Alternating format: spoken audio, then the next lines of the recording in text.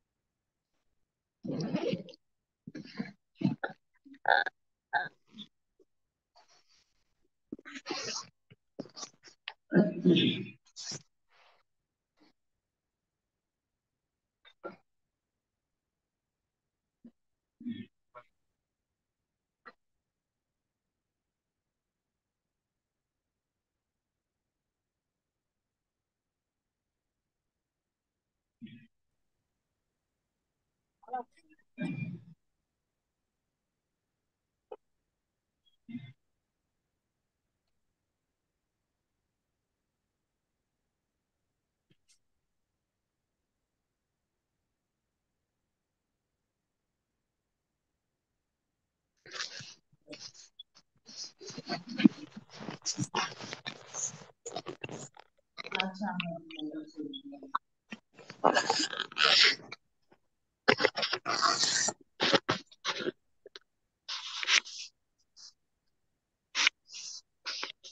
A very good morning to one and all present here.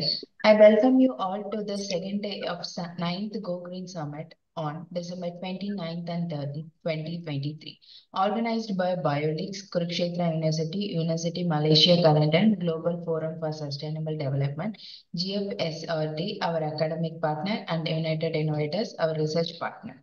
It gives me immense pleasure to introduce and welcome the keynote speakers for today. M. Rajesh, Assistant Professor, Department of Zoology, The American College, India. Dr. Mazrina Binti Mahat Nazil, Senior Lecturer, Manager, School of Chemical Engineering, University Science, Malaysia. Dr. Kushal Matai, Assistant Professor, School of Planning and Architecture, India. Dr. Sunita Dalal, Professor, Department of Biotechnology, Kurukshetra University, India. Dr. Muhammad Muqtada Ali Khan, Associate Professor, Faculty of Earth Science, University Malaysia, Kelantan. I would like to welcome and introduce the session chairs from Kurukshetra University for today. E.R. Shivani Assistant Professor. Dr. Hardeep Rai Sharma, Assistant Professor. Dr. Sandeep Gupta, Assistant Professor. Now, I would like to welcome all the participants and we are looking forward to our active participation today. I would like to thank each and every one of you who have gathered here. Now, I would like to welcome our first keynote speaker of the day. I request Mr. Uh-huh. M. Rajesh to render the lecture. Sir,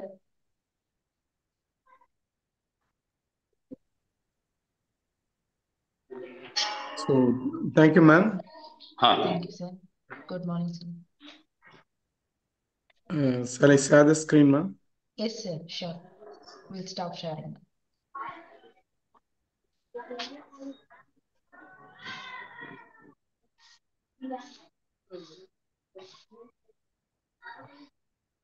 Are you able to see my screen? Yes, sir, we can able to see a slide. Could you please uh, share in full screen mode, sir? Yes, sir. Okay, ma'am. Fine. Thank you, sir. Okay. Thank you. At the uh, my sincere thank to the ninth Go Green Summit organized by Bioleagues. And it's a great pleasure to be a part of this conference, virtual conference.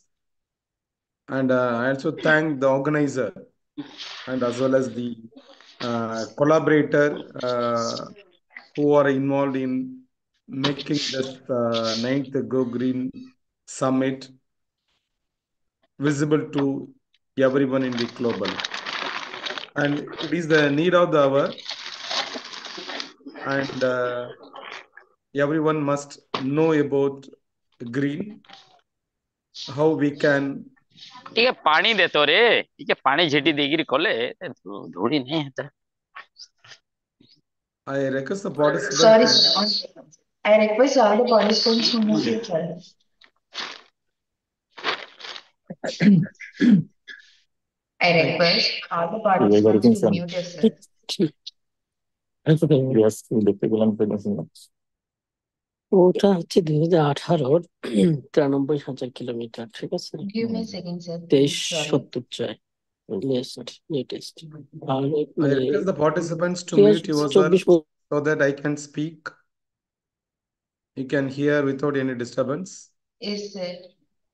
No, you can continue. Okay. Sorry, sir.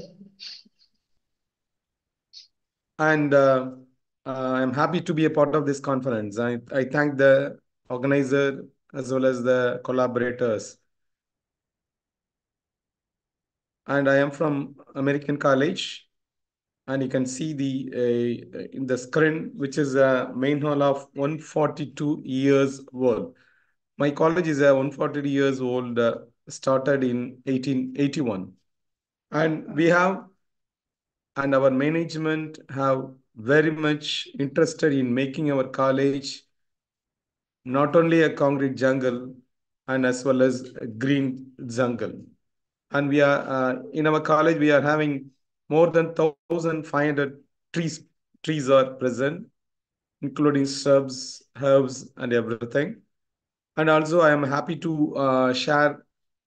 We are having 38 species of birds and which is documented by our uh, zoology students of American College. And uh, every year the number is increasing and new uh, species are uh, coming to our college because our college is having uh, nice residence for them. And as well as we documented more than 45 plus butterfly species in our campus. And not only that, we are having poisonous uh, cobra as well as a non-poisonous snakes, which is roaming in, in, in our college. And we are also having a mongoose. We are having a unique uh, white colored mongoose in our campus.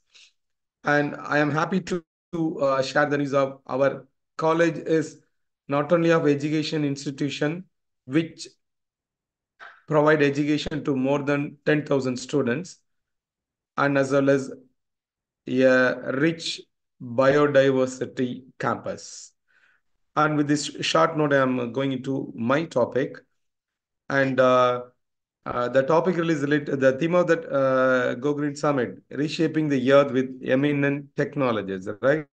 And I'm going to uh, give some outline about how the animals are in global reshaping the earth without introducing the the latest technology or uh, something you called about eminent technology.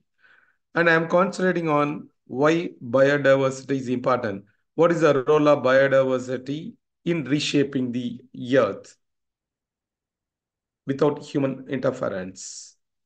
Right. And uh, everybody knows healthy environment, and that is the foundation of human life.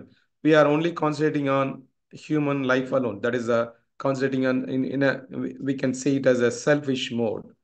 Even though we are uh, concentrating on healthy environment for um, for us alone, the healthy environment that denotes the overall biodiversity of the globe also.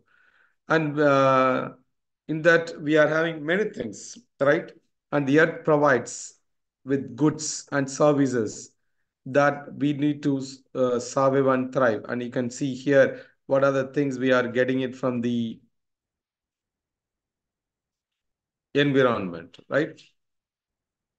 And uh, another important problem we are having it is we are putting planet under enormous pressure, right? And everybody uh, will accept my uh, statement. We are over exploiting the earth resources. That is why this kind of conference is uh, uh, coming. And uh, this conference will tell about the problems of us, that is an anthrop anthropo anthropological disturbances given to the environment. So the man is the real culprit in making the uh, earth, which is not good for the future generation. Unless otherwise we uh, look on look on it and uh, repair the damages, and we can't live. If we are not repairing the damages, we can't live. Maybe uh, our future generation uh, will will live up to 2070, and after that there'll be a big question mark for even for us to live. Okay, uh, we are depleting all the resources, right? We are uh, digging the earth like anything. Uh, like you can see, even uh, every house has a borewells, right? We are digging the, the earth for uh, water, not only for water, for other resources, okay? And uh, we are wasting all the resources, right? So that is a main problem. And uh, because of that, we are polluting, which makes the climate change. And because of that, the there'll be a many species disappear, vanished in the from the environment. And the main things, what we are doing to the forest, and this is a statement given by the uh, Mahatma Gandhi, uh, there is a father of uh, Indian nation, right? Father of India. What we are doing to the forests of the world is but a mirror reflection of what we are doing to ourselves and to one another. We must uh, see to the statement, right? Because we are destroying the forest, which mean we are destroying ourselves, right? And this statement was given by Gandhi uh, before 1950. But the statement is a very good reflection of when you are seeing the today's world. Right, coming to the biodiversity for this is for uh, non-biological uh, people and biodiversity which was introduced only in 1988 by Edward. Wilson and uh, what is it? And this is a variety of life forms on the planet. You can see what are the variety of life plants, animals, fungi, and microorganism. Not only that, animals alone, and the interaction that exists between them, the interaction between plants and animals, plants, animals and fungi, plants, animals, fungi and microorganism. So when there is no interaction is there, and there'll be a question mark. And coming to the distribution of biodiversity. So here you can see so many animals that denote the size denotes the number of species in the world. Okay. And uh, you can see the mammals, which is uh, near the, the ant. Okay. You can look into the size of the mammal and this constitutes the entire, entire mammal species, right? So maybe around 4,000 species of mammals are present in, in the globe. But when you see the insects population, it is more than 1 million species and still the new species are invented, right? So uh, even though we are having a smallest and we try to dominate the entire ecosystem. And because of that, we are having so many problems to live in us. And why biodiversity? And uh, what is the role of biodiversity, right? And I think uh, you know about biodiversity, that is a variety of life forms, right? So when there is variety of life forms, it measures the health of life on earth. It acts like a thermometer. When there is a number of animals started decreasing, it affects the health of life. And also, uh, we discussed not only the presence of variety of animals and interaction between them, and that is the functioning of the ecosystem. When there is no interaction, functioning will be coming to halt, right? And there is no function, there is no ecosystem. And that comes the problem for the life of every animals, including human being. And uh, we are thinking that uh, we alone can survive in the uh, environment. Why we want to uh, see the other animals, but each life form has a unique role. And also they contribute the stability and resilience of the ecosystem. And there's a problem in the survival of any living, any animal or a plant, it affects the whole ecosystem. And that we are going to see in this presentation. That is, uh, you can see here the marine turtles. We do see the marine turtles coming to the shore to lay eggs and they swim into the environment. That too alone we are concentrating and uh, we know that. But you can see the role of marine turtles in ocean. So that is tremendous. I am just giving an example of each and every environment. And you can see, uh, uh, because of the limited time, I am concentrating only on some animals. And that reflects all the animals are important and they are good for the environment. When their absence, when they become extinct, and that will damages the environment. So see here, so their main food is seagrass and they maintain healthy seagrass bed. They are uh, eating that and they are controlling the seagrass bed. And because of that, they increase the diversity in coral reefs also. They supply nutrients to beaches. They, when they're coming to the beaches, they lay eggs and uh, eggs are hatched out. The leftover, the into the sand, and from that the minerals are enter into the soil. And also they balance the marine food up. And you know that food chain, that is eaters are being eaten. When there's a problem near food chain, it is like a spider web.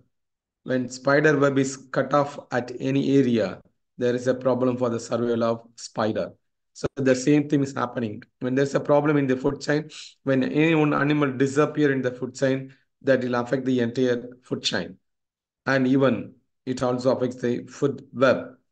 And also they provide food for the fishes and they also provide habitat for other species also.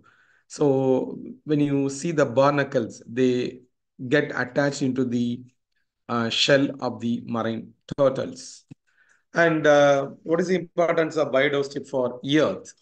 First, let us see the importance of biodiversity, what biodiversity giving to the Earth and as well as for us also. And we'll see uh, the animals which are responsible for that, right? It gives us food,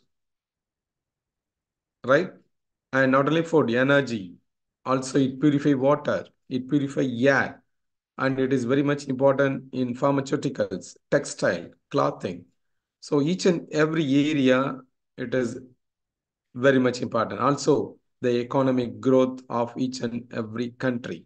So biodiversity play major role. It helps find new medicine because now nowadays we are getting medicines from uh, many plants, right? And uh, it helps us fight against climate change also. And uh, we'll see how it uh, give us, helping us. And it is important for the agriculture, okay? And also food security. We are getting food from the agriculture, which is the plant diversity.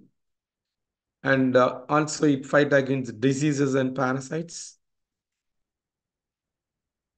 It keeps our atmosphere stable because of the interaction between biotic and abiotic. It also helps us to fight against natural disaster. I think uh, from the natural disaster uh, which you have seen in uh, TV, right? TV news. Some of the animals, they sense the problems in the environment when the earthquake came or volcanic eruption. You can see some, some of the disturbance by looking at the animals, right? By looking at the animals, we can measure something is going to happen. And it also helps to fight global warming. When biodiversity is there, the global warming will be lessened. Uh, I think um, uh, many of you know about global warming. That is a carbon dioxide increase. And why it is increasing? Because of the chlorofluorocarbon. And carbon is carbon dioxide is more in the atmosphere. And because of the deforestation and cutting of trees in all over area, the carbon dioxide is increasing, right? It is unable to absorb by the plants because we are cutting trees. When trees are more, global warming, we don't have any global warming. That will uh, take all the carbon are uh, taken up by the plants for their respiration and all, right? And also keeps our ecosystem functional. So you can see the food chain. Herb uh, plants that is eaten by herbivore.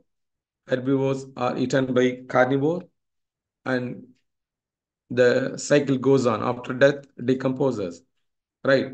So this is the uh, ecosystem is in function. When there is any animal is killed or uh, not available in the environment, the food chain is broken up and there'll be a problem. And uh, biodiversity helps us to purify water, right? So many plants, so they are involved in the purifying the water. And it provides energy.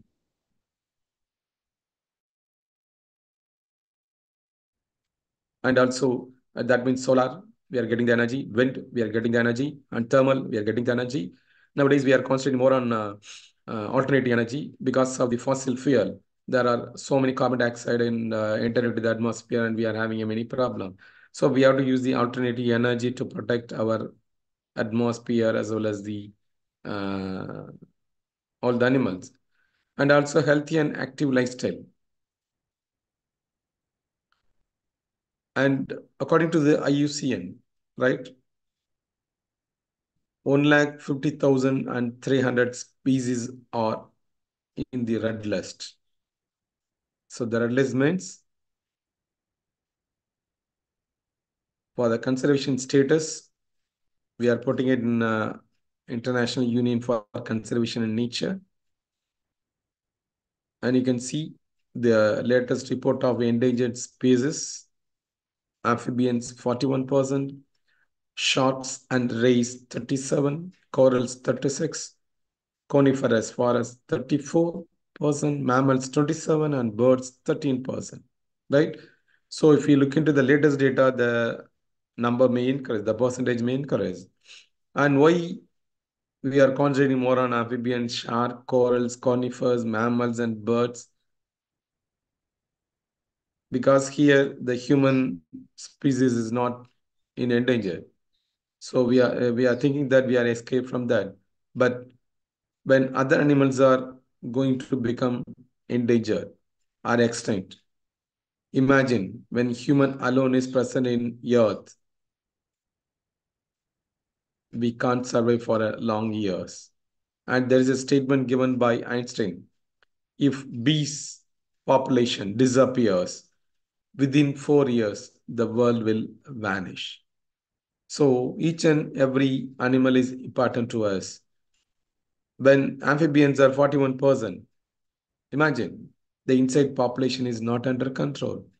And we are worrying about dengue fever and many fever, uh, which is uh, coming from the uh, biting of mosquitoes.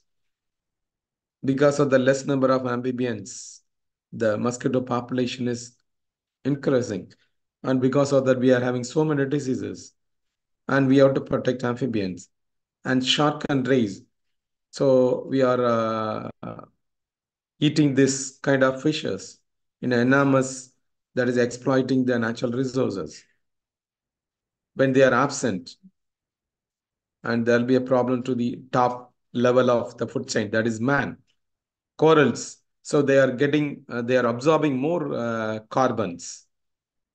Now 36% of corals are disappearing, right? And the carbon level in the atmosphere is, will be more. And mammals, so they are the top carnivore. Not only tiger, wolf, and many animals are there. And I think uh, many of uh, uh, Indian population know about the introduction of cheetah by our prime minister into India. Many people they may wonder why it is introducing. Many people may be thinking that. So the cheetah population in our India is present help in trouble. number is very less. Therefore, we will not fear that the earth give way and a mountain fall into the heart of the city. Uh, see, though its water roar and foam, and the mountain quake with the surging, there is a river whose streams make glad of God, the holy place where the Most High dwells. God is within her; she will not fail She'll not fall. God will help her at break of day. Nations are in uproar. Kingdoms uh, fall. He lifts his voice. The earth melts. The Lord Almighty is with us. The God of Jacob is a fortress.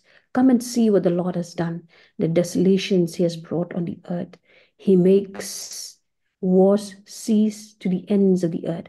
He breaks the bow and, chat- and shatters the spear. He burns the shield with fire. He says, Be still and know that I am God. I will be exalted among the nations, I'll be exalted in the earth. The Lord Almighty is with us, the God of Jacob is our fortress. Terai Jesus buku doa nak lemah nuan kamar eh, ban ayu ema ku terai blay merida sumaringi broshi bed. Terai Jesus ku terai blay berapa deng ku terai blay Jesus ku terai kiki paro andre melong bayai ne ku terai blay Jesus. Yai ti ya ladehi step ku terai blay. Iwan sheme ku mengi long ku terai. Halaga jong ke halaga jong ke halaga jong ke jing. Hello, sir. Thank you. Shall I continue? Yes, sir.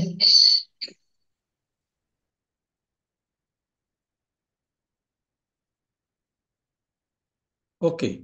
And uh, uh, we uh, saw about the biodiversity, the role of biodiversity. And I'm going to concentrate on keystone species, right? And each and every environment, every ecosystem, we are having a keystone species, right? And what is it? And it is a species with a dramatically larger effect on an ecosystem related to its abundance. So provided this species must be present in environment. Each and every environment, there are many species as keystone. When they disappear, and there will be a drastic changes in the ecosystem. And it will also vanish the ecosystem. Okay. And uh, I'm going to uh, give some of the examples.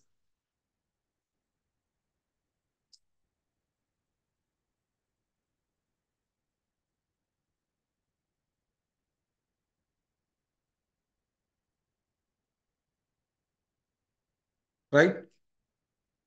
What are keynote species? Any species, and this uh, definition given by Robert Pine in 1966, right? Whose removal or reduction from an ecosystem adversely affect the overall diversity, stability, and as well the trophic structure of an ecosystem. So trophic structure, uh, you can call it as a um, producer, herbivores, and uh, primary consumer, secondary consumer, tertiary consumer, as well as a decomposer, right? Okay. And um, I am showing some of the animals here, and which is hunted, which should not be there. And there are different types of uh, key, keystone species. Some of the keystone species are the predators. You can see the tiger, shark, and grizzly bear, even the starfish, and as well as the wolves. Their disappear disappearance in that in that ecosystem that will spoil the entire ecosystem also. And prey, you can see the krill as well as the hare. That also plays important role. And some of the animals doing the engineer uh, like. They are called as ecosystem engineer. You can see the elephant of savanna and as well as the beaver. And there, there are some of the animals which are mutualistic, bees and uh, hummingbird, and as well as the uh, producers, fig as well as the cactus. And here uh, I am adding more examples here, the predators, tigers, and as well as starfish. And as prairie dogs, okay, and even the northern grassland. And prey, you can see the krill, which is the krill is a very uh, small animal, but it is the food of blue whale. I think you, you know the giant size of the blue whale, right? Which is the uh, biggest uh, mammal on earth, right? And as well as dolphin, dolphins, and snowshoe hare in North America. And ecosystem engineer, what uh, the role of ecosystem engineers? Uh, we we saw the uh, elephant as well as the beaver beaver animal, right? That keeps ecosystem as such without any disturbance. Beaver making dam, it creates because the beaver, the wetlands are as such, right? And we are uh, converting many wetlands into some other uh, area but the beaver is making a dam, right? And African elephants in African savanna, okay? And uh, because of it, African elephants, the grassland growth is restricted, okay?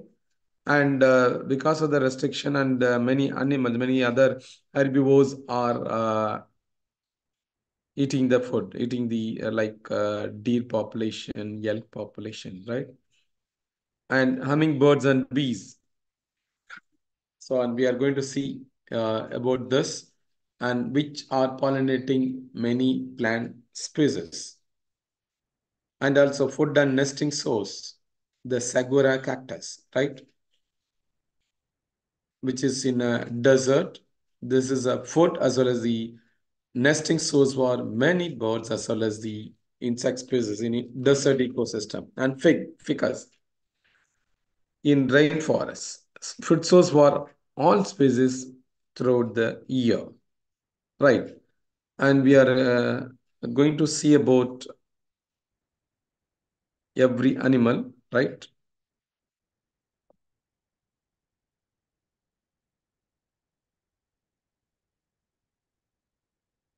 Okay.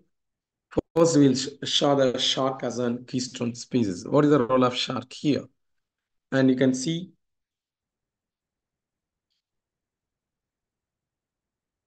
in this uh, structure, okay, this is the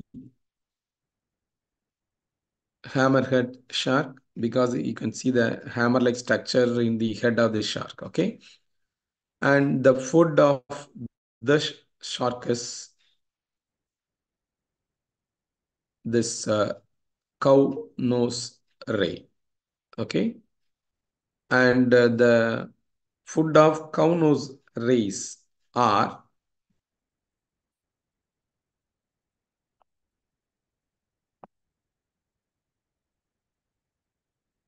you can see the clams, okay? So the many animals are there. Imagine this hammerhead shark is not present.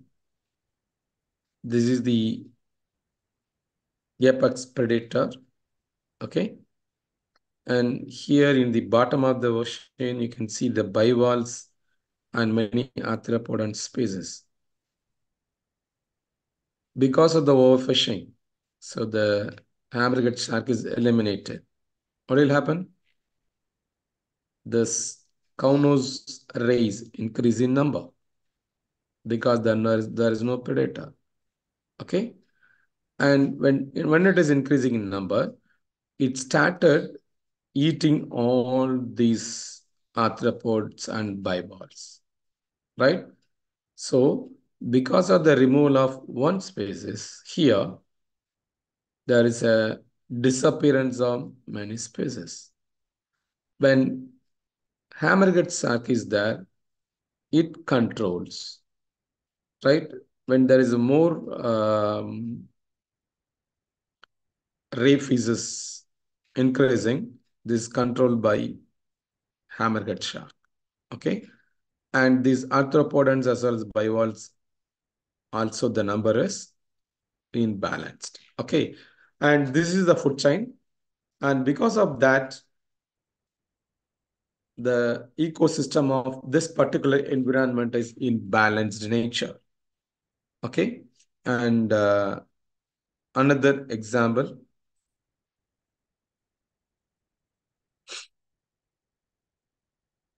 I think uh, you know about uh, sea otter.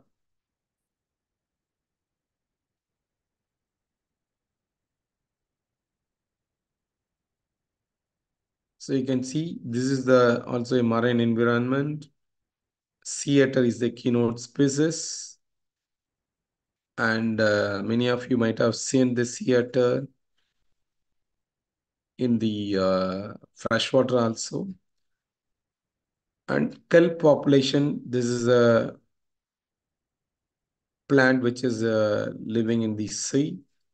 And in the bottom of the ocean, you can see the sea urchin. And the sea urchin is eaten by the sea otters. When there is a decreased number of sea otter, what will happen? The sea urchin population will be more. And because of that, sea urchin, it destroys the kelp communities. Okay? And uh, because of the kelp population decreasing, this kelp plant, which is useful for many herbivores. and the food for that animals are no more, and the survival is under question mark. Okay, and the hideouts, and it provides many hideouts. You can see uh, uh, in this slide, and this is the real kelp plant, and you might have seen these plants in uh, Finding Nemo movies, right?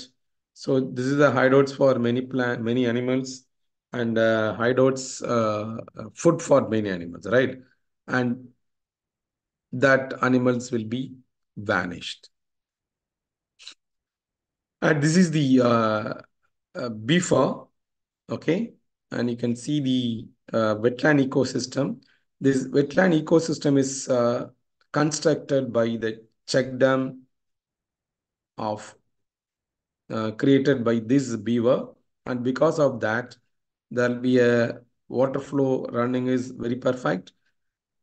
And as well as even it is a uh, rich supply of nutrients is in the wetlands and everything is because of this beaver. You can see the construction of nest by these beaver and here it is above water level and here it is below water level and this is moving into that and it is uh, getting you can see in this picture at the right hand top getting the log. So it is uh, uh, teeth is very sharp okay?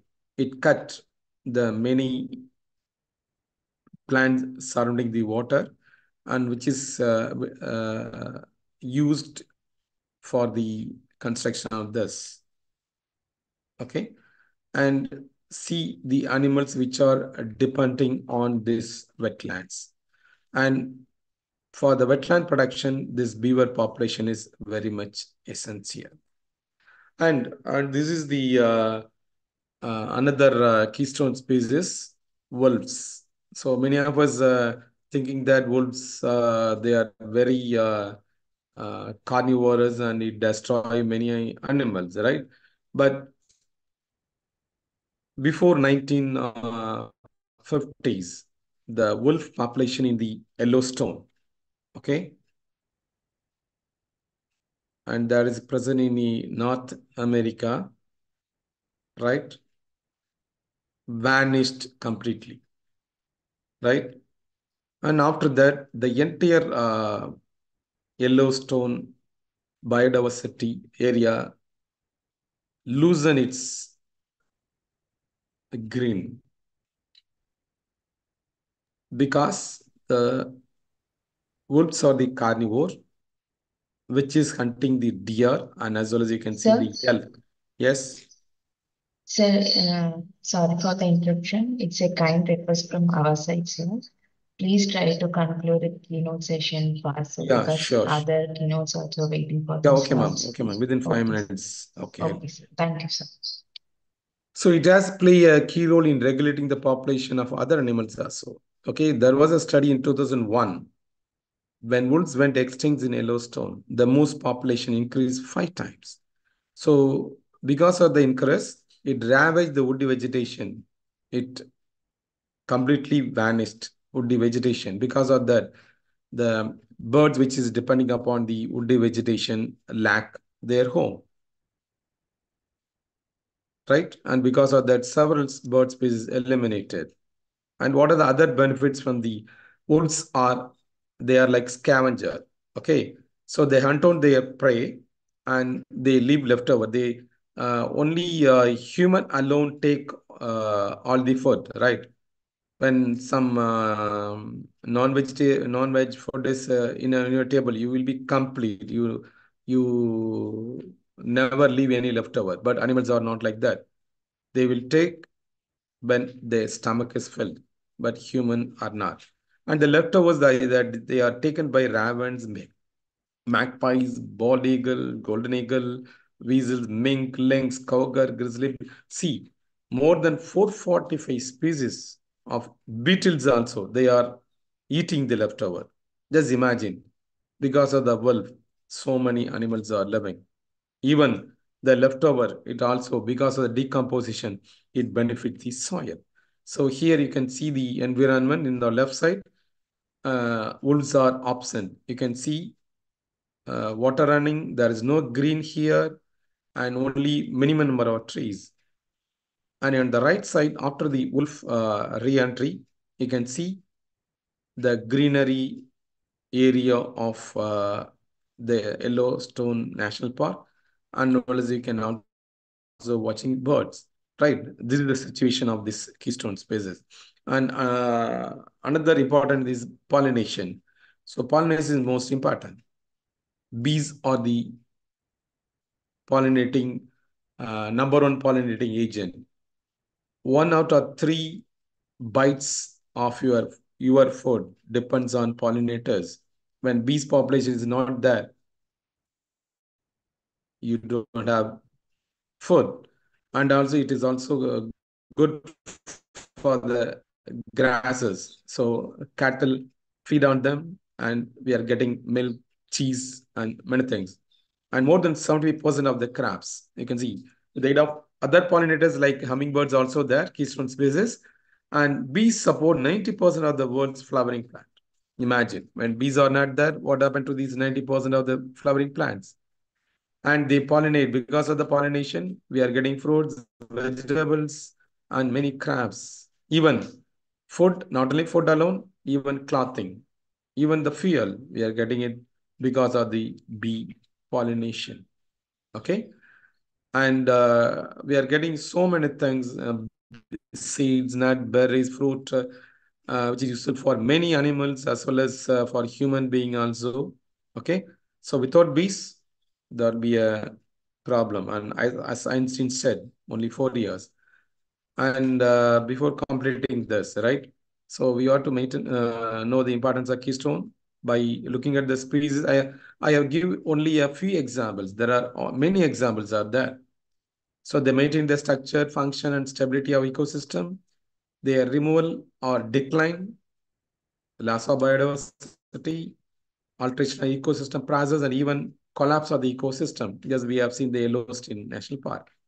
And we have to identify and uh, protecting the keystone species, which is essential for the conservation strategy. And these are the animal which is reshaping the earth.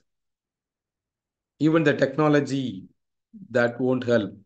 If we protect the species, that alone uh, reshaping the earth in a better possible manner. Thank you for your uh, patient listening. I think I have completed my task for this conference. And uh, you must know biodiversity and know life, right? When there's no biodiversity, no life. Thank you, uh, participants, as well as the organizer of this conference, um, for uh, allowing me to present my uh, topic. And thank you. If you want to interact, you can get my number. And also you can scan my QR code. Uh, you get all the details of me. Thank you. Thank you for uh, thank you. Thank you so Okay. much, sir, for your wonderful keynote session. Thank you, sir.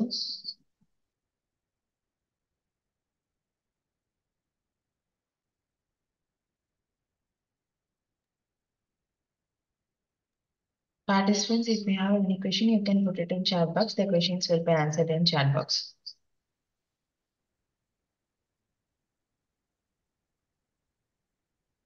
So in chat box, I think everyone asking the question.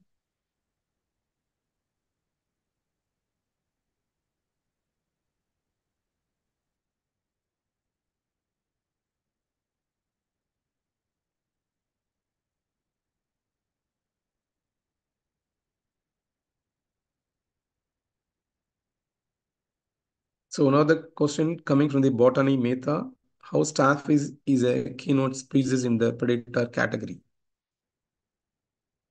So when the starfish population is decreasing, uh, so I have given an example for other animals, I am not concentrating on starfish. And when starfish is disappearing, and there'll be a, another population that are prey that will be booming in the environment, right? And that do harm to the environment and there is no controlling over there. Okay. And this is uh, nothing but a food chain. when any animal which is present in the food chain is disappear and the food chain is broken down and the food chain of any environment that will be disappear in due course. So that is the thing. Thank you, sir. Sir, can we In- move on to the next keynote session? Okay, thank you. Thank you, ma'am. Uh, okay, sir. Thank you, sir. Because we are running out of the time, sir. So only. Okay, thank you. Okay, sir.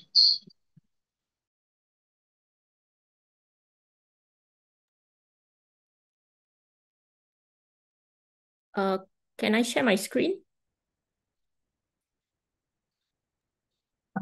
Eh, eh. One sec, ma'am. One second. I'll introduce.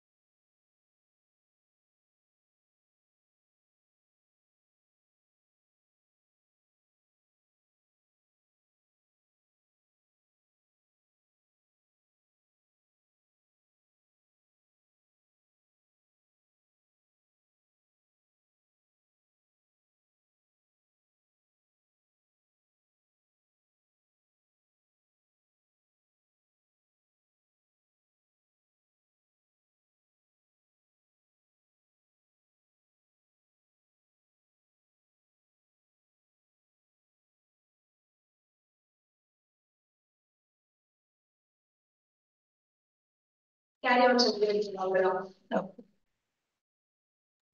And this people's push up.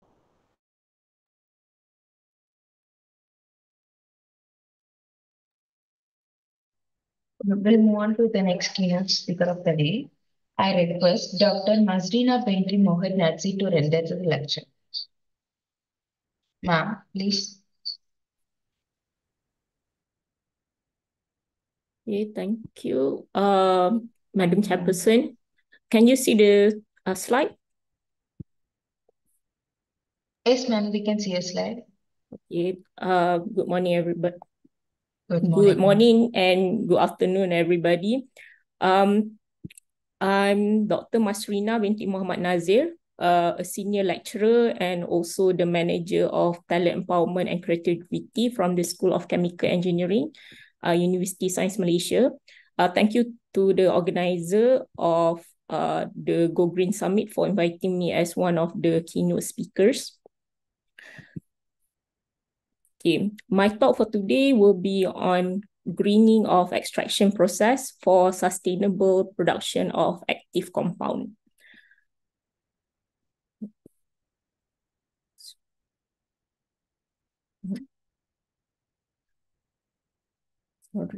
Um, I can't go to the next. Okay, um, before I go into detail uh, about my research, uh, I want to introduce you to Universiti Sains Malaysia. Um,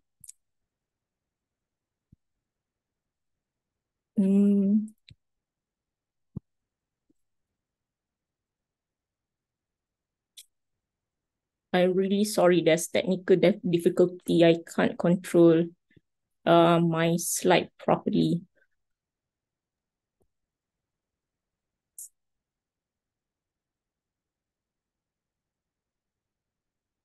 I think I need to unshare and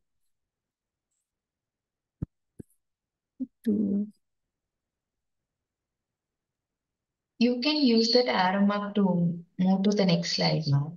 Uh yes, but I mean uh the uh uh basically it's hang. Uh I uh it yeah. So I can't go to I can't move the slide. Uh I need to unshare and reshare again. But I can't unshare this. Hmm.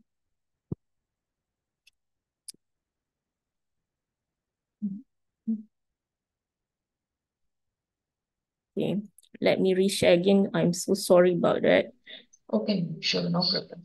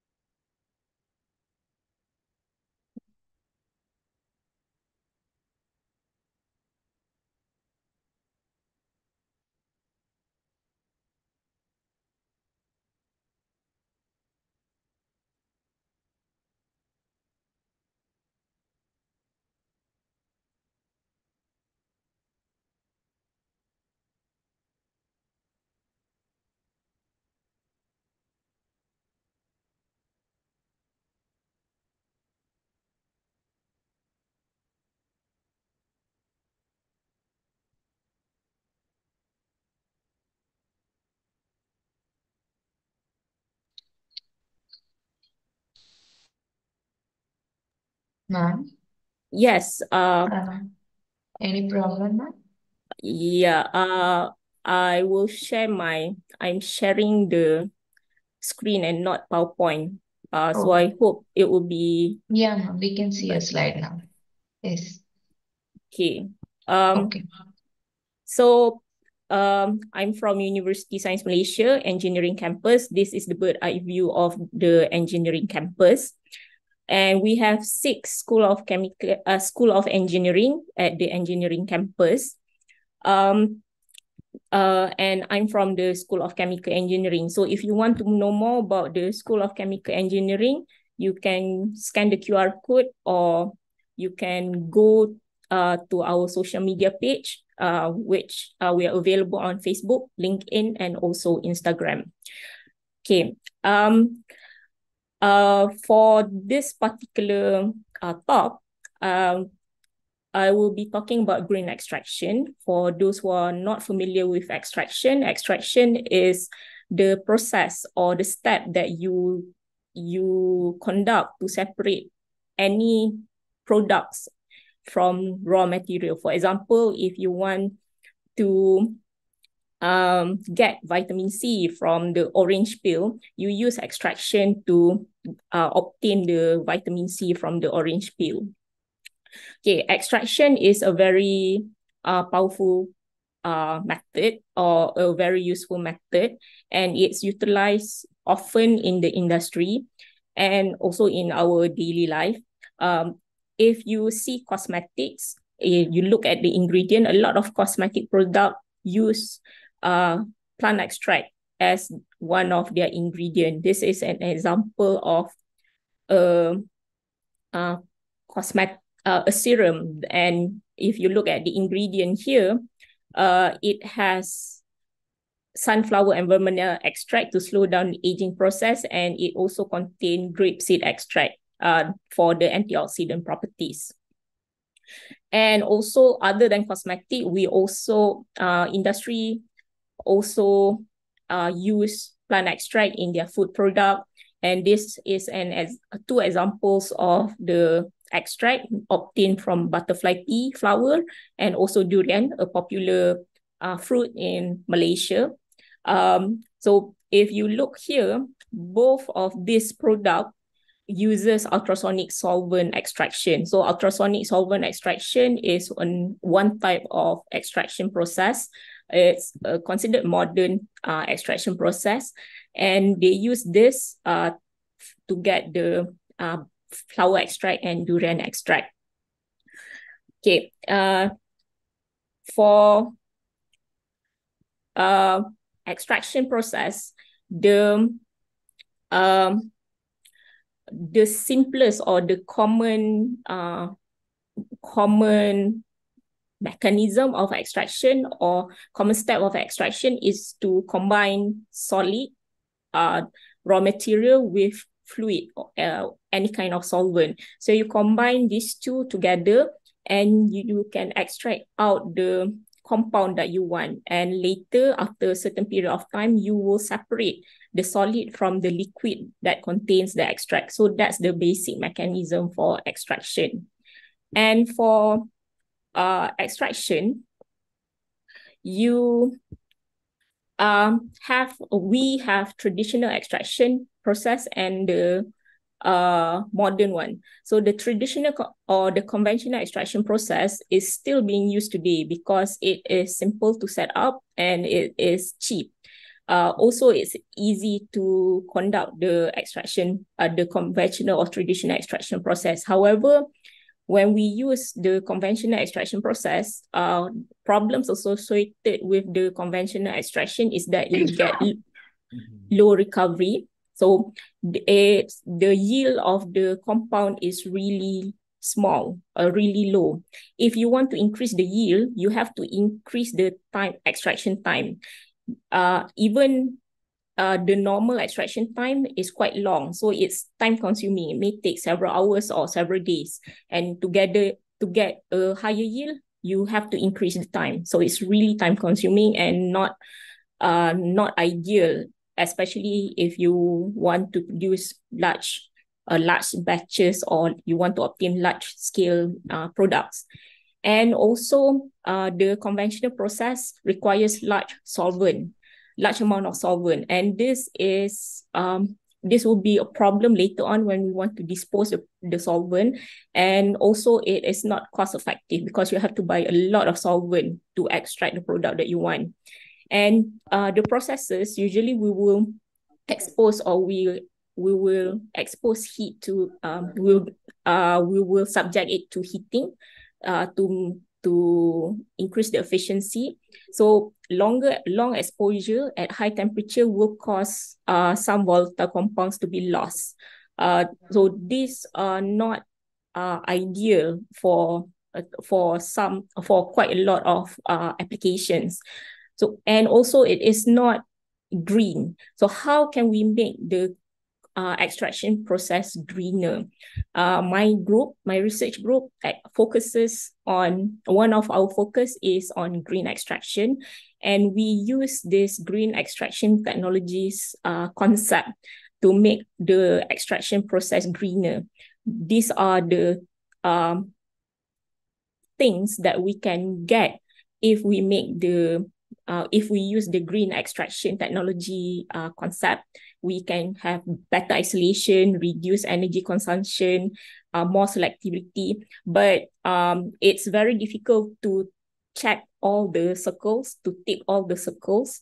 Um, uh, so uh, for our group, for my group, I'm only focusing on four eh, uh, that is using alternative solvent.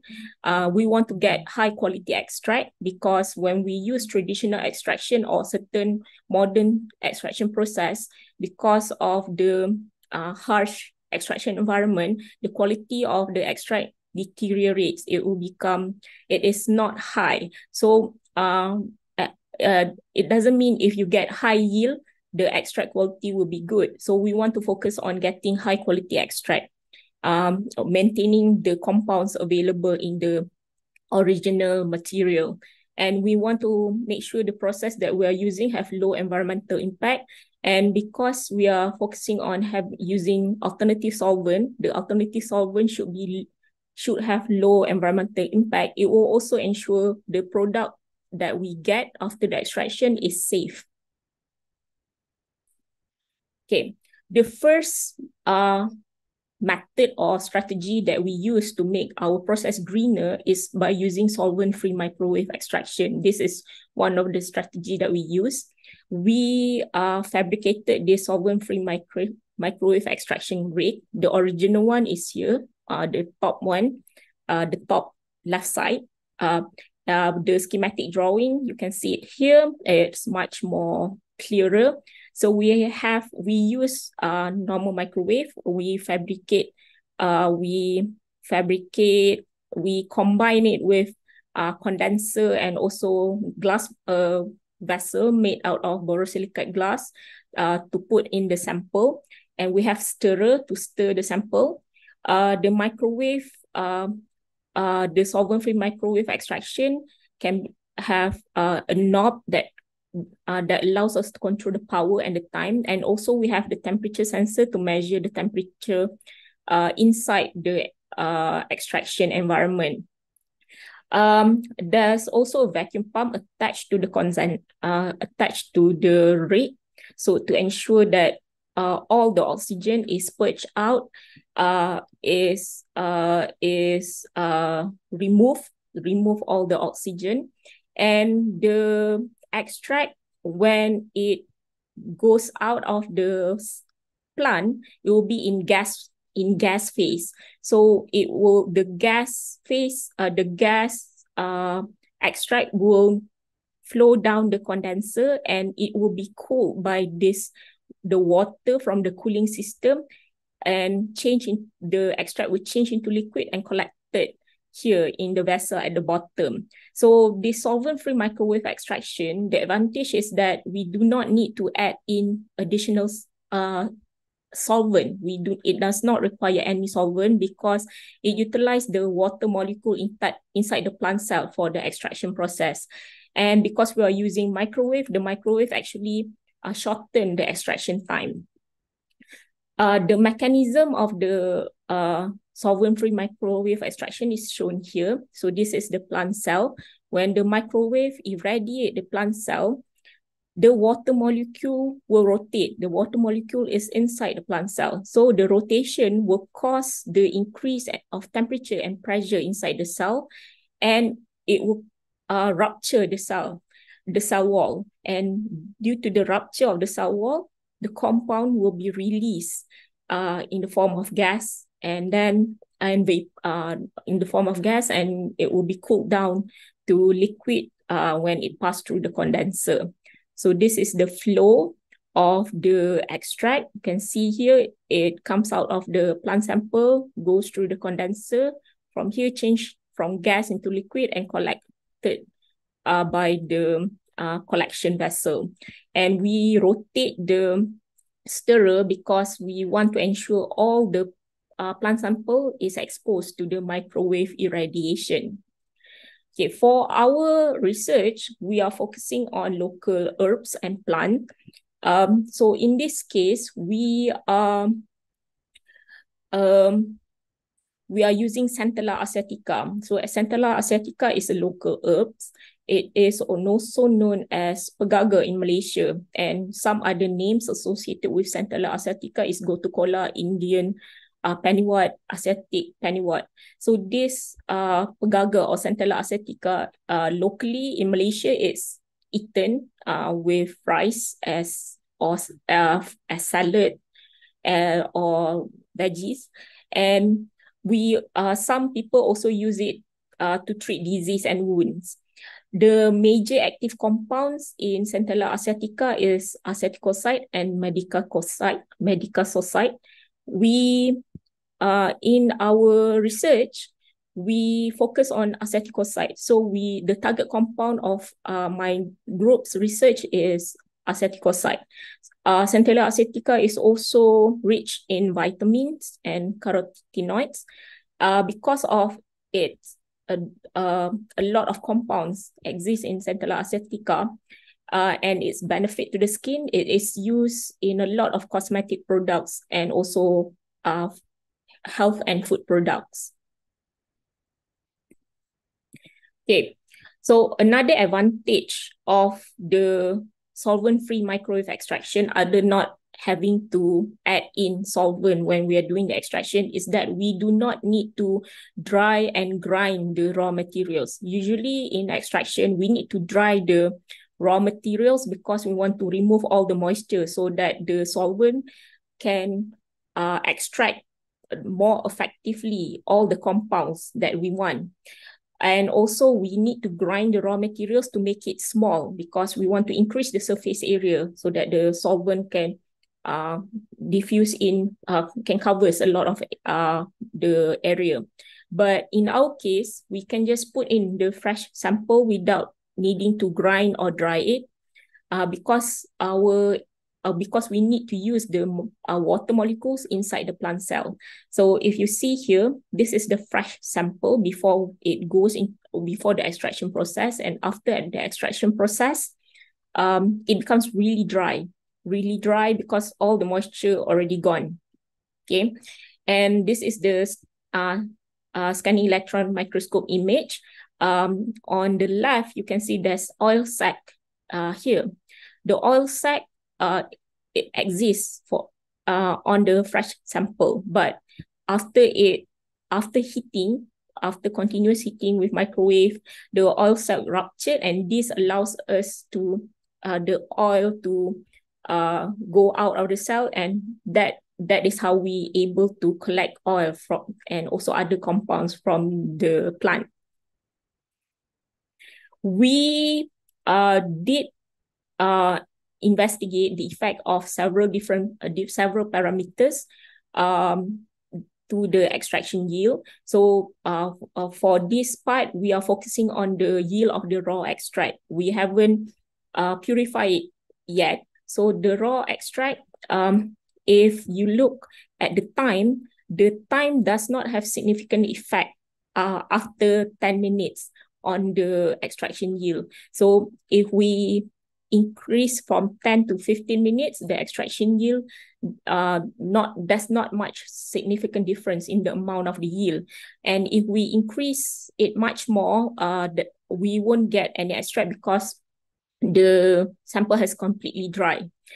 And if we increase the power from 300 to 500, also there's no significant difference in the in the yield, uh, especially uh, if you see here, since we can monitor the temperature, when we increase the power, the temperature also increases.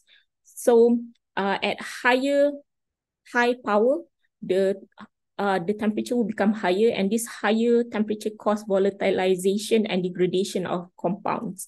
And so for the solvent-free microwave extraction, 300 watt is sufficient to get the yield that we want if we want to reduce the uh, power of the microwave. And because the power uh, will result, uh, if we increase the power, it will result in a higher amount of energy being used. And that, but um, if we conduct the experiment in vacuum and at atmospheric uh, condition, there will be a difference in the yield. So the yield will be much higher when we conduct it at vac in vacuum uh, because more oxygen sensitive compound will be extracted, was extracted. And if we use stirring, also uh, we can see significant difference in the yield of the extract because when we stir the uh, the sample, all the plant plant uh, sample will be exposed to the microwave irradiation, so we can uh, uh, get more uh, extract out of the cell uh, out of the plant. But if we didn't stir the plant at the bottom, part will not be exposed to the microwave and it, uh, it will um, uh, there will be no rupturing of the cell wall. Uh, therefore, the plant at the bottom part uh, will maintain is it will not uh, be as dry as the one at the top. So stirring is required when we use solvent-free microwave extraction. Um, we uh, try to correlate the uh, yield with the time to understand the extraction kinetics. So basically, uh, for the first minute, we will not, we did not get any extract at all. We cannot recover anything. But starting from one minute until uh, 10 minutes, uh, we'll get, a, we obtain a lot of extract. So we recover a lot of water and active compound from 1 to 10 minutes. And from 10 to 50 minutes, uh, basically the result is stagnant. The amount that we collected is uh, this, uh, the same. So that actually uh, shows uh, that the extraction can only be conducted until uh, 15 minutes uh, when we are using solvent-free microwave extraction. And for the transfer of the heat and mass uh, for solvent-free microwave extraction, it's from inwards to out. The mass transfer and heat transfer is from the plant cell uh, out outwards. But for conventional extraction, um, maceration, chocolate, uh, the heat transfer from will be from the outside and will pass through the cell, uh, plant cell, and this causes it to rupture, and the mass, the active compound will, uh, uh, will go uh diffuse out from the cell, but the heat will be from the outside. So that's the main difference compared to the uh when compared to the solvent-free microwave extraction uh, we want to know uh, the uh, basically what um, what kind of uh, compounds that we can get from the extract, uh, from the raw extract. Although we have the target compound that we want, which is asiaticoside, we still want to know uh, what are the compounds available in the extract. So the other available compounds in the extract, um, we found it using GCMS. So we investigated the raw extract using GCMS analysis. And we found that there's three compounds that have the high, uh, high percentage in the raw extract, which are this cyclohexane 1,4-dimethyl-2 octadecyl, which is a polyacetylene, and this can be used as nutraceuticals. We also have two fatty acid, hexadecanoic acid and octadecanoic acid. So these uh, fatty acids are also useful. Um, uh, uh, one can reduce, can help reduce cardiovascular diseases, and another one uh, can be used in baked goods. So a, a lot of beneficial active compound exists in Centella asiatica raw uh, extract. And we also want to know whether if we want to use the raw extract without purifying it, will it have any other uh, at, uh, benefits such as antimicrobial activities?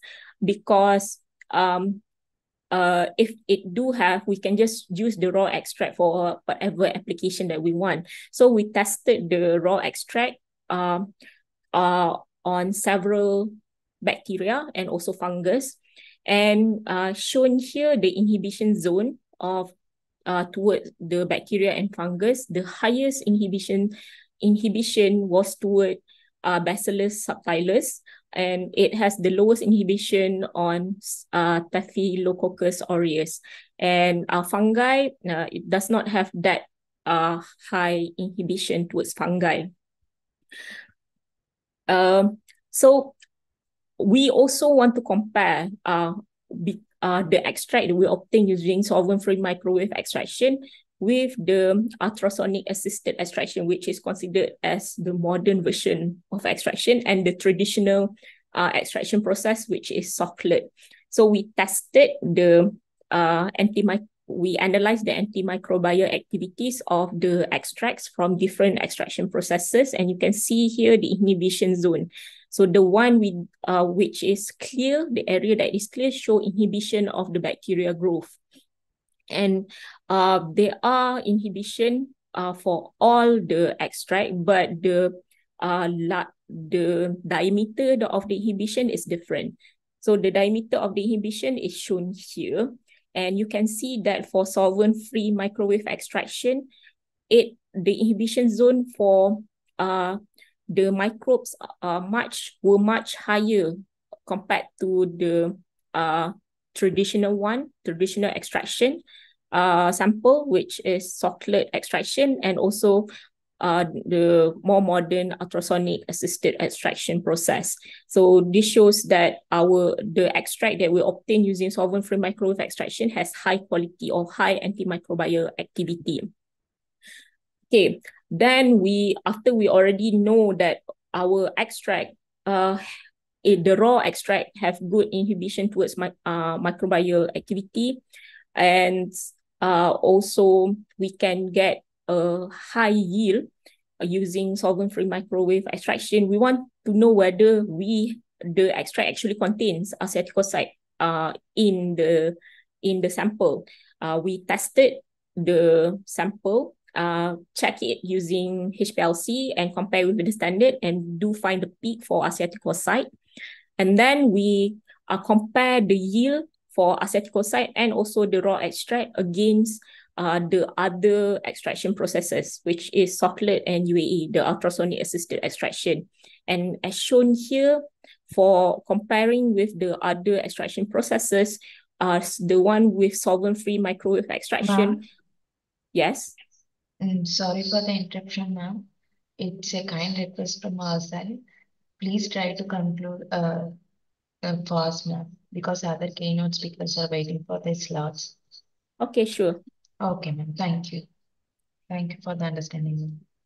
Um, you can see that the solvent-free microwave extraction have a higher extraction method and a higher extraction yield, uh, and also higher asiaticoside yield. And also we have total phenolic, uh, higher total phenolic content and also uh, antioxidant activity. So this shows that the quality of the solvent-free microwave extraction is really good and we also able to obtain the high yield of the extract. Okay. Other than the solvent, uh, using solvent-free microwave extraction, we also use green designer solvents for the greening the process. Uh, for this uh, green designer solvent, we use NADES, natural eutectic solvent, and it's uh, the combination between hydrogen bond acceptor and hydrogen bond donor. So NADES form between the mixture of these two. And for our group, we focus on betaine because it is shown to have less cytotoxicity compared to the other hydrogen bond acceptor. Uh, we use this NADES because it is uh, simple to prepare and biodegradable and also have low toxicity profile. And uh, the first thing is we have to check whether or not the formulation actually produces NADES. And to know whether it produces NADES, we have to check the mixture under microscope after it cools down. And the one without any particle inside is this one without any particle is the successful NADES uh, formation the one with the particle inside is the unsuccessful unsuccessful NADES. So we do not use this for our other analysis. We use the one that do not have any particle for our other analysis. And we also check whether or not uh, when we add in water, it would disrupt the hydrogen bond between the hydrogen bond acceptor and hydrogen bond donor uh, because NADES is really viscous. So we have to, we want to reduce the viscosity by adding water. And we, uh, when we add in 30% water, the hydrogen bond still exists between the uh, hydrogen bond acceptor and donor. So it shows that we can add in water in NADES. For this case, we use ultrasonic assisted extraction uh, with NADES.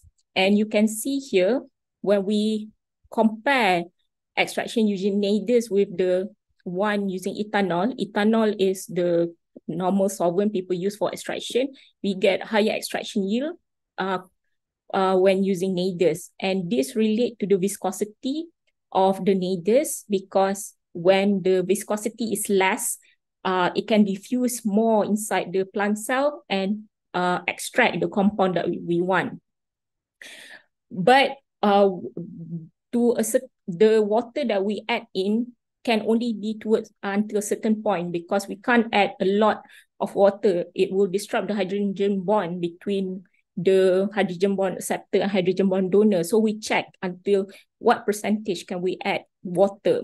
And we see found that we can only add up until 50% of water. If we add more than that, the hydrogen bond will be disrupted and you only get solution, simple mixture of the uh, different different uh, chemicals and not NADES. And uh, for the extraction kinetics, we also checked the extraction kinetics and we found that um, for the extraction kinetics, um, initially, um, when the asiaticoside, um, before the extraction, the asiaticoside is at in will be at the at the surface and inner side of the uh, plant cell. When uh, we extract it for 10 minutes, the solvent molecules start to diffuse.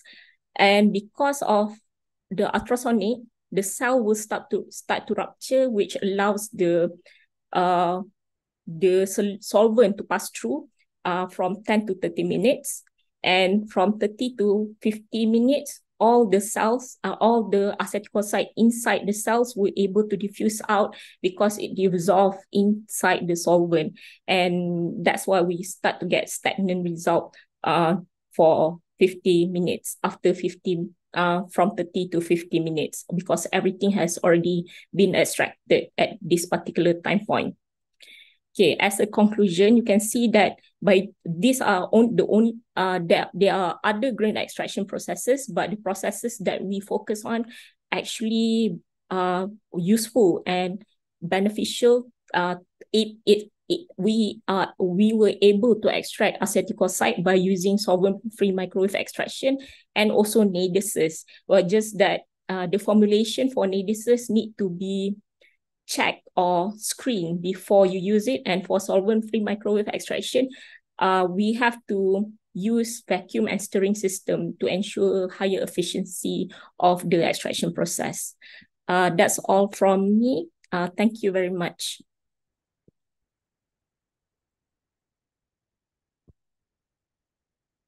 Thank you, ma'am. Thank you so much for your wonderful keynote session.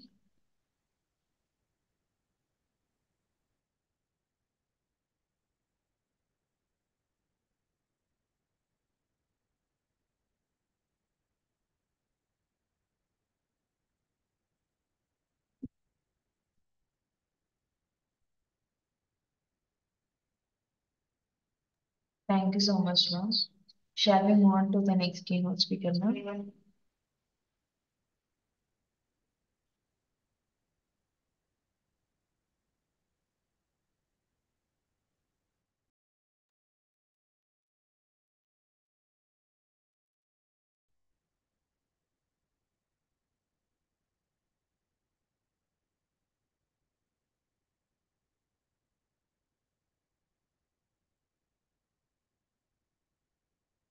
Now, I would like to request Dr. Kushal Matai to render the lecture.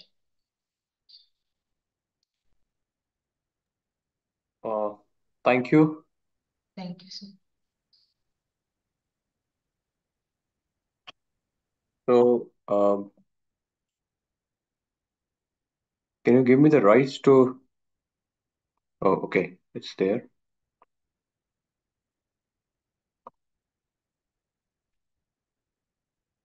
Is my presentation visible? Yes, sir, it is visible. Okay, and am I visible? Yes, uh, I think. Yes, sir. Okay. Okay, thank you. At the outset, I would like to thank uh, Bioleagues and Go Green uh, Summit organizers, all of them, to you know organizing this event. And uh, I all I would also like to thank you for inviting me to give a keynote session. And I come from an architect for architecture fraternity, so my presentation is going to be more about the building focused and you know the uh, urban fabric, how we tackle with the uh, forms. And I'm not going to go into the complete details of everything because there's a paucity of time.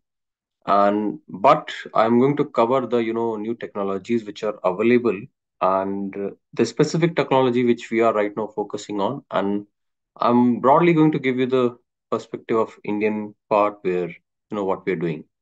But before that, I'll I'm going to you know give you the brief of what is SPA. So School of Planning and Architecture is a very old institution, and it is uh, almost 81 years now, and it is one of the pioneer institutions in architecture and planning, and at uh, Delhi, New Delhi, uh, at uh, you know at the heart of the Delhi. the capital of India. And uh, these are some some of the photographs that what is the life. So moving on to that, after that, I'll just. So this is the title of my today's presentation, where we are going to talk about the possibilities and pitfalls of solar technology as a sustainable building material. So please uh, understand that the context of this presentation is in terms of the building material. It is not about the technology part of the solar technology, whereas it is about the technique, the you know the installation and you know the integration. So primarily it is difference between that. Now why that? Because uh, there's a lot of talk about energy consumption and you know net zero and lot of buzzwords we keep listening around on you know each and every day. Day to day routine is our day to day routine office routine is filled with that. And but uh, you know very few of us know that what exactly is in detail when it comes to the photovoltaic installations. So the my presentation is going to have you know these kind of uh, structures that one we are going to go, go for the introduction then there are some key developments which i'm going to briefly talk about. Indian context then installations in buildings and then the bipv and then potential challenges. So it's kind of a build up way. Although i'm be i'll be running a little quick here because of as i already mentioned there has been a delay in this. So uh, let's quickly jump onto it. So introduction like we this is a graph which is showing that global level where the you know energy consumption and economies growing economies stay. So most of us actually are going to consume. As you can see here there are a lot of green uh, you know dark green colors in this which says that 6% or more still needed.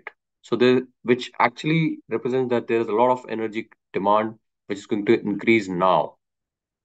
And the, the first two bands like 3 to 6 percent and then 6 percent and more. That's that's that's a point of concern. Now the parity of that with the development developed versus developing nations is very different than that. So this is another graph which is showing the you know per capita consumption. And this is actually giving you the idea that it is rising at an exponential rate. And i'm not going to go into the numbers right now but this is to just to give you a preview that how critical this issue is. Now, that's why we have been talking about that, you know, there is in SDG 7, there is affordable, affordable and clean energy. And this actually encompasses most of the things like, you know, the all part of renewable energy from innovation to the new kind of material application and to the uh, new technologies and techniques being implemented. There's a lot of research going on at the global level about this. Now, what are the benefits of renewable energy? First, we need to understand that because for a common person to understand it, it is not something which is, uh, you know, day to day matter going into going in depth into it. But by and large, if we look at it, it's like you know, it is an independent form of energy, and it is you know, it is sustainable. It can sustain itself, and it is in abundance. That means it is it is perpetual. So so as to you know to an extent, and depending on the technology as well. But as far as we talk about sun, uh, until unless we have it, it is it is a source of energy which is with us. Then it has a you know the very compelling point is that it has reduced carbon emissions even for the technology part as well. Now there are these kind of renewable energy sources by and large which we talk about in general. Yes, there are some kind of you know uh, debates about it that whether some of the components are fall actually into the renewable category, category or not, but we are not going to go into that. So today we are just going to focus on solar. So all those uh, who have gone into the research, they know that you know the solar. Uh, there are two components when we try to convert solar energy into you know the usable component. There is one is the photovoltaics, another is the thermal. So photovoltaics works in a form of you know photon energy and it has a certain spectrum which needs to be trapped and you know then the electricity needs to be generated accordingly. Now if we go for the global scenario then these are the you know uh, some graphic representation based on the figures which we'll get that you know uh, and i'm going to focus on this asia region where uh, i come from. So mm, uh, we are as you can see here, there's a lot of, you know, uh, potential and the targets, installed targets have been established by the, you know, various various countries. Now, this actually tells us that it is that much, you know, came into the observation and it is much more critical. Quickly jumping on to the another slide, how it is related to the zero emissions. So we talk about this zero carbon emissions and all those things. In totality, there are some things that we need to understand that it is, uh, you know, a very small amount of geographic area which is needed for this to be done. However, there are there is a paucity of understanding or you know the detail of in-depth study studies which say that whether it is feasible or not you know uh, by by feasibility i mean the you know the the the portability of a structure whether it should be decentralized or the centralized one that is yet to be you know uh, identified. Now coming on to the india indian context that there is this uh, you know uh, solar chart which defines that we have a largest amount where we have a, one of the you know fair amount of uh, solar potential. And it is exactly if you say from from the data of NISE it's 748 gigawatt of potential gigawatt peak of potential then what are the developments which have happened at the global level so if we'll go have a brief at the history of solar photovoltaic, this technology has been there. And initial levels, sometime it was to a competitive market, it was at 4%. Now today, if we talk about it, it has reached to the, the first generation technology has reached to some amount of 23 to 6, 25%, uh, which is substantial from the 4% which we talked about. And this graph, if you can see, it is from the NREL, uh, it shows that you know there are different kind of technologies which we have been working on and you know the uh, the emerging PVs and you know the so they are like first generation second generation and the third generation photovoltaic technologies which are which are being worked upon this is one of the innovative technologies which we use in the uh, uh, building forms and it is actually the replacement of simply replacement of a glass simple pane glass or whatever kind of glass which we use. I'm not going to again going to the detail of it, uh, but briefly I'm telling you that uh, this glass has one advantage in a layman terms if we talk about it.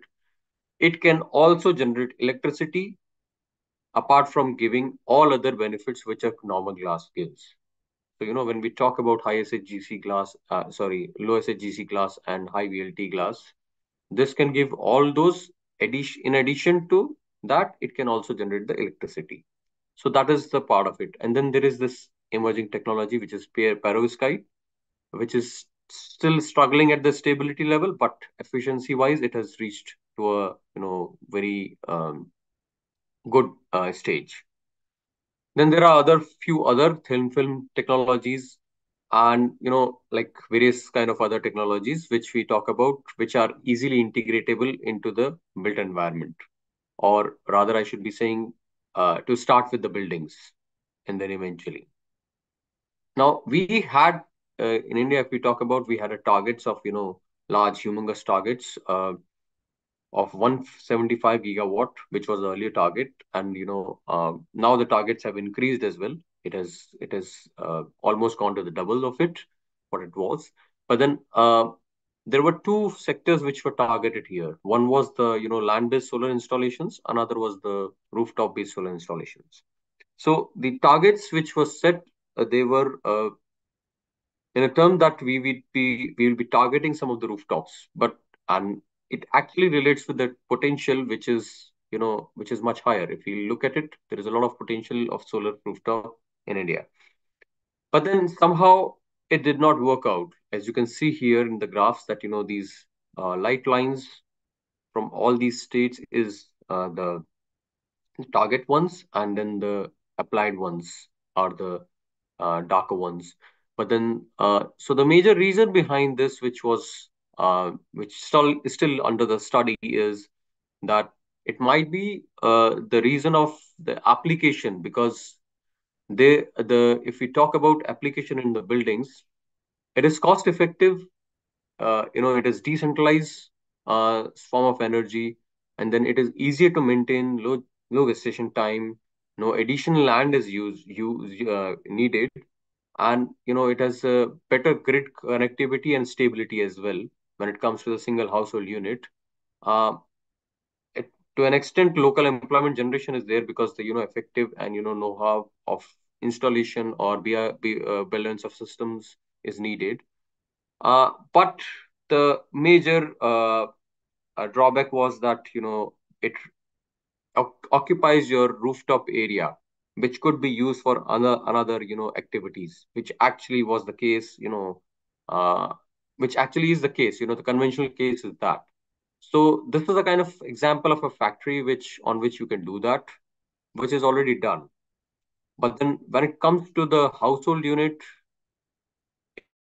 it is uh, or you know any recniche or any other leisure based spaces this is the purpose of a rooftop.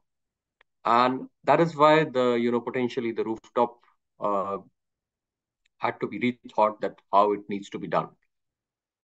So when it comes to the and then other uh, usages like services on the rooftops and on these you cannot install the pv panels because there is a lot of heat getting generated outside which needs to go into you know which needs to be dissipated into the sky. And then there are these you know examples of some of the places from you know desert areas in rajasthan and you know nearby places that these are the spaces how they are used then one another compelling study was that uh, which was done by us is that we try to identify that you know urban heat heating effect caused by the solar photovoltaic panels uh, if they are installed on the land or on the buildings facing upwards you know facing towards the sky so these are the installation images that, you know, the top one shows that the before SPV installation and later one shows about after the SPV installation. So just to give you an idea that my presentation is going to be more of a graphics one, not the, you know, there's very less, less text and, you know, um, some graphs, but then more images. Now, if you will see here, there's a, you know, clear, distinct visibility if you can see here, the thermal image shows that, you know, pre-SPV installation, there was much less heating in that region. And post-SPV, there is a lot of uh, land surface temperature getting increased. Similar was the case for the, not that aggravated, but similar was the case for the building installations as well, to an extent.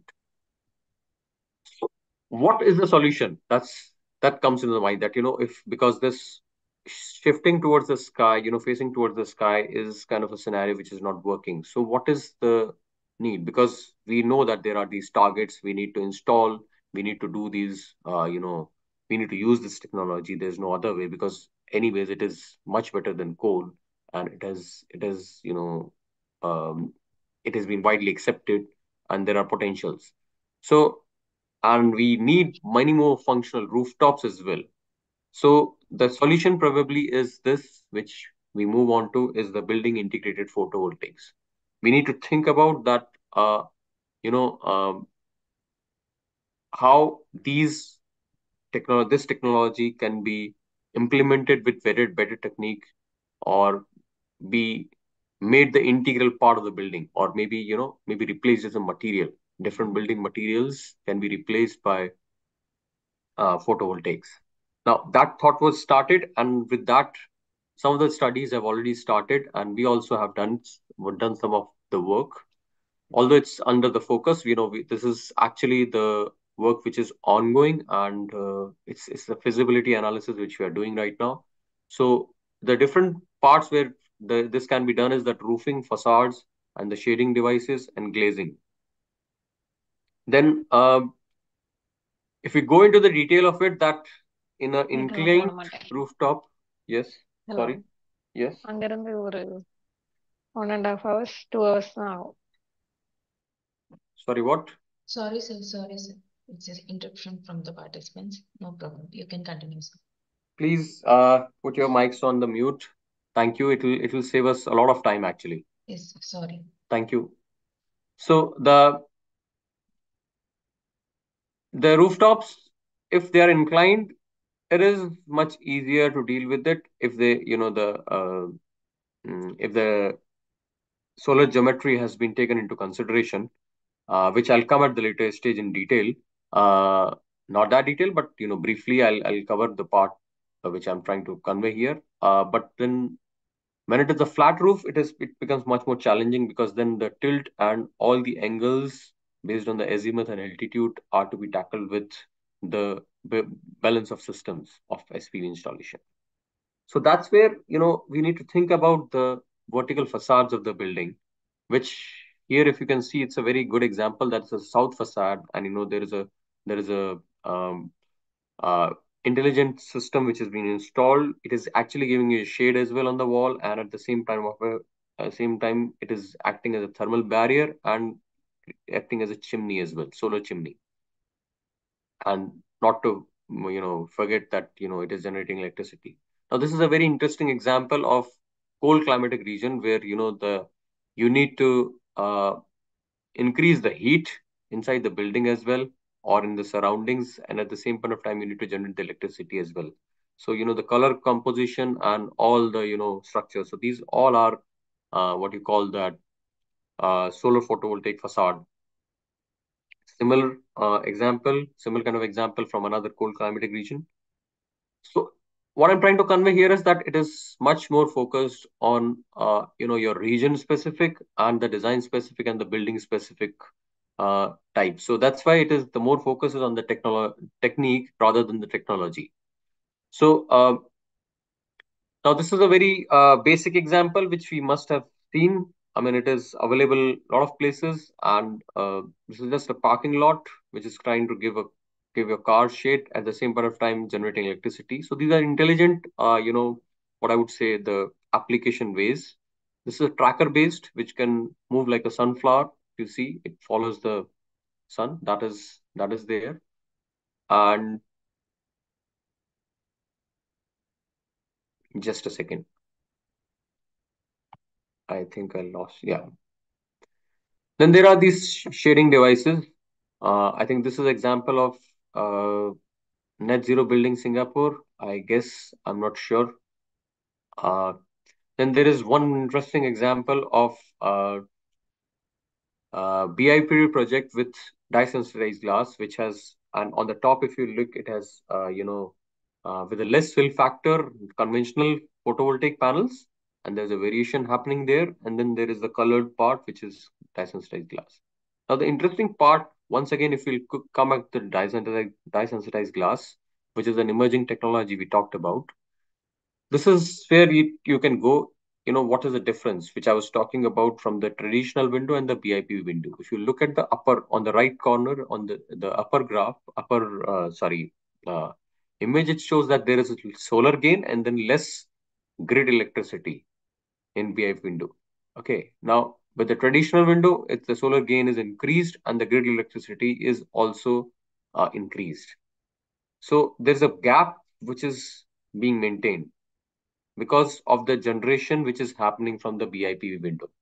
That is the difference between what uh, you know a solar PV or solar photovoltaic panel, if integrated into the building, can achieve.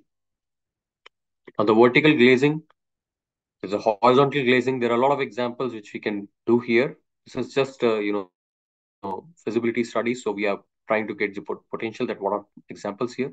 This is a very good example uh, based on the, you know, movement of the sun. If you can see in the left image, you can you can see a glare of the sun.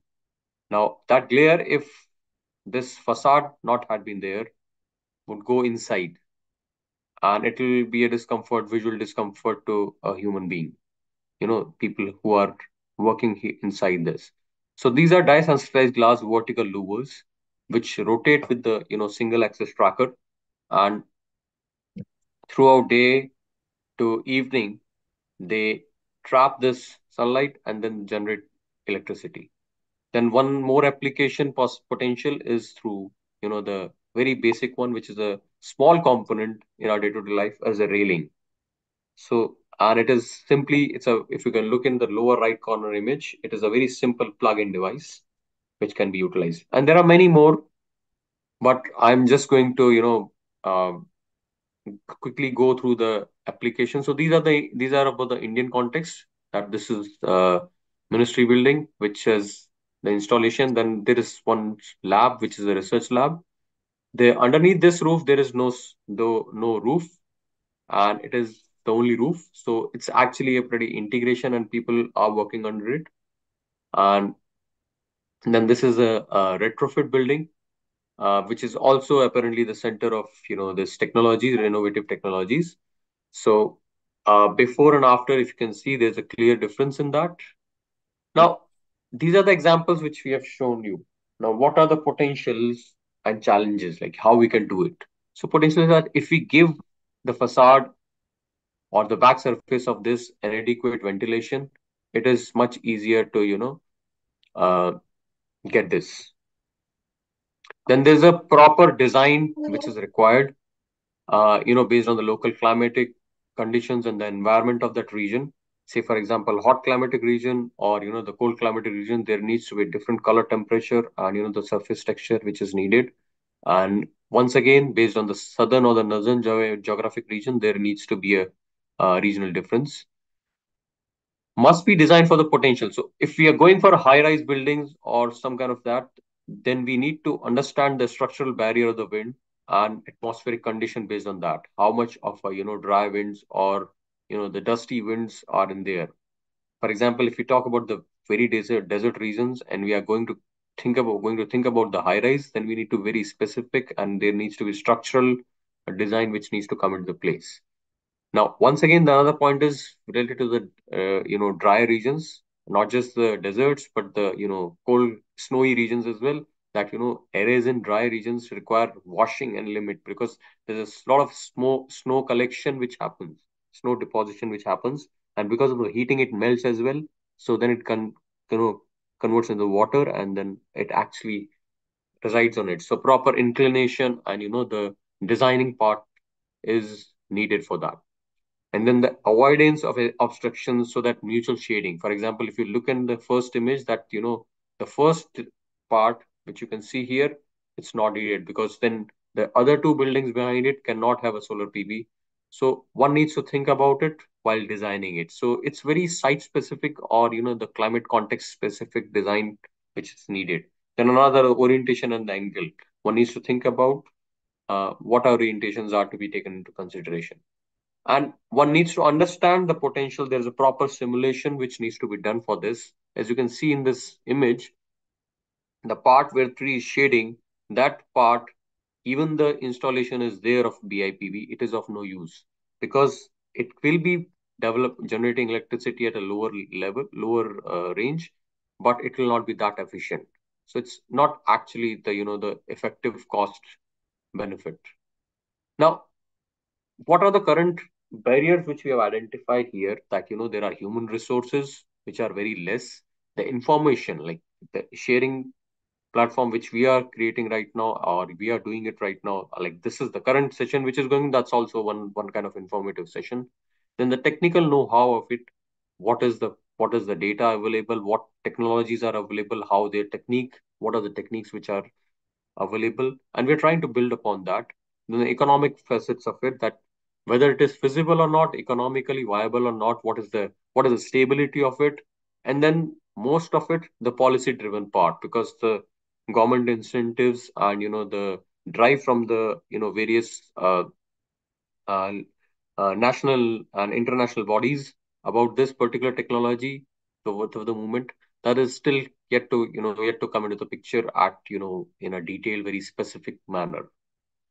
Now we can achieve it. It's it's you know it's a it's a determination base that you know the the the but that yes there's a paucity that you know there is not much of a statistical information available right now. And suitability of solar you know the as i've already mentioned orientation inclination location and the you know potential performance of photovoltaic system system in the environment as well that needs to be looked into the detail on the very specific uh, you know climatic regions and then the limited correction, you know, the construction material, what will the wastage, how the, you know, historical sites, you know, the existing sites will be taken into consideration. What are the, what is the built form? What is the ratio of the built form versus the, you know, standing, uh, you know, new construction that also needs to be assessed. So sort of in a manner, you know, the building bylaws also needs to address this. and this is one you know very interesting part where you know we we can look at it that you know as we move from this uh, installation to integration. The uh, you know the more expertise higher level of architectural coordination or you know the designing part needs to come into the picture. So that is one image very interesting which we can do. And this is actually you know it's as i said it's an ongoing research. So now these are the barriers on the left side just to give you the information that you know product efficiency at the technology part we saw in. This is sort of a summary of this presentation uh, that these are the barriers then product and the project demonstration databases are needs to be developed. Education you know the amount of education which needs to be there needs to be imparted then the economy needs to be taken into consideration. Gap between uh, you know pv and building industry management part of it.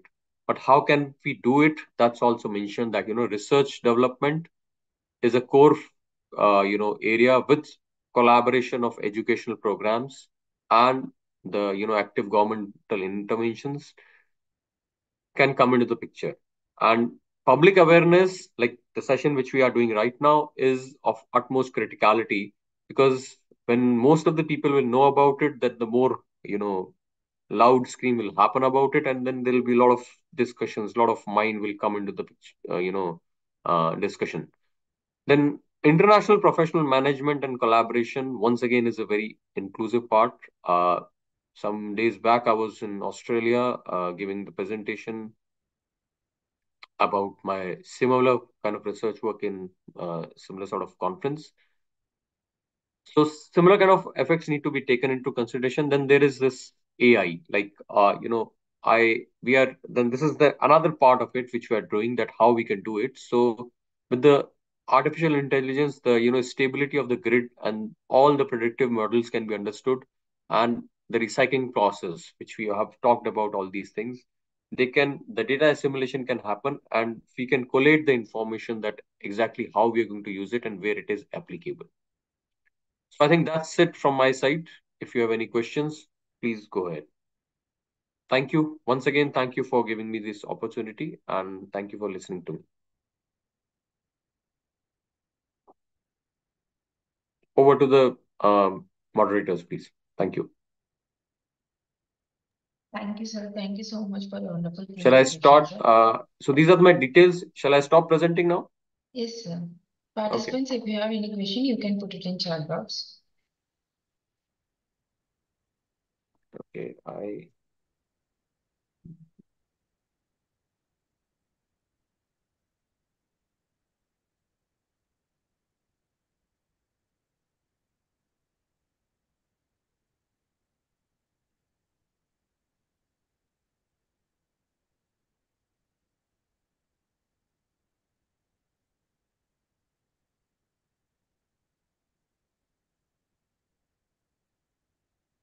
Sorry, I did not get. Okay. Uh, are there any questions? I think there there are none. No, I think no questions in the chat box. So, uh, thank you. If there are any questions, uh, uh afterwards, please let me know. Uh, you have my sure. email ID. Please, that can be, you know, uh, questions can be shared on that, and I'll respond. Sure, sir. Thank you. Thank you, sir. Now we'll move on to the next keynote speaker of the day. Now I request Dr. Sunita Dalal to render the lecture. Ma'am, please. Thank you. Am I audible? Yes, ma'am, you are audible. Okay. A very good morning to everybody in India. And uh, I think it's the noon time in the rest of the eastern countries of the globe. Uh, thank you for giving me opportunity uh, for presenting my research and my ideology on go green aspects of the science and need of the time uh, because of the pollution, the non-sustainable thought process of the people around us. So thank you so much, the Go Green Summit. Thank you. And I hope this uh, talk will be very helpful for the students who are aspiring to take their research in the field of uh, uh, microbial biotechnology or sustainable development through it. Hmm.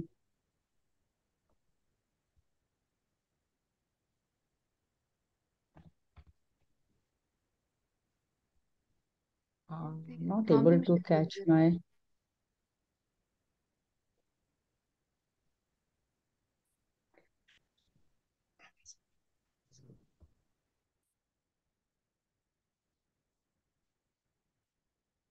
uh, how to take my slide over there. Ma'am, Yes. actually at the bottom of the meeting, you can find the Yeah. share screen option, ma'am. Share, I am able to select a tab. Let me check. Um, click the tab and then do share, ma'am.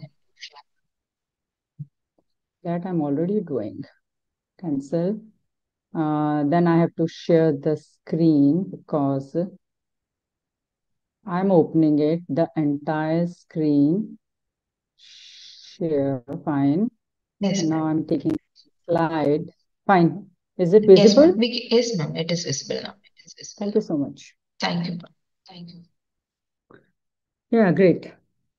Uh, the topic of my talk is today about uh, definitely close to the desire of the summit, that is the agriculture sustainable. We all are aware that uh, the ecosystem or the environment is very much intertwined with the agriculture. So, taking that concern, I have selected a topic on rethinking agriculture. It's an innovation in the rice straw management for the environmental sustainability. We all aware India is uh, one of the culturally diverse country and a home of nearly 1.4 billion people, and agriculture is the real backbone of the country, of the precisely the Indian economy, the GDP.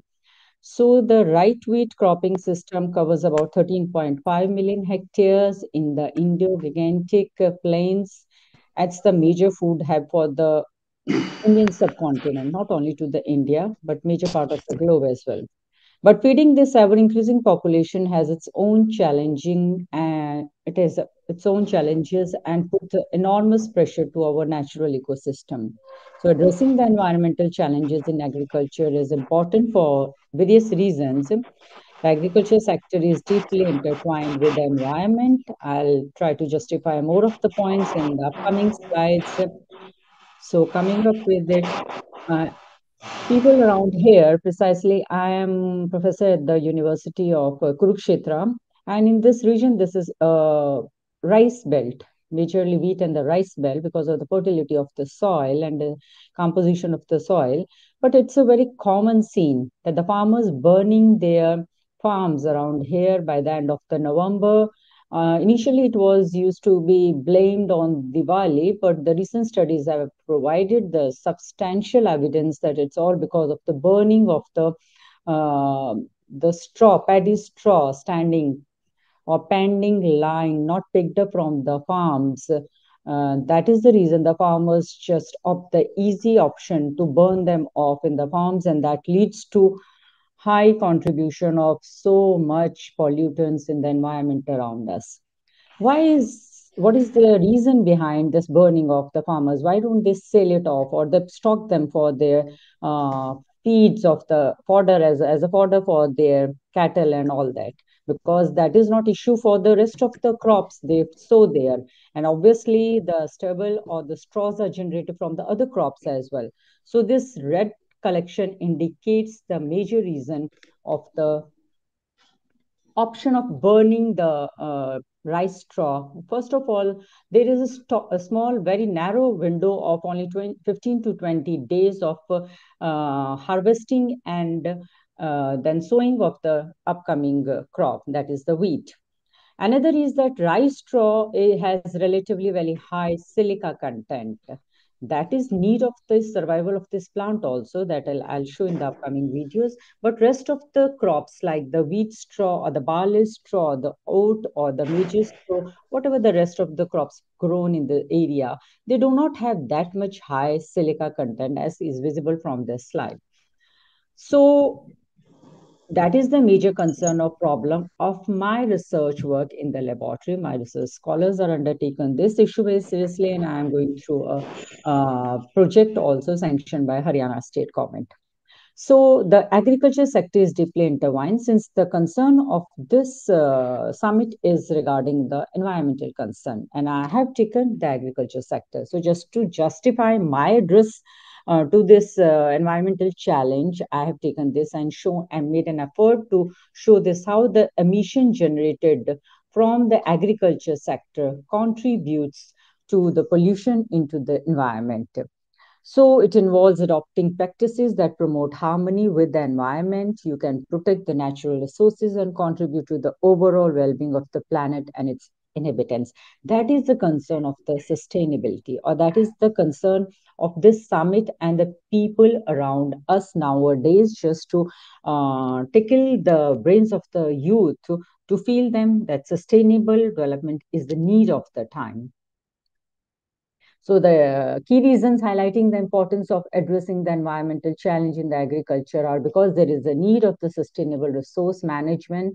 So we are to use precisely this problem of uh, uh, straw uh, lying useless in the farms and force the farmers to get it, burn it off, is to generate a method where they could be reused. They could be renewable sources and uh, that could help in preventing the ecosystem services because ecosystem is not what we see around us. There are so many micro since a person of the uh, microbial biotechnology. I focus on the flora and fauna microbial flora precisely of the uh, health, uh, good health of the soil, that too is staked or damaged when burning is opted by the farmers. And there is a climate change mitigation since the last slide indicated the how much release of the toxins or the pollutants is generated or the greenhouse gases are released in the environment that causes the health issues to the people around there and definitely the health of the cattle and the animal living in that a few kilometers of the area where a farm is burnt and the biodiversity conservation. It's around the small animals the pest or the other small animals living in that area because of the uncontrolled generation of the fire at times leads to the uh, destruction of this biodiversity uh, also. As talked about the soil health that is very uh, uh, important or significant for the upcoming crop in that respected form then definitely water quality. There's no direct correlation with the water quality but when there is ton of the ash lying in the burnt off form then where that is going to be washed off. On watering of the upcoming field or if there is a rain or the water lodging definitely that further generates to the addition, uh, release of that uh, polluted water in the surrounding water resources. And already talked about the environmental pollution then the food security and the livelihood human health and the safety it's very common. The eye irritation the throat issues and the lung issues. So these are the significant importance of addressing these concerns of precisely burning the uh, stubbles or the rice straw in the fields. Now, how you can manage this sustainable rice straw management? That is the uh, target of the today's talk. You can definitely avoid the open burning. It's okay if you do not burn it what next definitely uh, it's a punishment offense by the state governments and it has been very strictly implemented at some district levels that you are not allowed to burn the rice uh, stubbles or the straw lying panning in the fields. So uh, one has to avoid this open burning of those uh, open burning precisely here because open burning here concern for the burning in the open fields here because if pyrolysis or some other method is taken up where a closed burning it could be used as a fuel. That is a separate issue. But here we are talking about the open burning. And it is incorporation into the soil. At times that is in uh, merged uh, into the soil. But the issue here is that the size of the straw generated by the big uh, technique big tech machines uh, that is uh, that generates uh, physical inability of those sized straws or the staples to be dumped into the soil Another is the, the sustainable method is the bioenergy production or biorefinery process where we talk about the biogases generation or the bioethanol, the biodiesel. If some fermentation microbial technology could be opted so that these leftover rice tables or the straws could be uh, useful, valuable resources for the uh, fermentation industry. Another is the mushroom cultivation. Some countries have opted it, whereas uh, there's a high proportion uh, of the mushroom cultivation at the commercial level. Things are taken that uh, you need a straw uh, base for the cultivation of the generation of the fungus at the initial stage of the mushroom cultivation. Another is the animal feed. Here comes the problem we I talked of, showed in the second slide. The reason being it is not opted in the animal feed or acted as animal fodder is that uh, uh, it has very high concentration of the silica. So in a way, silica is beneficial for the water-lodged crop like rice. But secondly, when uh, leftover straw is generated, it is uh, uh, very bad or the villain. Reason being high concentration of the silica. It is not digestible or it is nutrient insufficient. So the farmers or the um, cattle don't prefer consuming it as their feed in spite of having rest of the sufficient substances. But the silica prevents its taste not good taste for the animals and they avoid it so silage is a method where it could be consumed. That too is the upcoming um, microbial biotechnology aspect where the uh, rice straw can be utilized for the animal fodder um, by definitely through a process of initial some treatments, the microbial treatments are undertaken away. Then comes the paper and packaging production. Paper and packaging production is mostly focused on the cellulose, the lignin, their degradation, definitely, but that degradation has to release the silica first of all, because the silica molecules are embedded among those tissues. And uh, unless until the silica has been uh, some at, at an optimum level, not declined, uh, then that causes the aberrations or the hardness or the difficulties in the paper and packaging production as well. Then silage production, as I told, that is all connected with the animal feed, and the other are the community-based initiatives. So the improper rice management, uh, particularly like uh, these open burnings and the insufficient leads to all this. I've already uh, talked about it. That is the pollution, the greenhouse emission, the soil health, and the nutrient imbalance of the soil as well. These are the various aspects already talked about.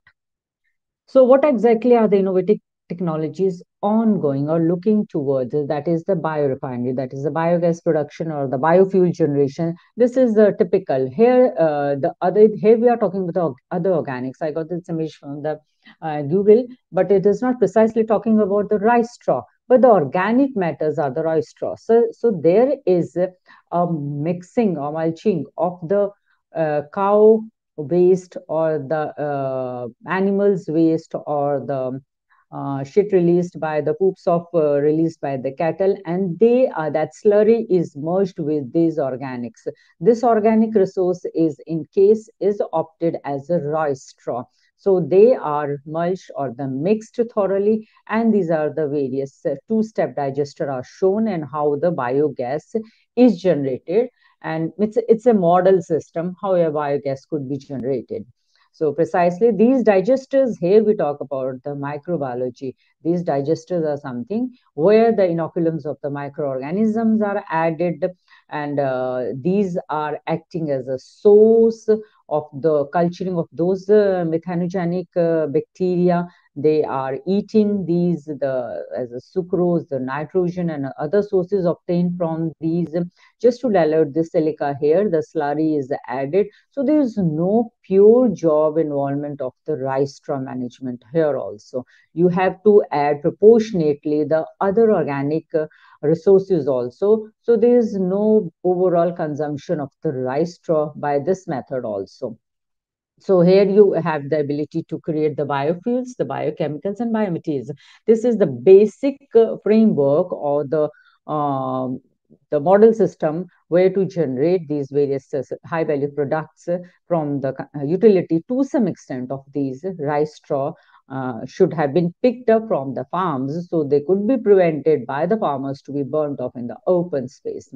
Then uh, comes the pyrolysis. Pyrolysis is a very high temperature decomposition process where there is a release of the biochar, the bio-oil. Again, these are the byproducts obtained when there is a high pressure, very high, more than 500 degrees centigrade, very high temperature uh, under vacuum. There is a conversion of uh, definitely the organic carbon substances present in the respective organic substance to be creating uh, other products like the biochar, the bio-oil and the synthetic gases.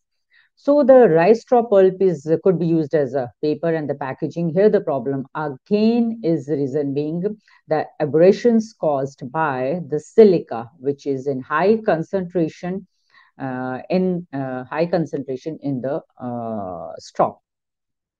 Again, they are uh, particle or the MDF boards in solution, and these are again connected to this uh, methodology that is the paper industry. They fall under this board and paper and uh, furniture industry. Here, the major concern is the silica. Overall, the focus is that how to decline this silica. Here I told you the upcoming slides regarding the significance of the silica. The, uh, the breeders uh, generated the rice uh, uh, hybrids in a way that they have a high concentration of silica. Long back ago, that was all uh, in the green uh, revolution, it was all planned so that the, the rice plants remain standard up um, up standard correctly so that on the high uh, heavy rains or with the high speed uh, winds, they do not fall off in, onto the ground. So silica uh, hybrids were intentionally created for the good growth and development of the rice plants because they provide the structural support. They also provide the disease resistance because since they're repulsive for the animal feed, definitely they are repulsive to certain extent to many infectious uh, organisms also. So in a way, they are preventing the infections uh, generated in the crop of the rice. Finally, the pest resistance also, the uh, abiotic stress, I told you, the water or the high wind flow, they are all, uh, the most of the rice varieties remain standby, reason being of the silica uh, naturally generated in them after creating the hybrid, um, the species. And there is the mineral nutrition also that is held water regulation also held and the heat tolerance. These uh, mineral nutrition water regulation and heat tolerance are exploited by man also reason being at very fine when very fine manually when finds uh, very physically small sizes of the straw are created and they are left unburnt or as such uh, on the beds of the uh, field if they are left for few months or one month or two months, definitely they help in retention of the water of the soil in the farms also. They help in retention of the mineral nutrition as well as high extreme temperatures in the surrounding region or the very low temperature. That too are cushioned or prevented because of this uh, chopped rice straw lying there and all leads to the contribution of the silica present in that straw. So in a way, it's a bliss also being silica there is a bliss, but problem is that that is preventing its commercial application because of its abrasive nature.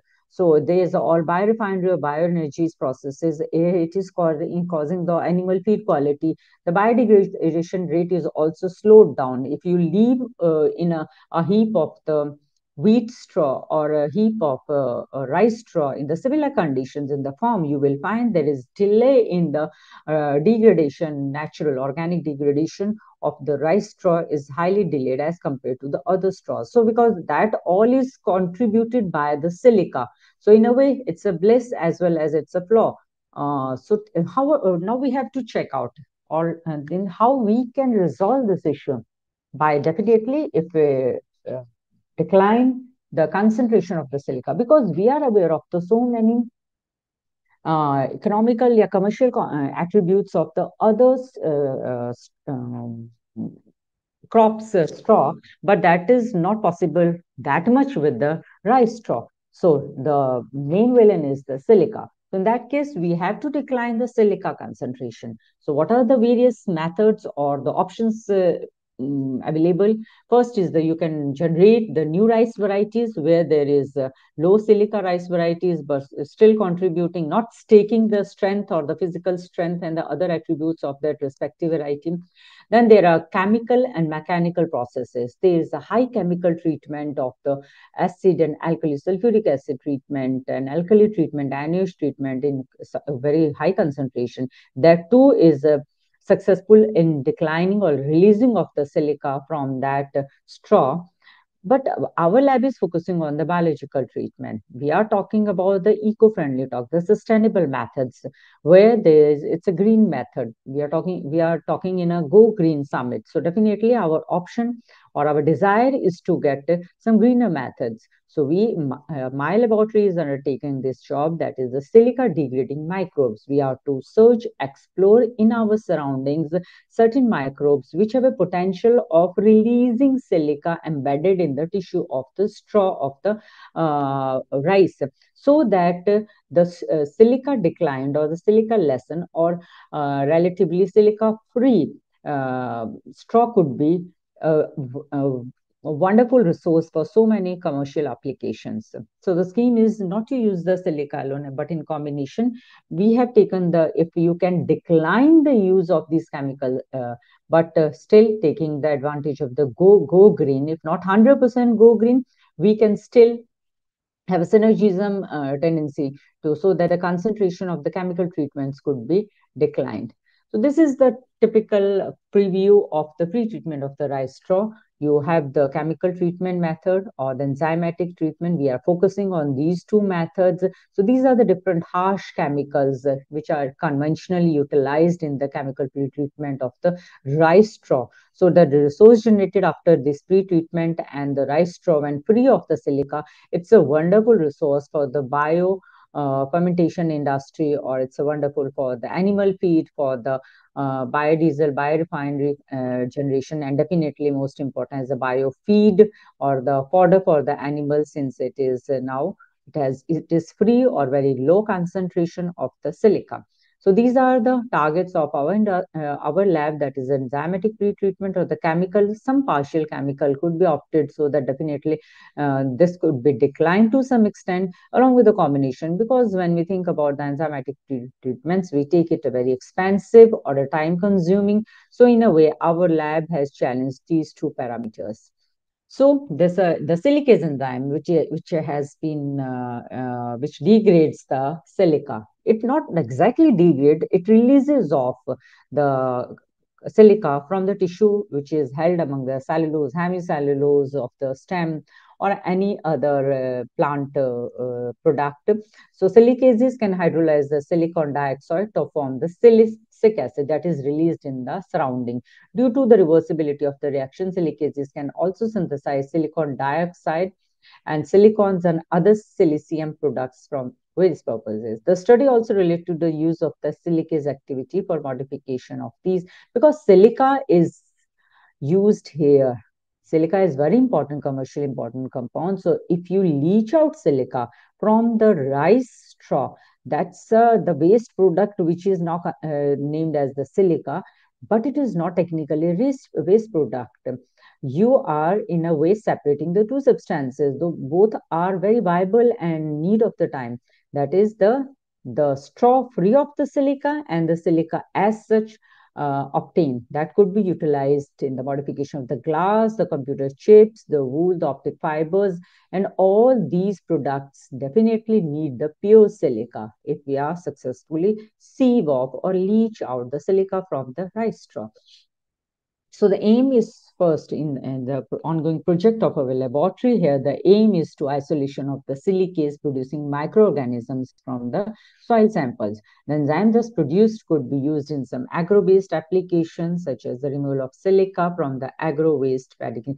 This is how the lignin and cellulose and hemicellulose are intertwined or uh, embedding the silica molecules. And definitely when there is breakage of these tissues there is release of the conversion of the silica into silicic acid. That is a substance which is leached out of it. So definitely we are looking for a uh, method where uh, the microorganisms uh, treat them, this tissue, release it, and then release of the silica from it.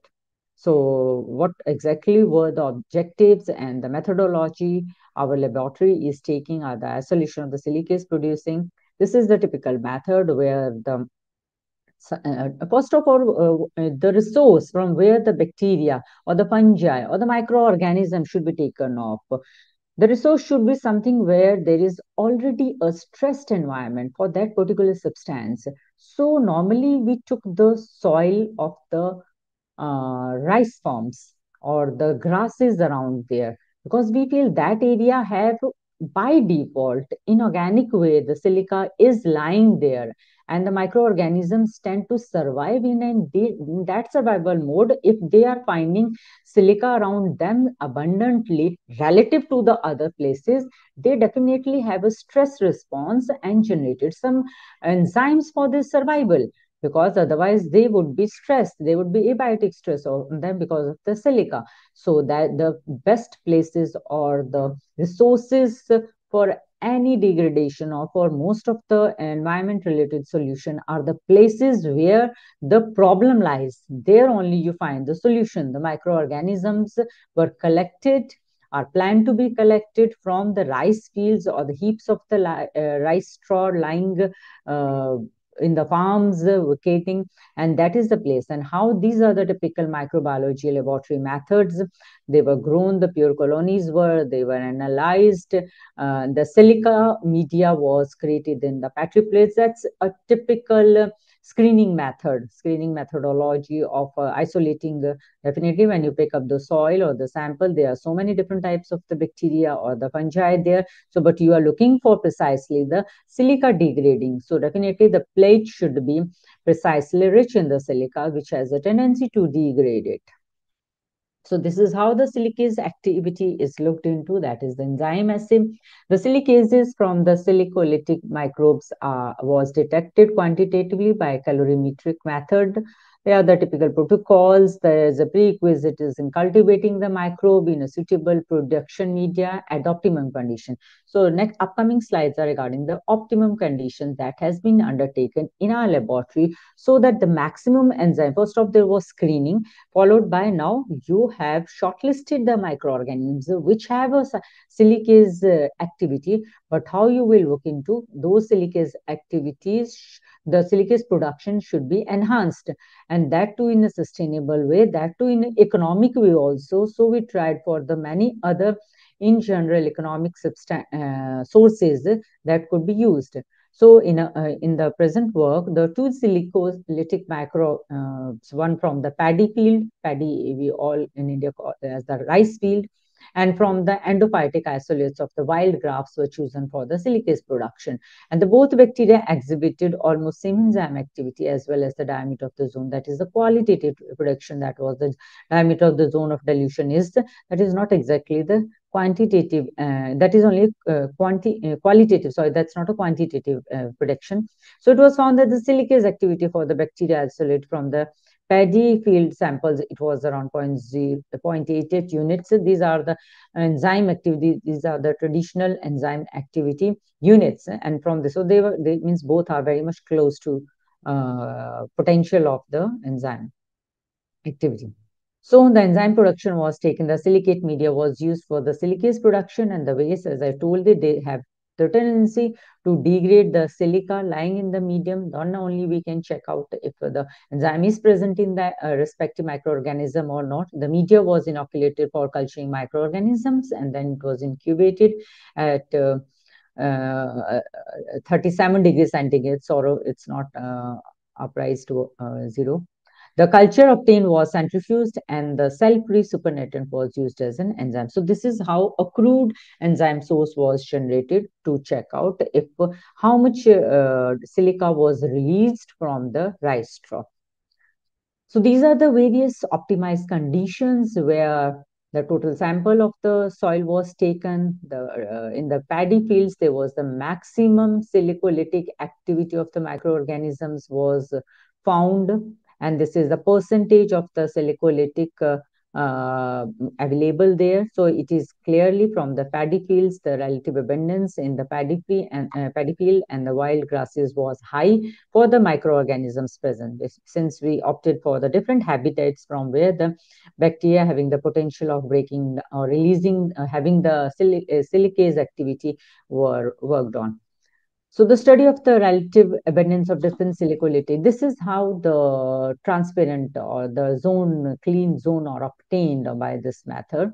So these are the various grasses from which, uh, from the roots of these are the endophytes from which the silicate solubilizing up to this potential, high potential were obtained. And this is the typical uh, qualitative, means whether the bacteria has a potential or not, that was opted and then spectroscopically the exact how much uh, percentage of the silica has been there are other indirect methods also burning taking of the ashes ashes uh, uh, from after post treatment of the uh, rice straw from these uh, bacteria that too is different so an identification of the bacteria was conducted, the, uh, the, it was found to be Klebsiella species, and they have been verified by the bioinformatics tools, that is the BLAST and all that. And now we are talking about what exactly are the optimizers. Once the shortlisting of the microbe has been generated, now we are to generate a conditions where in the best possible way, maximum amount of the silicase production could be uh, created. So this is how these are polymerized silica. Uh, suppose this is the silicase enzyme, it will be targeting this silica uh, compound and this is how the free silicic acid is generated from this polymerized silica. So different process and parameters were uh, taken studied for that is the inoculum age since microorganism has a typical graph of its growth. So accordingly a particular inoculum age where its uh, metabolic activity is at its best and in the growth phase definitely the size how much oculum you need to take that was standardized the incubation period for the converting or the best culturing where the silicase maximum amount could be cultivated in the, uh, the conical flask, the incubation temperature, the pH of the medium, the carbon sources, the nitrogen sources, the metal ions if they are supportive or inhibitors, some certain chemical additives. These are very conventional methods which are opted in typical uh, fermentation industry or when we talk about the culturing of the microbes at the industrial level. So they were the standard methods opted for. This is the media selected finalized after thorough study that this is the basic media in which the selected silicolytic bacteria would be cultured uh, pertaining to the other conditions where they could be change in the uh, studied pH, the temperature and other things we talked about here in this slide, the incubation time. But this was the finally decided media in which the production of the enzyme to be taken care of the two shortlisted uh, bacteria. So the age and the size of the inoculum was uh, taken into consideration. As could be found, it was achieved with an inoculum age of 24 hours, that is 0.62 units per ml per minute. Similarly, was taken for the 1% of the culture of the silicase activity was maximum for 0.58 units. So it may cause the overcrowding of the bacteria population. That is the because the more the time is taken off, less is the uh, silicase activity was created. So at 24 hours, the best silicase activity of this much unit was released. So in a way, as optimization of the standard for the creation or the release or the synthesis or generation of the silicase uh, in the test tube was obtained to be 24 hours with an inoculum, with the inoculum size of the 1%. The are final the results, although at different combinations the work was taken.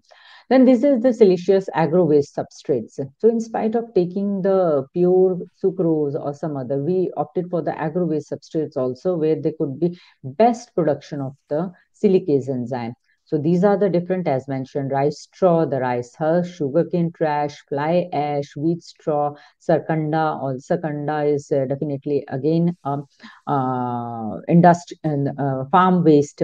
So these are the different uh, siliceous substrates taken off and uh, thankfully since the bacteria isolated was also from the rice fields so there is compatibility of the bacteria to be optimized or in the good production of silicase generation in case of the uh, rice straw in itself. So rice straw has the backs best silicase activity when it was taken as a substrate for the production.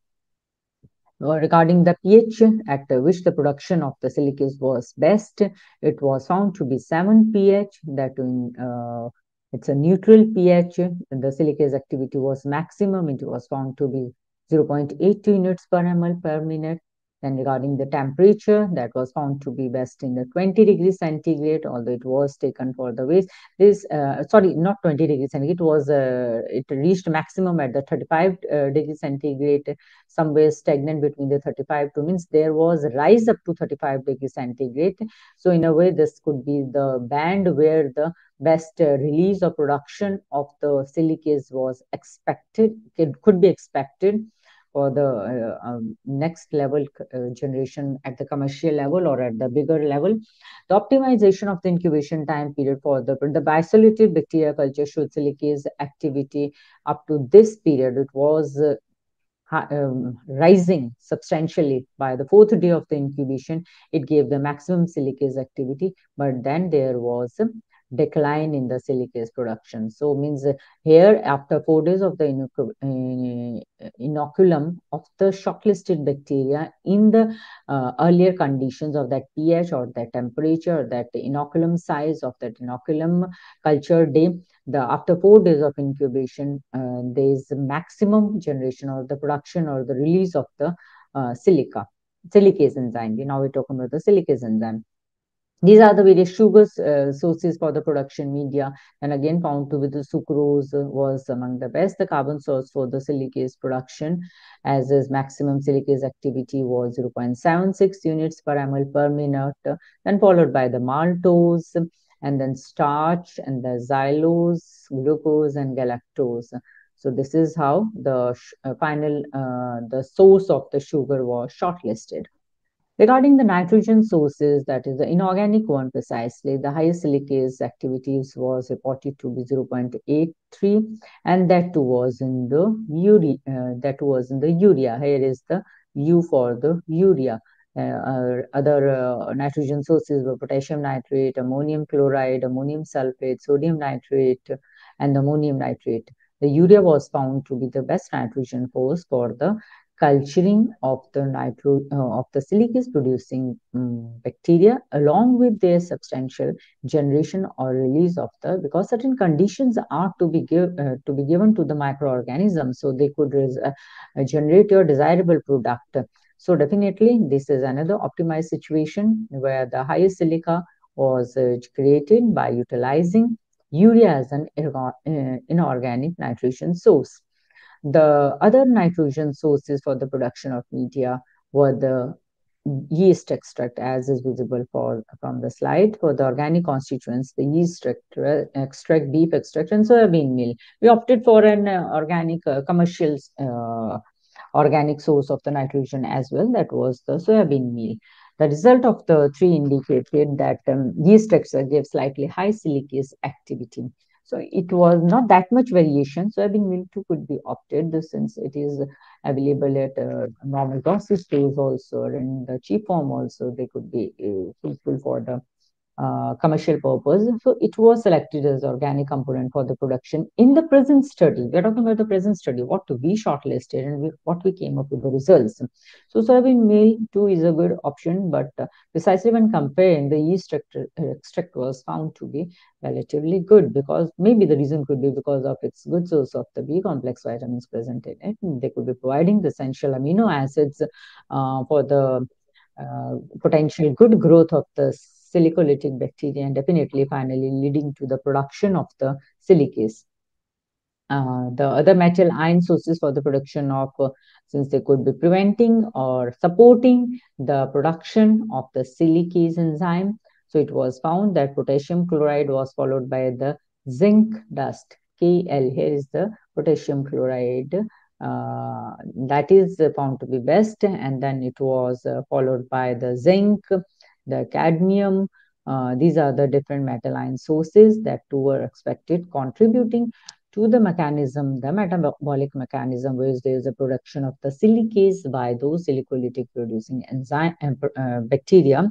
And definitely the metal ions to uh, play a significant role in activating the metabolic pathway enzyme activities, finally, which may be leading to the production of the silicase enzyme.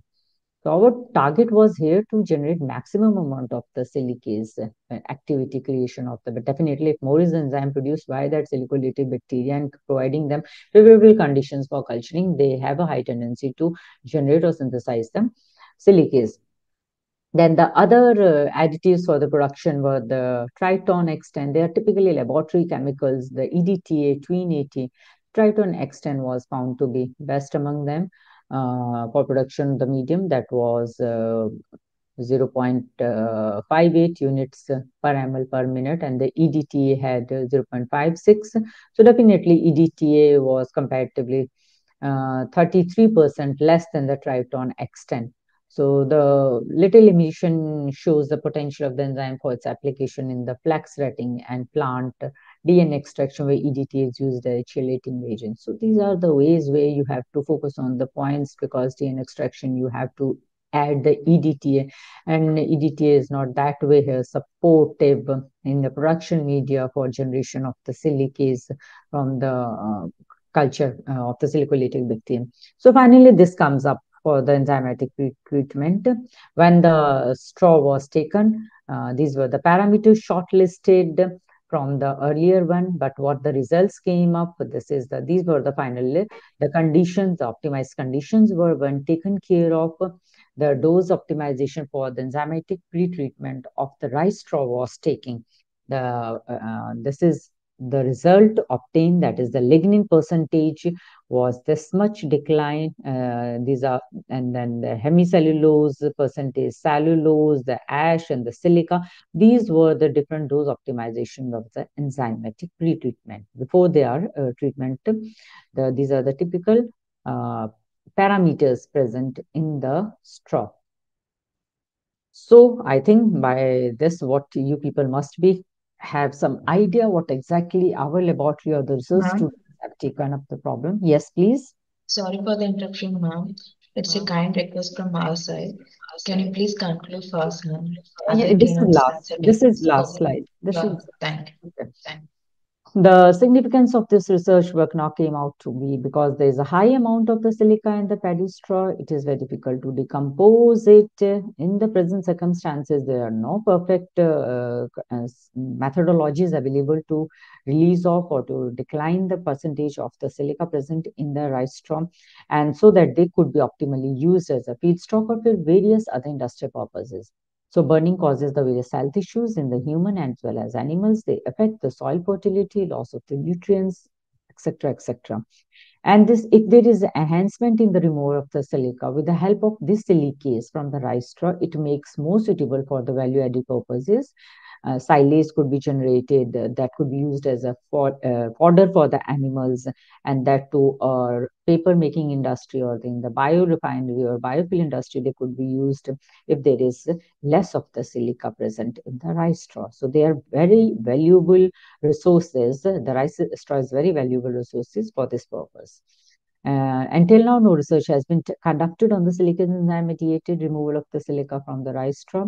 So to cover the research gap, our research uh, study was conducted and majorly reduction, reduction of the silica was done using silicase alone or in combination with some mild chemicals. So that was the last, last slide and I hope the picture clearly indicates these are supposedly the pending uh, leftovers, the rice straws lying in the fields. We want to know no for this burning because that caused so many complications. He is a child from the North India who is serving that you bring the straw, we will uh, give you the solution and that will lead to these products. That is the biofuels, the biodiesel, the paper making industry, the cardboard industry, and the silage that is now the fodder could consume it if the process is taken like this. We are uh, trying to work on it and these are the silica crystal, the graphite silica. They are uh, the pure compounds, the silica uh, molecules, they are the pure molecules that could be of significant importance in the commercial industry. Thank you so much. Yes, please. Thank you, ma'am. Thank you so much for your wonderful presentation. presentation. Mm, Participants, if you have any question, you can put it in chat box. The questions will be answered in chat box. In chat box.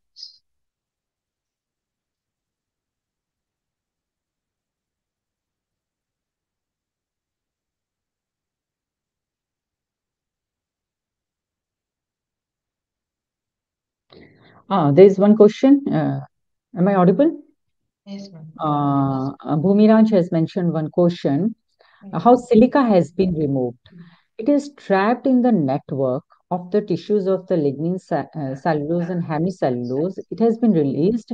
We have not collected the silica. When after treatment, we checked the composition of the silica in the rice straw, there was tremendous fall or the decline in the silica composition. Okay. Is it clear? So in a way, we have validated, we have not sieved off or collected the silica released from it. Presently, we are focusing on declining the concentration of silica, uh, otherwise struck in the uh, rice straw. That we have tested. There is, uh, there are typical methods of the test, the burning, how much cellulose, hemicellulose, or the silica available. They are the biochemical test or the methods.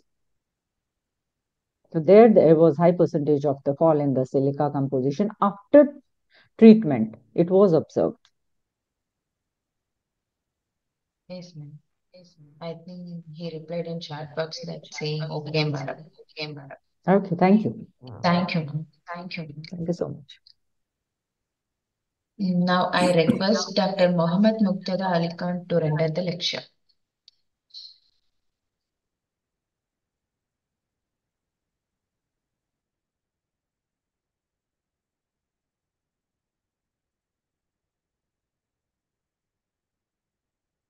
Uh, good morning, everyone. Is I Good audible? morning, sir. Yes, sir, you are audible. My slide is uh, visible. Yes, sir, it is visible. Okay. Uh, uh, thank you very much, uh, especially Malik, uh, to invited me as one of the speaker of the today conference. Thank you, Uh, sir. uh, and also, uh, I am also one of the co-organizing secretary of this conference. So, on behalf of this, as a secretary, I say apologize to everyone due to some delay. So, uh, I will try my uh, presentation finish within the time as much as possible because we're already getting delay. Supposed to be the technical session start by 20 past 11. Uh, so, uh, uh, uh, the topic of uh, my uh, presentation is Secret of Groundwater. As we know, the theme of this conference is Go Green, the name of the conference, and Reshaping the Earth.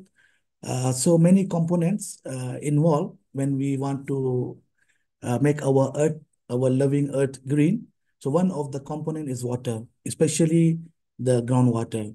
Uh, uh, most I see the list, most of the uh, our participant from India, and also actually I'm also from India now. I'm in India in the uh, very can say a very uh, the weather is very cool uh, and uh, the fog is very thick in my area in North India.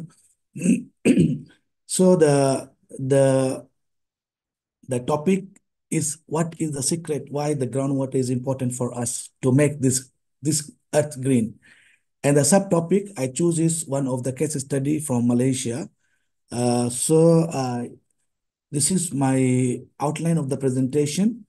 Uh, the first i will be share some of the the data around the world how the groundwater uh, using in different sectors and what are the possible threats for this groundwater and and then I will be moved to one of the case study in Malaysia.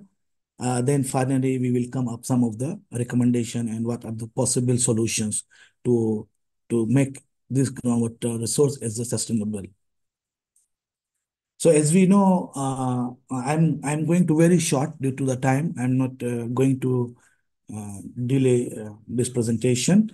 Uh, as we know, uh, this what I can say without water there is no life.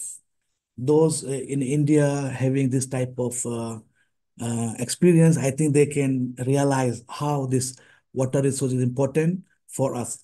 So water, as per the uh, groundwater scientists, the possibility of the next world war based on the water. Uh, so uh, there is there is uh, nothing uh, can be developed without the water. In every sector, if we see every sector, we need a water. Uh, from uh, if we see from morning to night, everything we need water for our daily activities, for our drinking, everything. Without water, uh, we cannot we can't be perform our activities. So land and water are the most vital resources around which overall development of a country rests. The strong interaction between the two and their dependence on other components of the socio-ecological system highlights the need for putting groundwater resource at the center of any developmental effort. So this is the distribution, overall distribution of, uh, sorry, overall distribution of the world water resources. So as we know, we are covering around the ocean. So 97% is ocean. The remaining 3% that's divided water into different categories from uh, ice caps, glacier, rivers, lakes. So from the 3%, 30% of is our groundwater. And we see the surface water, which include your lakes, which include your rivers, which include your swamps, only 0.3%. So in simple words, we have a lot of groundwater storage, but the point is how we are using this resource. Sorry. Sorry. Okay, this is some of the data uh, from European Economic Commission of groundwater as a drinking water supply. So we can see the in Australia, uh, about 100% they're using Australia, Denmark, and Malta, and over 90% using the groundwater in Italy. And this is the data. Uh, so what uh, in simple words can say, many countries, they totally depend on our uh, groundwater uh, system. The strict water legislation in some countries such as Bulgaria, Hungary, Russia, whereby fresh groundwater is for domestic and drinking water supply only. Uh, they cannot be used uh, for other purposes except the drinking and the uh, water supply. So in Malaysia, uh, uh, so far we are using less than 3%. This is, I will be correct, sorry, this is my typo error. Less than 3% still we are using only groundwater. So what I can say in respect to Malaysia is still a lot of groundwater is stored in the, in the aquifers. Okay, this is the what statistic of uh, groundwater. groundwater development covers approximately 50% of drinking water needs, 20% of irrigation, and 40% of other uh, industries. groundwater is the world's most extracted raw material and breakdown of the that figure into percentage used per sector. So for drinking water, we are using 65%. For irrigation and livestock, we are using 20%. And the industry and mining, we are using this 15% uh, groundwater. And for different, one of the global map, which uh, we can see in terms of the, the precipitation. Sorry, maybe we can go down this.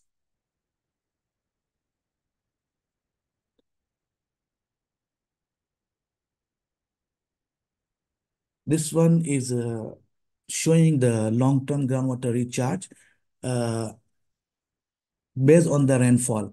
So some of the area are very good rainfall and some of the area they are the rainfall is very minimal amount.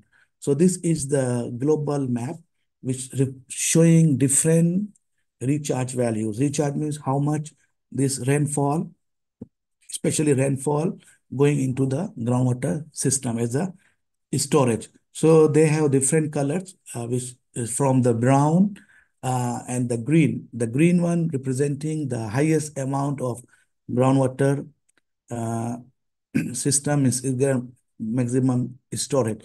So we can see different countries uh, having a different recharge rate. So uh, in case of Malaysia, uh, if we see the Malaysia This is the Malaysia. This representing the green color. What we can say, the we in the Malaysian groundwater system has a sufficient storage of this uh, groundwater recharge. If we compare with other countries, for example, this is the India, the one I put it by black color. We can see in India has showing some of the color, uh, blue purple color and some of the orange color. So uh, the orange color means the rainfall, uh, the the recharge rate is very less. Means in the system groundwater is not is not uh, sufficient. That's why always we can uh, see the news of different type of uh, issues.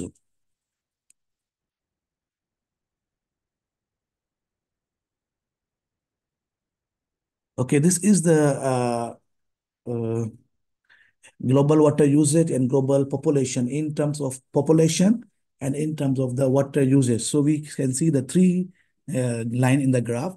The first is uh, the the thick blue color is the water withdrawal, and the, another one is uh, water consumption, and the third one is the population. This graph projected by until 2025. So we can see even the in 2025 the line of population is not same as the water withdrawal and water consumption. So uh, we can see how much we are using this groundwater resource for our activities. This is the uh, bar graph, which uh, representing uh, in different country means comparison between surface water and groundwater usage. So uh, we can see based on this graph, uh, many countries totally depend on the groundwater. For example, the Munich, for example, Hamburg, they are totally depend on these uh, groundwater uh, resources. Okay, this is the slide which is representing about the uh, water stress. Water stress, how much the stress of uh, in the groundwater uh, system. So people living in areas of water stress, for example, we can see a different graph. So uh, the first two graphs, first two bar graph is uh, BRIC, uh, this some of the country which is under the part of the BRIC, and this rest of the world, and the OECD also the group of some of the countries. So what uh, what uh, in this uh, slide I want to highlight here in terms of the stress of the groundwater system. So this color showing if the color is very red means severe, and if the color is the yellow color, light light brown or light yellow color, is representing the very stress level is very low. Means the the on the groundwater system, the either severe, medium, or the the low. So we can see in different countries here. Uh, this is the um, scenario until the 2040 water stress ratio of withdrawal to supply until 2040 they project uh, projected we can see based on the different colors here. So in case of uh, Malaysia, uh, we can see this is the Malaysia. We can bring into the uh, not not the uh, civil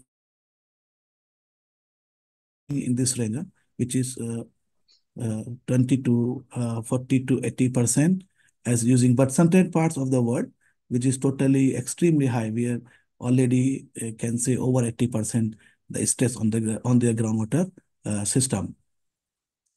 So the uh, sorry sorry in Malaysia we can see uh, this is the one which uh, one is uh, 10 to 20 percent actually.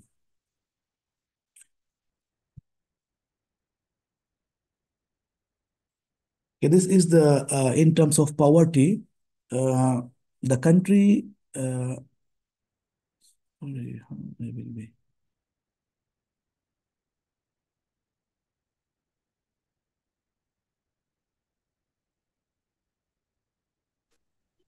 Okay, this is the in terms of poverty, but I uh, told in the in the in the starting, uh, everything depend on the on the water. If we have water, uh, good water supply in our area, good proper management, so we can be can see the prosperity in the area. Uh, we have good agriculture system, we have good uh, crops, we have other things, because everything finally depend on the water. So if no water, uh, is depend is is also impact our our personal life. Huh? So we can see from the photographs here, uh, uh, if let's say the well is very far, how difficult to bring the water. Huh? If the well is within our house, how easy the life huh? in terms of time saving, everything. So this is the chart. Uh, in the chart, uh, we can see the top. The top is Finland, and the last is uh, Haiti. So this uh, graph showing how they are managing. So in Finland, uh, totally no poverty for water. Uh, they are very prosperous uh, in regards of the uh, what with respect to uh, this groundwater storages.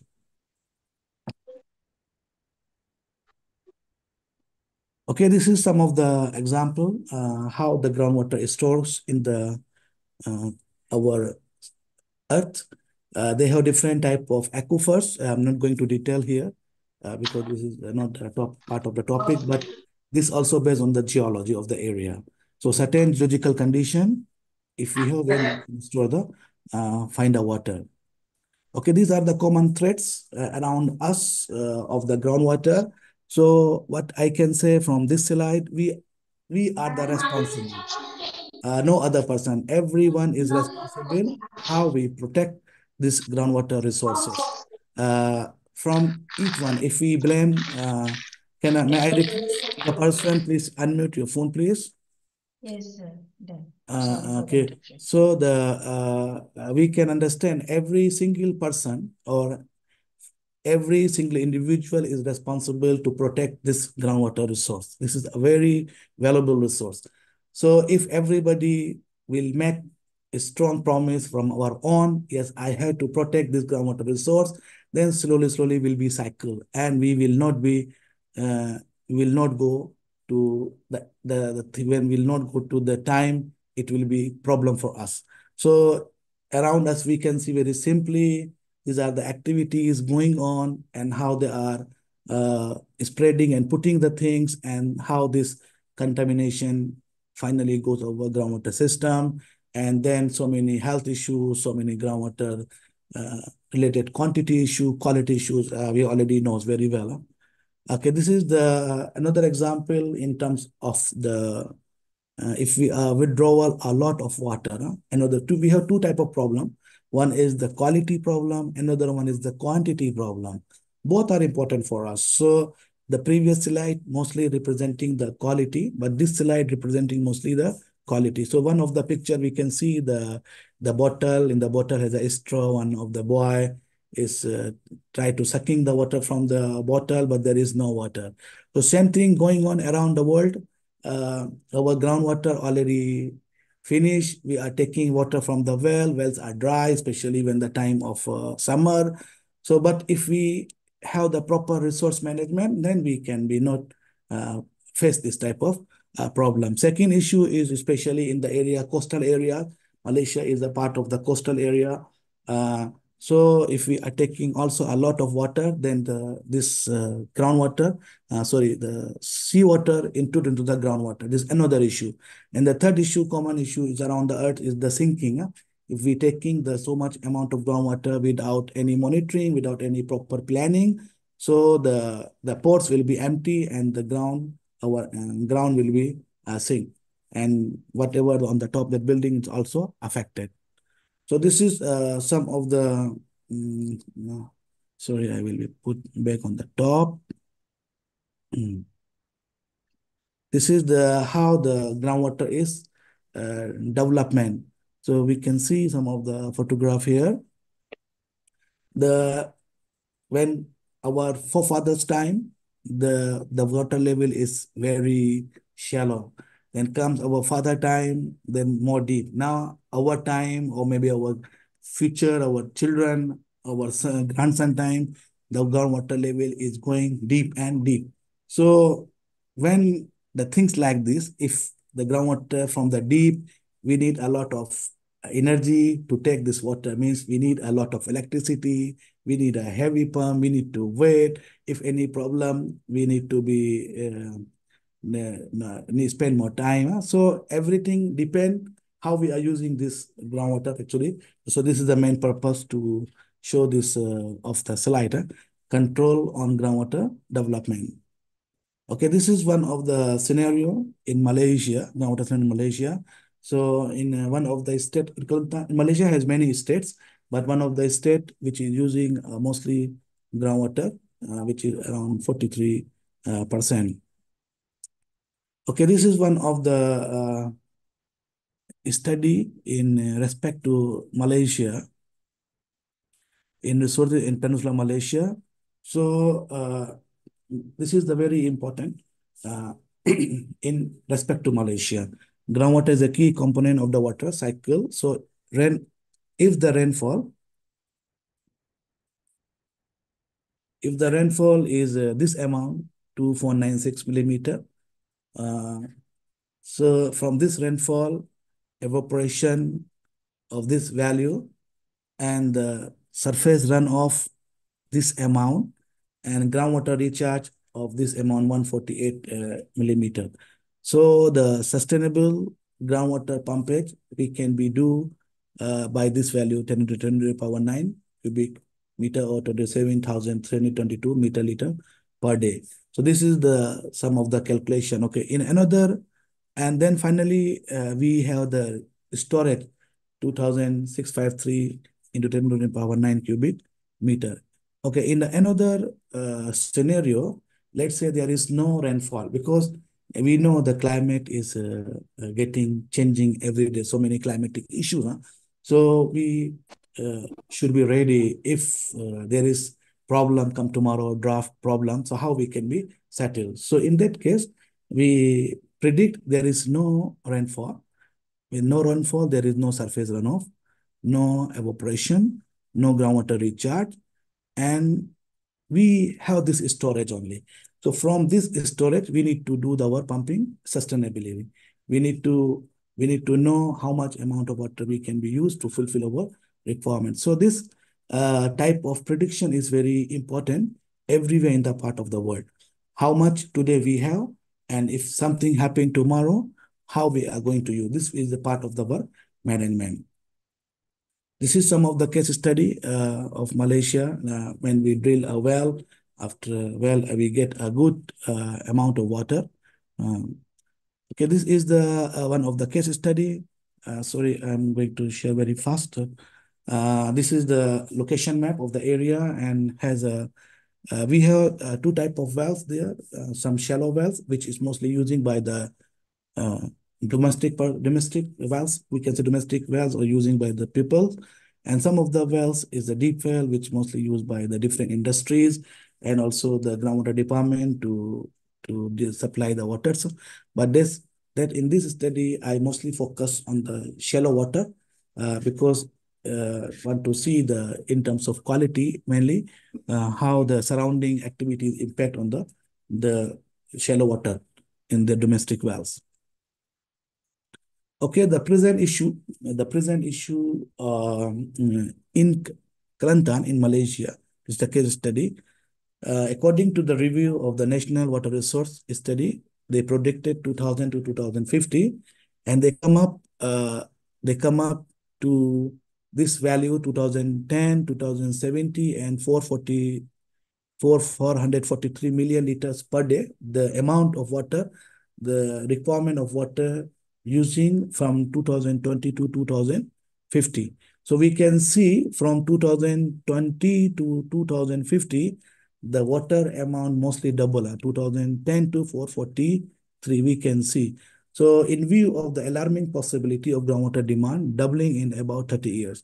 So when we can see in 30 years, the amount of groundwater withdrawal is double. So this consider one of the issue, uh, how we are going to uh, manage so it is almost certainly the quality and quantity of groundwater aquifers would be a major environmental hazard to be handled in the in the future. So that's why a lot of study going on in terms of quality, in terms of quantity, uh, and and also coming with different type of uh, solutions. So this is the area uh, has a um, using this groundwater uh, groundwater uh, for different activities, and this is their mostly their domestic wells. Uh, the wells are not very deep, maybe maximum 10 meters. Uh, So the some of the wells they put the pump and they take the water from boring from the pump, and some of the well is still uh, they're using the traditional method. You put the bucket and they take the water. But this is uh, pure domestic wells. This is some of the material methods, uh, common material methods we use. Uh, we did uh, many studies actually. We did uh, for physical parameters. We do for chemical. We also did for isotopes, isotope level. But in this today, I will show just common only our results. So this is the the land use for different years from 2050 and 2005, two different uh, time of land uses. So we can see uh, the changes here. Uh, maybe can refer my presentation later because there's now no time to present all the tables, all the values. So, but we can see there is a changes in terms of the settlements from 2005 to and from 2015. Some of the values is increasing, some of the values is uh, decreasing. So this is the uh,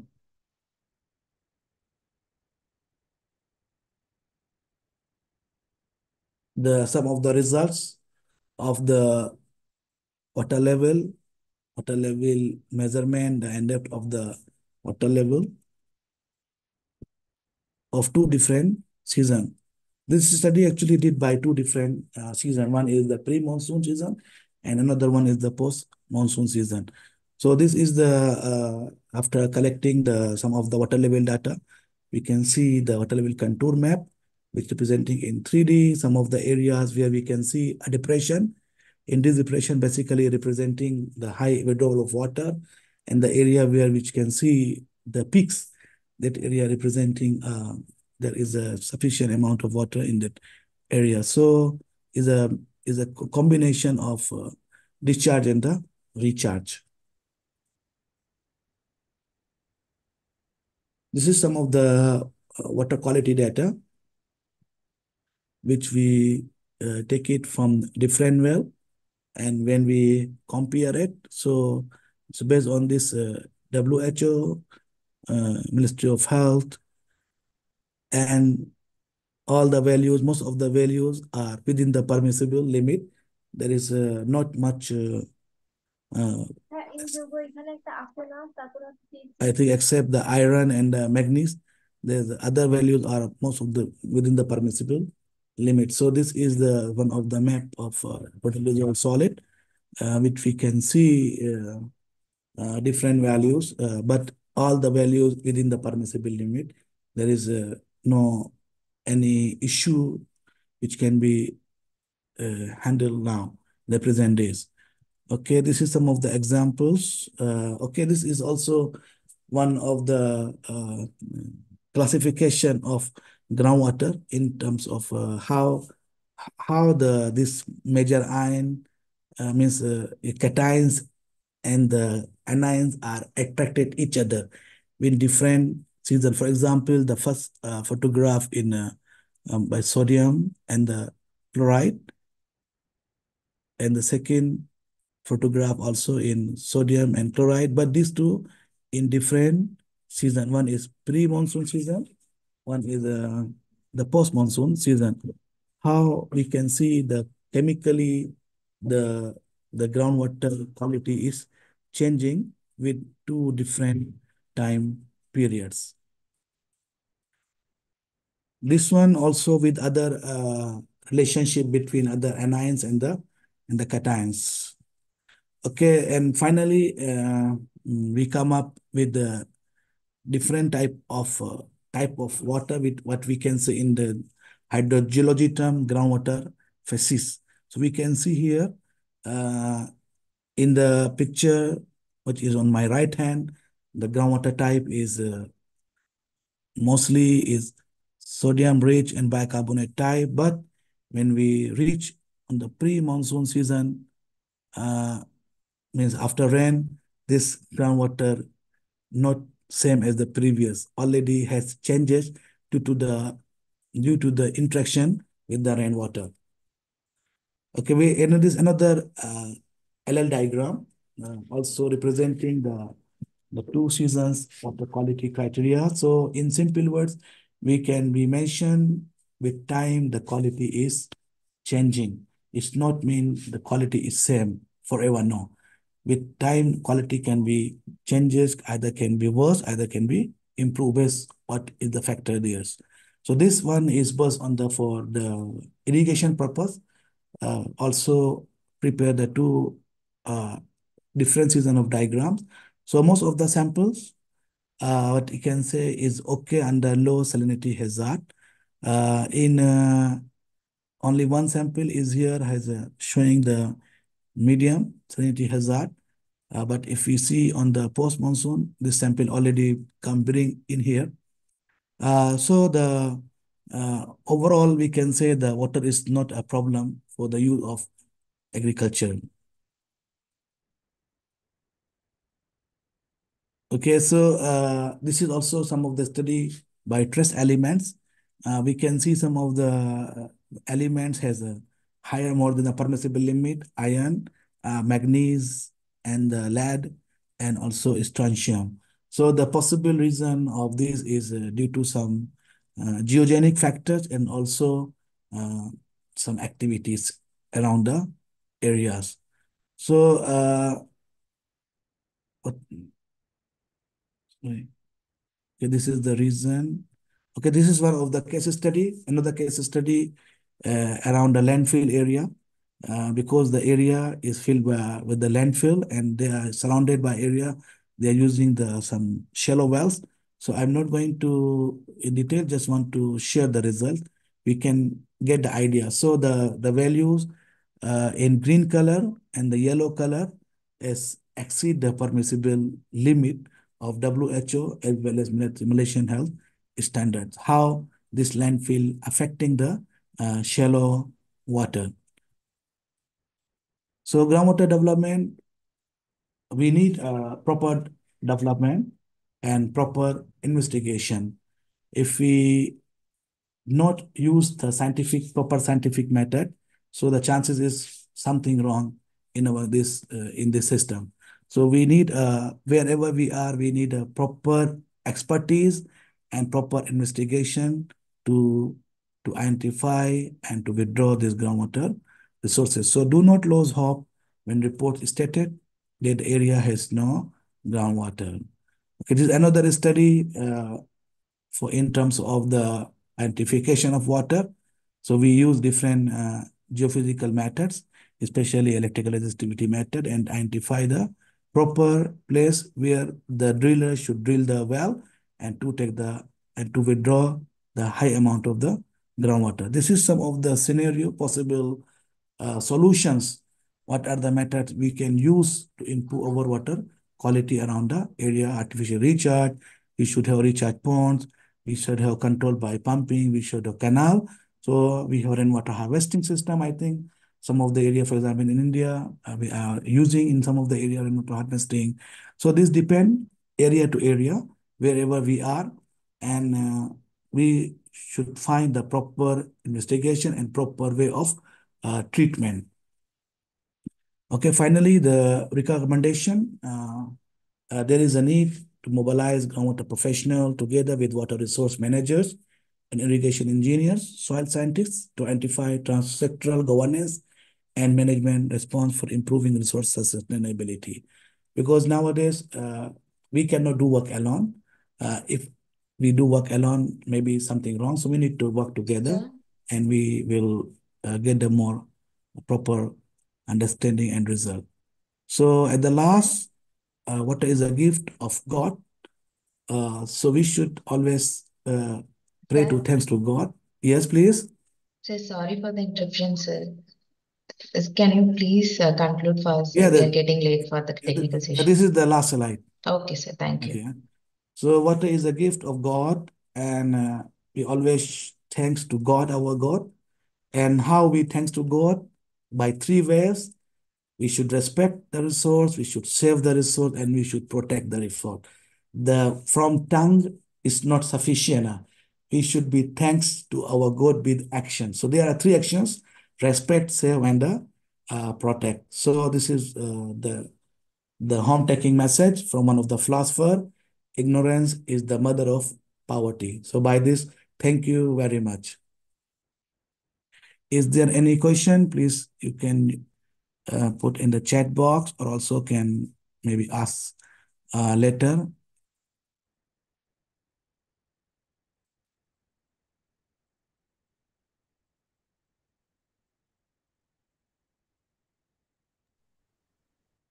Has any question? Thank you, sir. Thank you so much for your keynote session. Participants, if you have any question, you can put it in chat box. Okay, thank you very much. Thank you, sir.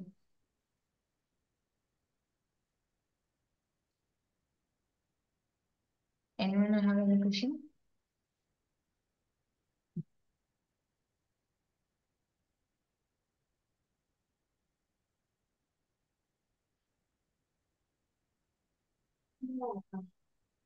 I think no one has any questions, sir. Okay, thank you. Thank you so much.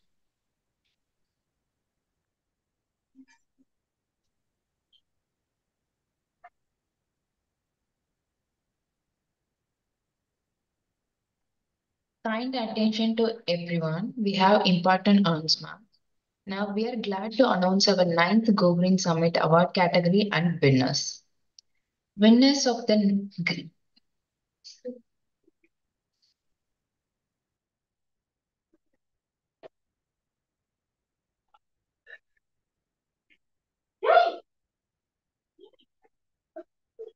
அப்புறம் வந்து தீட்டு அது இருக்கிறது நம்ம ஆடி தரமா தண்ணி இருக்காங்க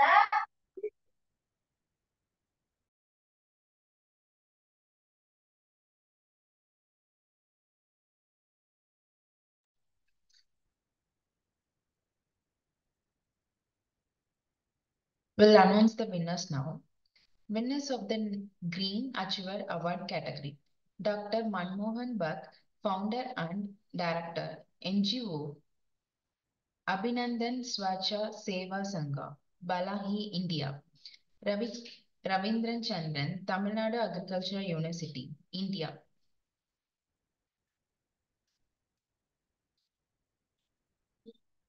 Congratulations to the winners of Green Achiever Award. Now, winners of the Green Initiator Champion Award category. Dr. Kalyani Supriya, Assistant Professor, Department of Environmental Science, Himachal Pradesh University, Summer Hill, Shimla, India. Dr. Shivani Sanjeev Gavandi, Professor, Kayachi Kitsav, Parul Institute of Ayurveda and Research, India. Fatime Sadat Mer Mohammad Mahi, Department of Food Science and Technology, Science and Research Branch, Islamic Azad University, Tehran, Iran. Tehran, Iran. MD Rezwan Ahmad Mehdi, Comilla University, Bangladesh. Congratulations to the winners of the Green Initiative Champion Award. Now, winners of the Women Excellence Award category. Gayatri J, Environmental Sciences, ICAR, Indian Agricultural Research Institute, India. R. Madonna Mary, Assistant Professor, the American College, India. Dr. P. Varalakshmi, Associate Professor, Department of Molecular Microbiology, Madurai Kamaraj University, India. Congratulations to the winners of the Women Excellence Award. Now, winners of Environmental Excellence Award category. M. Rajesh, Assistant Professor, Department of Zoology, the American College, India. Bhumiraj K, Associate Professor, Environmental Sciences, Tamil Nadu Agricultural University, India. Congratulations to the winners of Environmental Excellence Award. Thank you all. Now we'll move on to the technical session.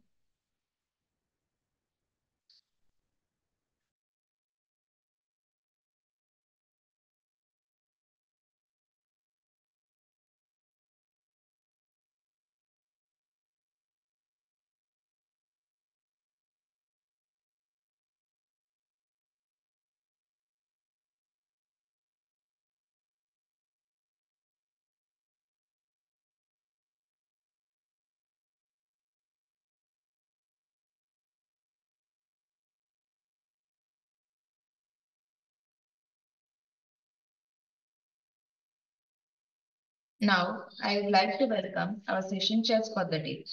E.S. Shivani Khak, Assistant Professor, Kurukshetra University, India. Dr. Hardeep Rai Sharma, Assistant Professor, Kurukshetra University, India. Dr. Sandip Gupta, Assistant Professor, Kurukshetra University, India. Ma'am and sir, shall we start the session?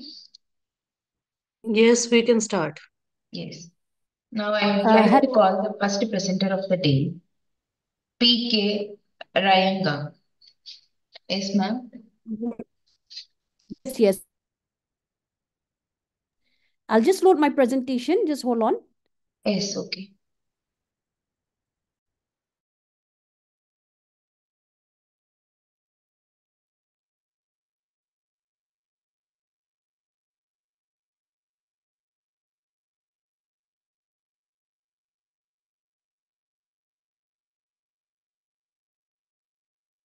Okay, maybe you just move to the second presenter as I'm getting myself ready because of time. Okay.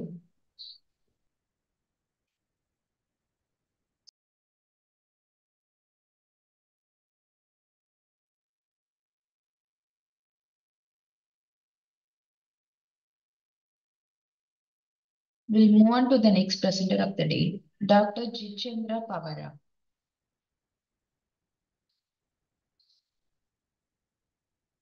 Yes, sir, will unmute. One sec.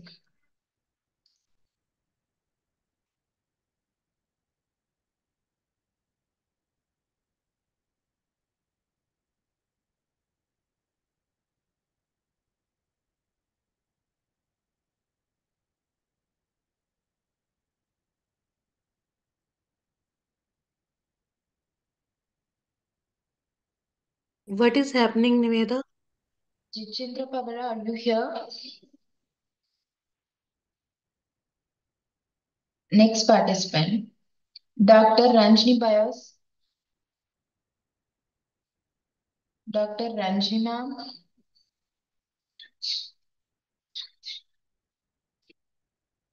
Monica. Good morning. Yes, Good. Good morning to everyone from Romania. Yes, ma'am. Are you ready, ma'am?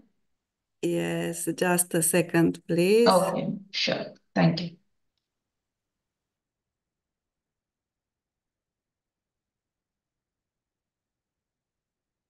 It can be seen, my presentation? Yes, ma'am, it is visible. Okay. I want to present a work about, about uh, bio-inspired materials for development of more stable and specific proteolytic enzymes. Uh, the work was prepared together with my colleagues. All my colleagues are read in, in the author box. Uh, I want to talk today about the enzymes as efficient biocatalysts for uh, green technologies, bio-inspired materials used in immobilization techniques, and the proteolytic enzymes immobilized in biocompatible matrices. Uh, it is known that the enzymes are the key of life in every living cells, but nowadays the biotechnological industry needs fast, selective, and very efficient catalysts outside living uh, cells. Um, considering the reaction needed by the enzymes, like uh, mild condi uh, conditions, uh, pH and uh, optimum temperature very close to the physiological one. Uh, also, the industry needs biodegradable catalyst and uh, environmentally acceptable solvents, like the water that enzyme needs. They, sorry? Sorry for the interruption. Uh, Yeah. one kind request to the session chairs. Mm, I request all the session chairs to turn on their video for the interactive session, please. It's request from our side. Sorry? It can't be seen? No, no, ma'am. This is the request to session chairs. You can Is start present, ma'am. You can continue. Okay. All the enzymes have high activities and the more important have chemoregio and stereoselectivity needed by all the technological bioapplications. Uh, uh, biocatalyst application can be found in all the domain like food and animal feed, pharmaceuticals, also in medicine, especially for analytical purposes, uh, in diagnostics, also to obtain detergents, biofuels, and in environmental technology, the enzymes can be found as very good biocatalysts.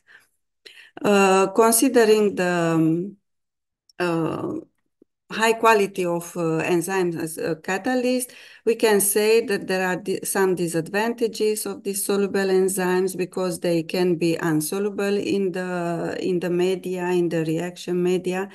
Uh, they are very difficult to recover as active protein for reuse. And uh, sometimes it uh, can be expensive, all the process can be expensive. So the solution can be the immobilized biocatalyst. Uh, there are many techniques to immobilize biocatalysts for um, uh, soluble enzymes. Uh, they can be binding to the insoluble ca uh, carrier by different method, physical, electrostatic, or, or covalent bindings. Cross-linking is another method to, to immobilize enzymes uh, by um, connecting to bifunctional regions or multifunctional regions. And the most important that I want to mention here, and I want to talk about the entrapment of the enzymes in gel matrices especially. Uh, entrapment is a very promising method uh, because uh, different variety of biocatalysts can be immobilized in gel matrices uh, that can be polysaccharides, protein, or synthetic polymers. Uh, the entrapment method is based on polymerization or precipitation reaction in the presence of the enzymes. The result is that the enzymes are captured in the pores of the network uh, because there are not um, bindings be between the immobilization matrix and the enzymes, the structure of the enzymes and the conformation is not affected or is less affected uh, because sometimes activity may lose um, loss of activity may happen in uh, for the enzymes. Uh, the big disadvantage of the entrapment is that the substrate or the product molecule can diffuse to the gel towards from the catalyst. The disadvantage, uh, the main disadvantage being the um, diffusional limitation to the polymeric matrix to the enzymes. Also, inorganic materials can be materials can be used to immobilize enzymes uh, based on their uh, big quality, like uh, uh high mechanical stability, high resistance to microbial attack, and uh, uh, no toxicity towards the bioactive molecules. Uh, the results of using these different materials, organic or inorganic materials, uh, results in obtaining bio-inspired uh, inorganic, organic, inorganic hybrid developed gels with proper physicochemicals properties. Uh, one of the methods to obtain these uh, bio-inspired uh, biomaterials is the sol gel pro uh, process. Um, what is this process? Is synthesis of silica glasses at room temperature, um, entrapment of functional active biomolecules in this um, in, in silico synthesis of the glasses. And um, it can be seen that by this process, it's possible to introduce and retain the bio biological activity into the silica glasses. The um, uh, environment of these uh, matrices is very close to the environment in uh, living cells, considering the uh, low temperature, the room temperature for the synthesis of these uh, biomaterials, uh, it can be a very, very, very promising process for um, um, immobilization of bioactive compounds using this uh, way, it can be combined um, the new generation materials with biology. Uh, this kind of materials, biomaterials obtained, obtained by sol gel processes, uh, has uh, very good mechanical properties and are biocompatible with, with um, biological active molecules. Uh, this process is uh, known for many years because Dickey in 1955 um, uh, real, realized for the first time the entrapment of enzymes in silica gels. But unfortunately, for more than 25 years, the method was uh, forgot. And um, starting with 19 years of near um, realized the entrapment of protein molecules using alkoxide precursor based on this Sol-Gel method. Since then, a lot of uh, biological species have been entrapments, not only enzymes, but also antibodies, membrane proteins, nucleic acids, and also living cells. Uh, for this process, two steps can be used, obtaining the sols in, uh, in acid catalysis and the gel in base catalysis uh, for a very good uh, properties of the xerogels containing the enzymes immobilized, different parameters have to be um, optimized, like water alkoxide ratio, the pH of the reaction mixture, uh, the temperature of the process, the organic solvent used to obtain this uh, xerogel and also the presence or absence of different additives to control the porosity of gels. Uh, the precursor for sol-gel process are many, many, many. Some of them are uh, presented here. The most important are um, in red, methoxy and toxyalkoxides. Um, during the years, many different enzymes were uh, entrapment in um, by this process in uh, silica gels. Uh, the first one, Avnir, tried to uh, use tetrahydroxysilane to entrap alkaline phosphatases, and it was shown that the entrapped enzymes retain its activity uh, up to mounts, and the thermal stability wow. of the enzymes was uh, improved. Also, another very important author published in this domain was Reetz. Uh, he used a large variety of the uh, silanes uh, to immobilize microbial lipases. Um, the enzyme activity was enhanced in the gel. It was observed an increasing the amount of the hydrophobic silanes and uh, the alkyl chain length of the hydrophobic silanes. Um, he used, uh, the authors used uh, to increase the enzymes of, uh, the activity of the enzymes, uh, different additives with uh, macromolecules like polyethylene glycol, polyvinyl alcohol, albumin, and gelatin. Uh, it was demonstrated that these additives have a protective um, action on the enzymes uh, from the natural effects during the silanes. Also, the properties of the gels um, from porosity and pore diameter point of view was changed, and the enzymes was stabilized during the reaction in organic solvents. Also, these uh, entrapped enzymes could be uh, used um, for many times uh, in different reaction cycles. Um, another author who used this kind of sol-gel process to entrap enzymes was uh, Livage. He uh, entrapped lipases uh, using different um, different precursors. Uh, the entrapped lipases was used successfully in organic chemistry, food industry, and oil processing. Um, Wei and the co-authors used um, deglucoses for uh, ad as additive to improve the activity of enzymes and to increase the, uh, its stability. Um, with my colleagues, we try to do the same for Bacillus, uh, Bacillus licheniformis proteases. Uh, we entrapped using two different precursors, uh, tetrahydroxysilane and tetramethoxysilane, by sample entrapment or entrapment in the presence of the glucose, or using a combined method entrapment deposition on uh, ceramics. It uh, was demonstrated that the glucose as additive uh, have a um, positive effect on the protease activity on the immobilization yield for both, for both of the precursor used uh, in the process.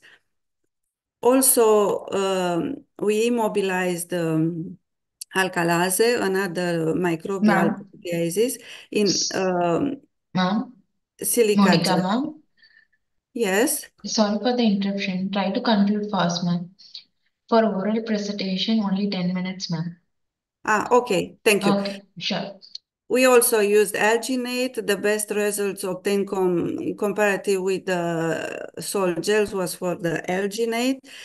Um, and uh, the same results was obtained for another uh, uh, proteolytic enzymes from vegetable origins, papain.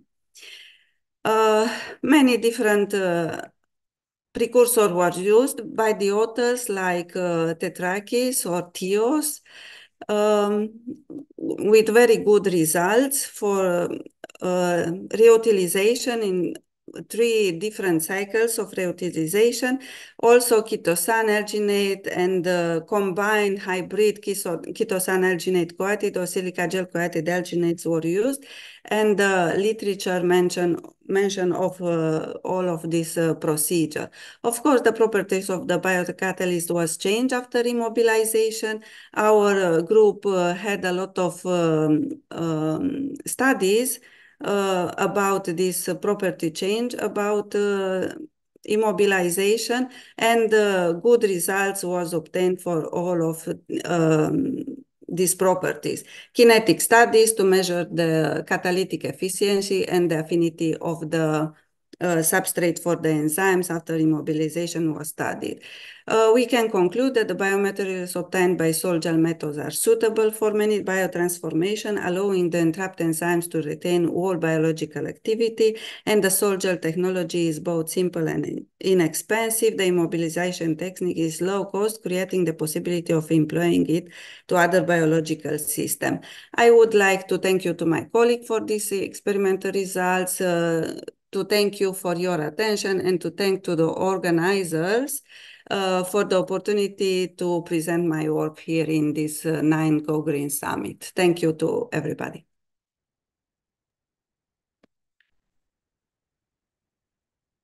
Thank you, ma'am. Thank you for your presentation. Session chairs, you have any question to the presenter? No question, uh, Niveda. You can proceed on the next participant. Oh, okay, ma'am. Thank you. We'll move Thank to you. the next presenter. Mm, Jitendra Pawar, Dr. Jitendra Pawar, are you here? Yes, sir. Could you please share your screen in full screen? Full screen mode, sir. Yes, ma'am. Is my screen is visible? Uh, yes, sir, it is visible. Okay. Kindly share it in full screen. Oh, okay, sir, fine now. Go ahead. Okay, so uh, can I start, ma'am? Hello? Yes, sir, you are audible, sir. Yes, yes. Can I start, ma'am? Yes, sir, sure, please.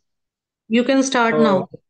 okay, good morning to everyone. And please uh, uh, consider the time. Uh, Yes, yes, yes. I will complete within uh, uh, within uh, that uh, stipulated time. thank you. Okay. Good morning to everyone. Myself, Dr. Jitendra M. Pawar, Assistant Professor in the Department of Chemistry, Changu Kana Thakur Arts, Commerce and Science College, New Panvel. And uh, I am here to uh, present my research work. And the title is Synthesis Characterization, uh, Yttrium Oxide Y2O3 Nanoparticles, its synthesis, characterization, and application via thermal decomposition of YCUP2 glycine twice H2O complexes in the ninth in the ninth go green in the ninth go green summit 29 2023 virtually. So uh, we have synthesized the mixed ligand yttrium complexes. So for the preparation of this complexes the i have used the primary ligand and the name of that primary ligand is cupron and i have taken the yttrium chloride hexahydrate as a metal and i have taken the secondary ligand amino acid and the name of that amino acid is glycine then these three components were mixed in a suitable solvent and that were heated for about 10 to 20 minutes and the obtained complex were dried and sent for characterization. Then after that, once that uh, complex was, was synthesized, uh, approximately 0.5 gram of newly synthesized yttrium complexes were uh, sent to thermal decomposition process in an oven for about 400 degrees Celsius temperature, for the duration 30 minutes. And this thermal treatment yielded the powder white of indicating the successful production of Y2O3 nanoparticle. So subsequently, the resultant powder was allowed to naturally cool at a room temperature, followed by the meticulous washing with ethanol multi multiple times to eliminate and linerate the impurity. So ultimately, this prepared Y2O3 nanoparticle was subjected to oven drying process, resulting into the attainment of dry and stable form. And after that, this prepared nanoparticle were, were sent for characterization and for potential application. So in this table, this table shows the antibacterial activity of my synthesized complexes and its nanoparticle. And I have used these four different strain of microorganism that is S. aureus, C. diphtheria, S. staphyl, and aeruginosa. So out of this, this uh, this complexes effective against the S. aureus as compared to the P. aeruginosa and this nanoparticle shows the maximum zone of inhibition against P. aeruginosa. Uh, this table shows the minimum inhibitory concentration of my synthesized complexes as well as nanoparticle. Nanoparticles are showing the better activity as compared to complexes. And I have used these four different strains. And uh, this is the MIC concentration of complex uh, salt that is YCl3 and cupron and we have used the tetracycline as a standard and this uh, spectra shows the U this spectra shows the UV spectrum of my synthesized complexes and the single peak around single peak around the 288 nanometer 288 nanometer indicate the presence of YC bond and it confirmed the formation of Y2O3 nanoparticle. These are the same images of my complexes and Y2O3 nanoparticle. The size is for nanoparticle is 10 nanometer and the size for the complex is about 200 nanometer. It confirmed the formation of Y2O3 nanoparticle. These are the same images of my complexes as well as Y2O3 nanoparticle. The average particle size of nano average particle size of Y2O3 nanoparticle is 15 nanometer and for the complexes it is about 300 nanometer. So these images confirm the formation of Y2O3 nanoparticle and this uh, slide shows the XRD pattern of my Y2O3 nanoparticle. The peak at 29.2, 33.8, 48.5, and 57.6 correspond to 220, 440, 440, and 62, 622 plane, reflecting the cubic Y2O3 nanoparticle respectively. And in conclusion, uh, we have developed uh, the uh, in we have developed the novel complexes, novel complexes that is YQP GLY twice 4H2O and we have subjected that complexes for thermal decomposition and the electronic spectra were taken in the methanol as a solvent and it revealed that the, there is a formation of the uh, nanoparticle takes place and FTIR spectra shows that the complexes for there is a FTIR spectra shows that there is a formation of bond between the metal and the ligand XRD shows that the crystalline nature of nanoparticle. Same time images shows that the uh, complexes are uh, sorry the nanoparticles are formed between two between the 10 to 15 uh, particle size range. And this is all about my uh, this today's presentation. Thank you, ma'am. Thank you, sir. Thank you so much for your presentation. Session chess, you have any question to the presenter? No question. Okay, we'll move on to the next presenter, ma'am. Yes, sure. Okay. Ryan, are you here? Can you able to present now? Okay. Ranjini, Dr. Ranjini. Actually, Dr. Uh, Hardeep uh, Rai uh, want to ask something and uh, he is unable to um, unmute his mic. He is asking his questions in the chat box. You can Okay, read sir, that question can you try now? behalf. Can you try now? Actually, I gave access already.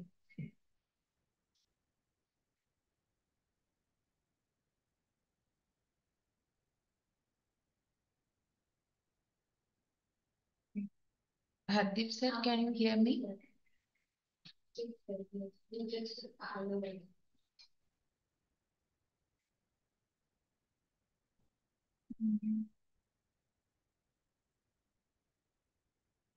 Actually, I gave access, ma'am, but I don't know what is the error. Can we move on to the presenter, ma'am? Next presenter. Now, Shivani ma'am, now. Hello, uh, actually, I was also unable to unmute. Now, Uh, ma'am, I gave access actually. Niveda, uh, you can uh, also read the question from the chat box uh, Okay, for I'll the read the participants. Sure. Mm. Question for Jitendra. For what application you will use Y203 nanoparticles in future? Jitendra, are you here, sir?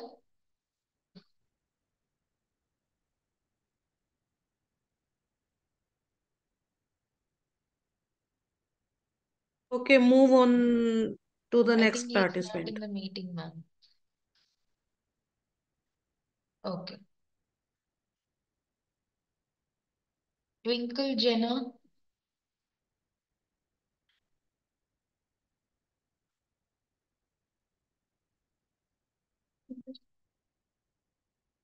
Where?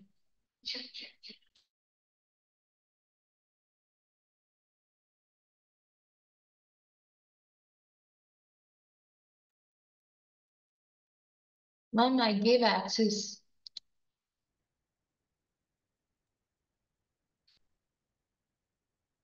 Twinkle, Twinkle Jenna, ma'am, I gave access.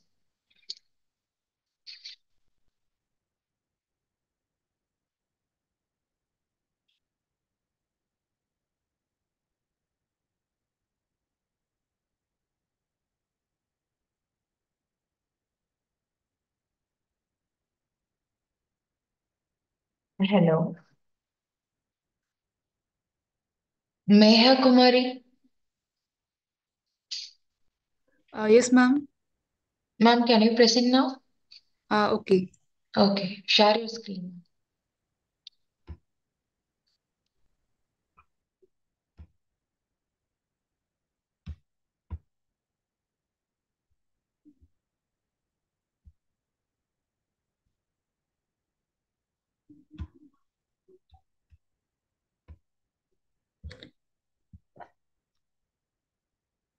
Are my slide visible? Hello? Yes, ma'am, it is visible. Is it moving? Yes, ma'am, it is moving. Uh, good afternoon to one and all present. Myself, Megha Kumari, PhD Agronomy, second year student, and I welcome you all in my presentation, which is on the topic Impact of Conservation Agriculture on Soil Organic Carbon Dynamics. In today's era of intensive agriculture, which involves the use of agrochemical, there is increased mechanization, which has led to the increased carbon mineralization, which has led to the loss of soil organic carbon. It is estimated. Uh, it is estimated. Uh, sir, can you please move your mic? Professor Dr. Sanjay K. Patil. It is estimated that around 1,417 billion tons of soil organic carbon is stored in the first meter of the soil and around 2,500 billion tons at the uh, 2 meter soil depth. Since 1850, it is estimated that around 66 billion tons of uh, soil organic carbon is lost mainly because of the land use changes. As we can see on the map, uh, most of the countries in the world, they are facing the loss of soil organic carbon. In India also, we are facing uh, soil organic carbon is less. It is mainly 0.4 to 0.6%, which is far less than the optimum. Sustainable Development Goal, which was started in 2015 and it was adopted by the United Nations members, uh, conserving soil organic carbon it uh, contributes to the maintenance of five SDGs that is zero hunger, uh, good health and well-being, clean water and sanitation, life on land, and also the climate change. At the COP21, uh, a voluntary action plan that is four per mille initiative was started in which it was uh, initiated that soil organic carbon of the world should be increased at a rate of 0.4% per year to a depth of 40, uh, 40 centimeter. The soil organic carbon of India has came down to 0.3 to 0.6%. Now the global carbon cycle. Uh, there are basically five pools of the carbon, uh, carbon pools, that is ocean, soil, vegetation, atmosphere, and the carbon, it circulates among themselves. Now the soil organic matter and soil organic carbon. In soil, 25% of the area is occupied by air, 25% by water, and 45% by mineral particles. And the remaining 5%, it is occupied by organic matter. And then the organic matter, it is further subdivided. That is 65% is occupied by humus, 15% by resistant organic matter, 10% by fresh residues, and 10% by the living organism, living organism. And we could calculate our soil organic matter from soil organic carbon by multiplying it with uh, 1.724, that is the Van Bemmelen factor. Now the constituents of the soil carbon pool. Uh, the carbon pool, it is mainly divided into soil organic carbon and the soil inorganic carbon. Uh, the soil organic carbon is divided into dissolved, that is sugar, and the solid uh, and the solid is further divided into protected SOC and the unprotected SOC. In the unprotected soil organic carbon, it is contained in the coarse silt and sand fraction and the protected SOC, it is contained in clay and fine silt particles. And the protection mechanism is as follows, that is physical, in which it is encapsulated within the stable microaggregate, chemical, in which there is the formation of weak acid compound, uh, biological, in which there is the microbial exudates that repel each other, and ecological, that is coupled cycling of carbon with other constituents. And the soil inorganic carbon, it is divided into the dissolved bicarbonate that is leached into shallow groundwater and the solid carbonates. Now the soil fractions on the basis of the turnover time, they are divided into the labile, slow, and the stable. The labile soil organic matter, they are available between 1 to 5 years and they constitute particulate organic matter, fresh residue, and living organism. The slow soil organic matter, it, uh, it, its turnover time is 20 to 40 years. It constitutes humus, organic carbon, resident residue, and they are physically protected. And the stable soil organic matter, uh, their turnover time is 5,000 to 1,000 years, and they constitute resistant organic carbon, protected humus, and the charcoal. Now let us see what are the benefits of the soil organic carbon. It has various benefits that is the physical, chemical, biological and ecological. The physical benefits include that it increases uh, water retention, it decreases the drought, it improves the infiltration. In structure, it improves the aggregation, it improves the aeration and also improves the tilth. In chemical, it acts as a plant reservoir and it increases the nitrogen, phosphorus and sulfur, while the biological properties include it improves the soil biota and provides energy and, and it also increases MBC.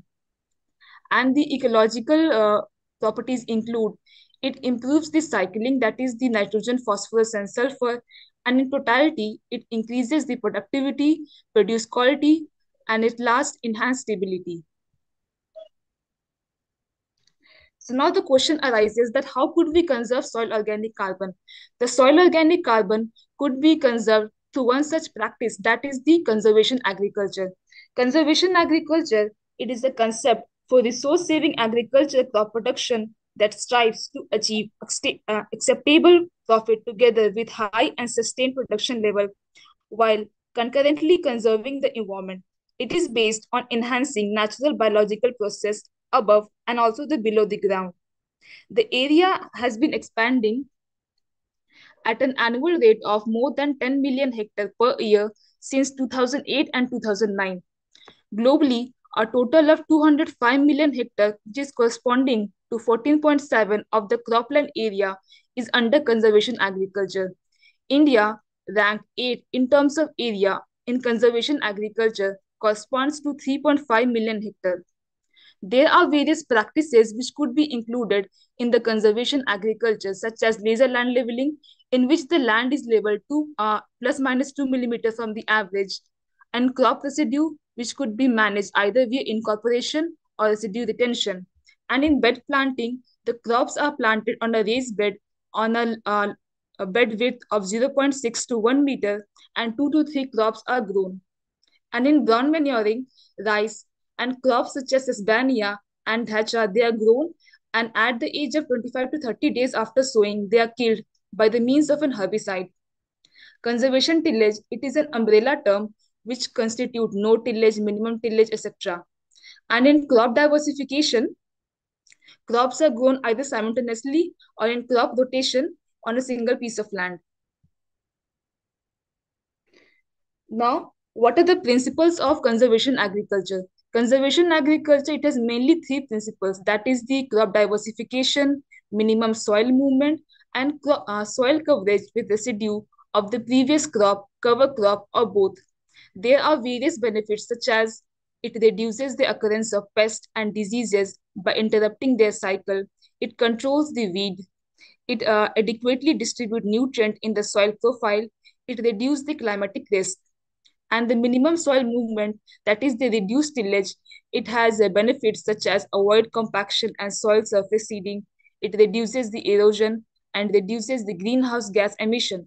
Whereas soil coverage with residue of the previous crop or cover crop, it has benefits such as higher water infiltration, less evaporation, increased biological activity, and soil organic matter increased. Uh, now, what are the potential benefits following the conservation agriculture adoption and the soil organic carbon increase? There is increased in the soil structural stability and decreased erosion. There is increased water infiltration and the soil water storage.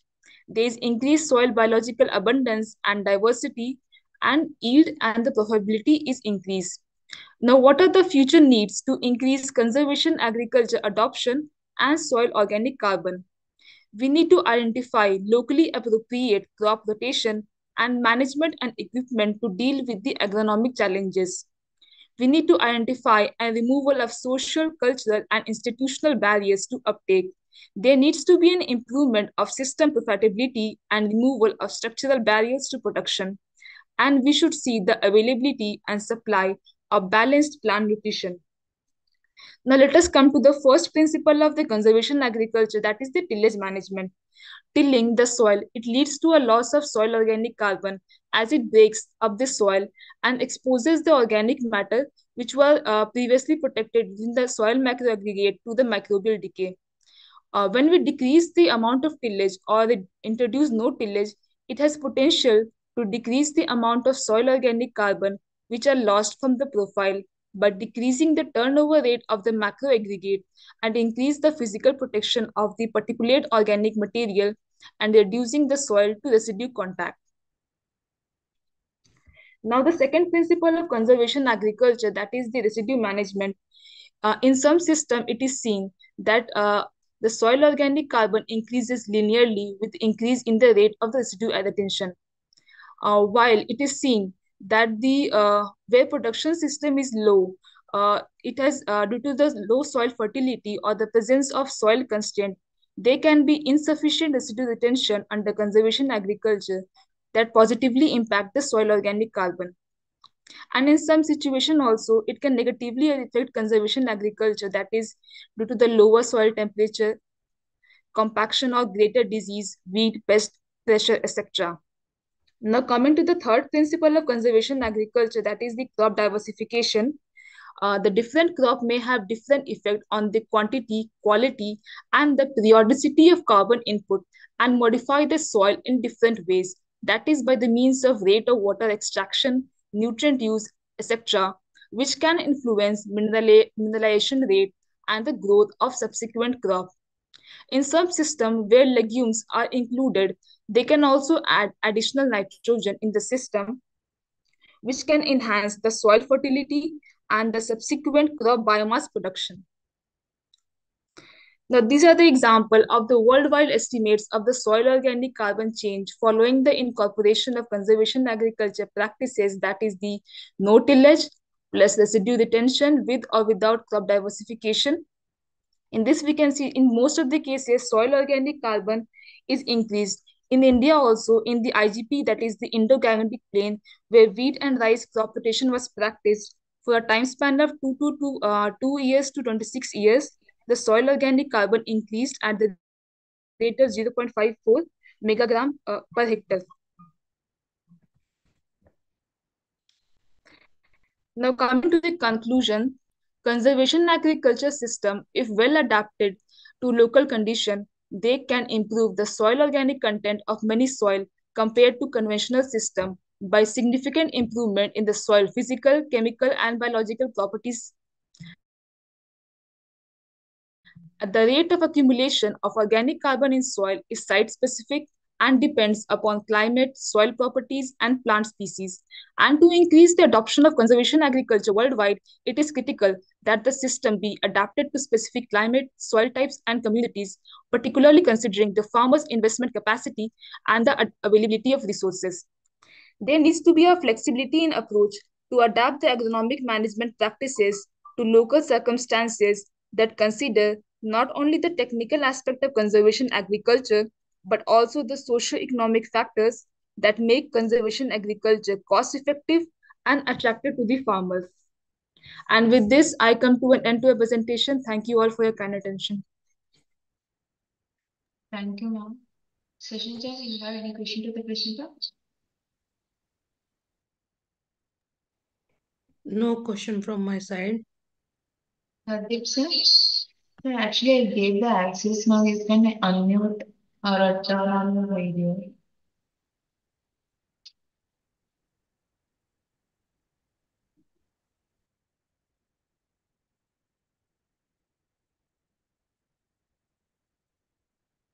Hello.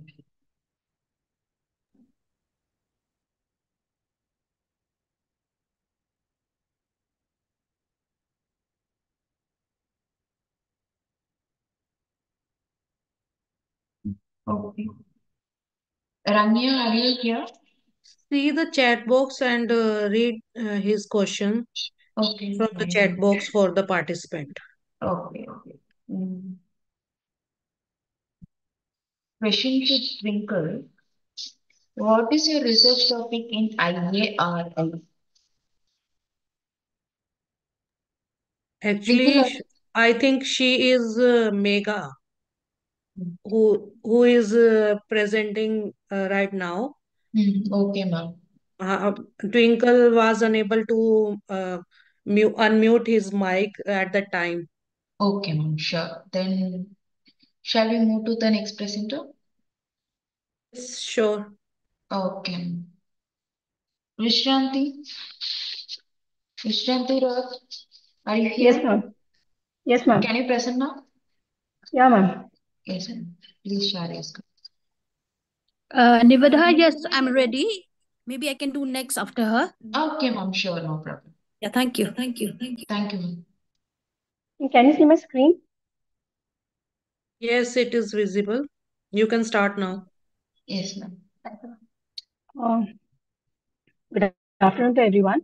Uh, my name is Vishranti Rao, and uh, my topic is a literature review on green HR stimulates and supports the sustainable use of resource and preserve the natural environment. So basically, uh, this is a literature uh, review uh, presentation. So uh, green HR, we are seeing uh, this topic green HR or green initiatives everywhere. We are hearing this topic. We are, we are hearing this word green HR everywhere. So what is actually green HR? So green HR uh, over the past few decades, um, we are seeing that that environmental and the impact and the repercussions have become a major concern for you know, government, organizations, stakeholders, and customers. So this topic is becoming a very uh, sensitive matter, and because of which the organization are becoming alert. So this uh, concern has become a major call to various organizations to apply more effective environmental practices and increase uh, this awareness and experience in dealing with various environmental issues.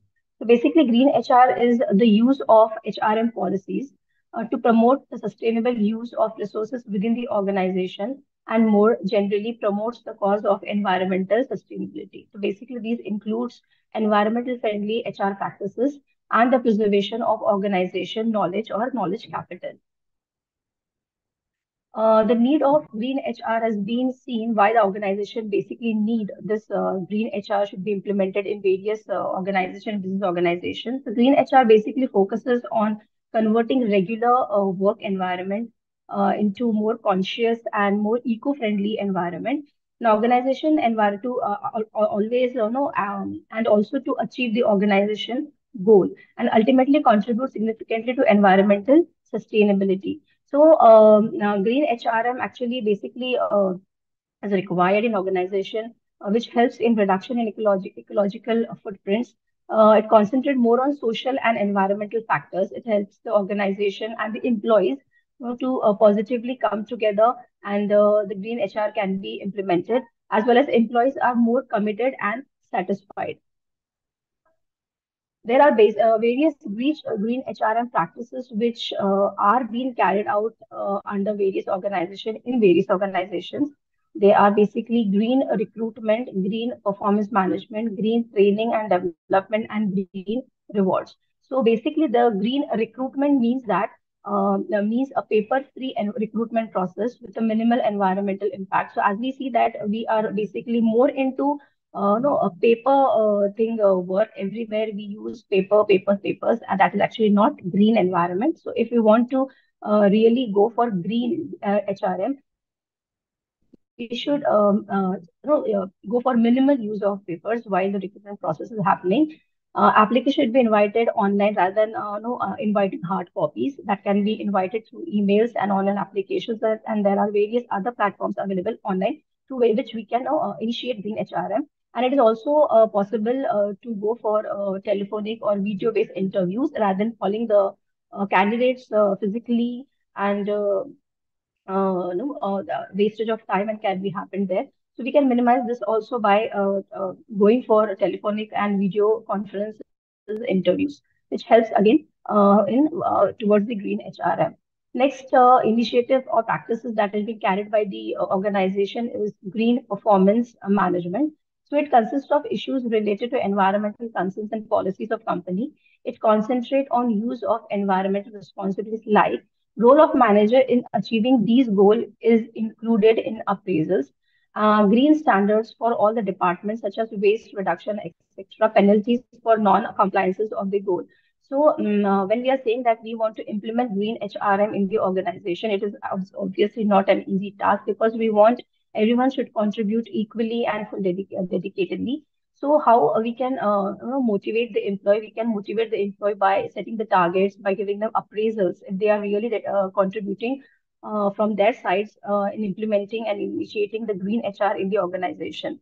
So to keep the employees motivated towards these initiatives, the manager should uh, uh, give them appraisals who are really following the green HRM practices. Certain standards should be mentioned all the checks should be going uh, should be go like uh, there should be no wastage or there should be less to less uh, no wastage in the organization should happen. And if the employees are not following then the penalty should be given on the employee should be laid on the employees. Uh, next practices is being carried by uh, the organization. Hrm team is the green training and development program green training and development is conducted to the employee in order to educate them about the environment because are talking about green initiative, green environment. So basically, uh, no, uh, most of the employees are unaware that, that what is basically the uh, no, green HRM initiatives and how we should carry it on in the organization. So organization should carry out certain workshops or training sessions or development sessions, you know, wherein the employees should be you know, clear about the ideas that what actually they want to do or they have to do uh, you know, towards these green initiatives. So creating an environmental awareness among the workforce by conducting seminars, workshops at organization level. So it also important to achieve good environmental performance. Train the employer as how the energy can be conserved, so training them with the best business practices, enthusiasms, uh, enthusiasms the green initiative practices within the uh, employees. Green rewards, the sustainability of organizations' environmental performance is highly dependent on green rewards management practices of the organization. So to motivate the uh, managers and non-managerial employees and on corporate environmental management initiatives, green rewards management has significant contributions. So as we know that if we want to keep our employees motivated, dedicated towards uh, any of the initiatives, any of the practices, uh, these measures should be followed by giving them rewards. Those who are really contributing uh, good towards the green initiative, they should be given certain rewards as mentioned by the organization.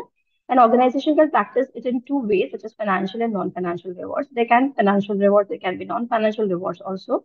Financial rewards can be goes like incentives, bonus, cash rewards, and non-financial can be like appraisals given to the uh, like uh, uh, uh, uh, appraising them in front of uh, employees, in front of departments, so that they can feel good that uh, no, uh, they are contributing towards the organization and organization is appraising them. So every time financial rewards uh, don't motivate the employees, many times non-financial rewards also motivate the employees towards the objective and goal of the organization.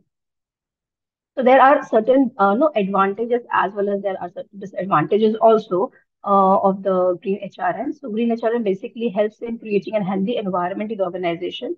So obviously, if we are going for paperless work, if we are going for environmental friendly envi uh, no, workplace, so it uh, obviously helps to create a good, healthy environment.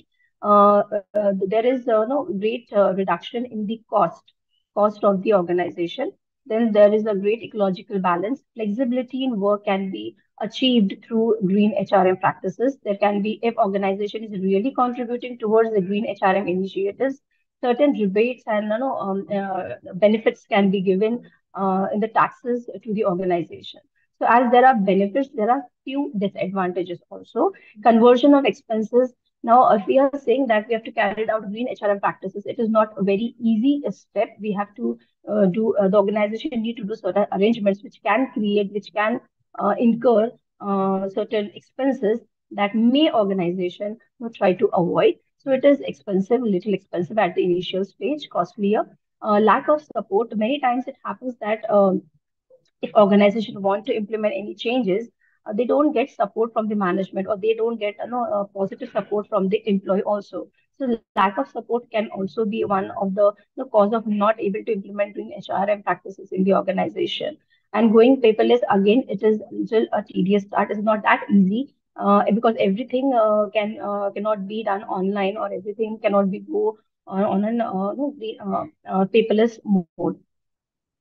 So uh, uh, as uh, far as I've gone through several uh, no, research papers, I have found that the green HR are still in the initial stage. Many of the organizations have still not implemented uh, the green HRM practices, though it is mandatory, though it is made uh, no, compulsory by the government that we should practice green HRM. But there are many organizations, and still it is an initial stage. Still, green HR is on a growing stage within the organization of a significance of green issues have compelled them to embrace environment friendly HR practices with specific focus on waste management, recycling, reducing carbon footprints, and using and producing green. The future of green HRM uh, appears promising for all the stakeholders of HRM, be it the employer, employee, practitioner, or academician.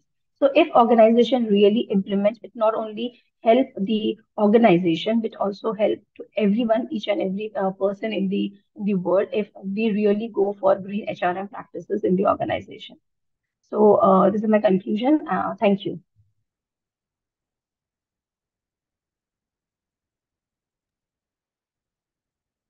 Uh, thank you, ma'am, for your insightful presentation. And there is a question for you. Can you mention Yeah. some basic green HR practice? Green? Green HR practices? Green HR HR practices. practices.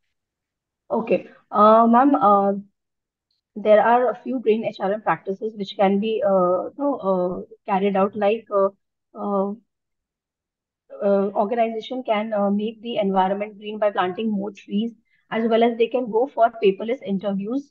Uh, there are organizations uh, those are carrying out paperless uh, paperless interviews like inviting applications online. They are uh, conducting interviews online and uh, many meetings are being conducted through the Zoom meeting. Like we are you know, holding this conference today, we are holding the conference you know, through the Zoom meeting. So this is also an uh, example of uh, GHRM being initiated. So, uh, but uh, uh, I will I will not say that a major of the organization or the 50%. There are less than 50% organization who are really uh, no, um, inculcating these green HRM practices in the organizations. So still we are really in a very basic uh, stage or very initial stage wherein green HRM should be implemented. Thank you, ma'am. Uh, any other question? No, you can proceed to the next participant. Thank you, ma'am. Thank you, ma'am. Okay. Uh, the next participant is Linima BK. Actually, uh, Twinkle is asking to represent. Can I come in, ma'am? Because I'm the first presenter actually because of technical glitch. So, but now it's fine. Okay, ma'am. Thank you. Okay, okay, you can proceed. Thank you. Thank you. Thank you.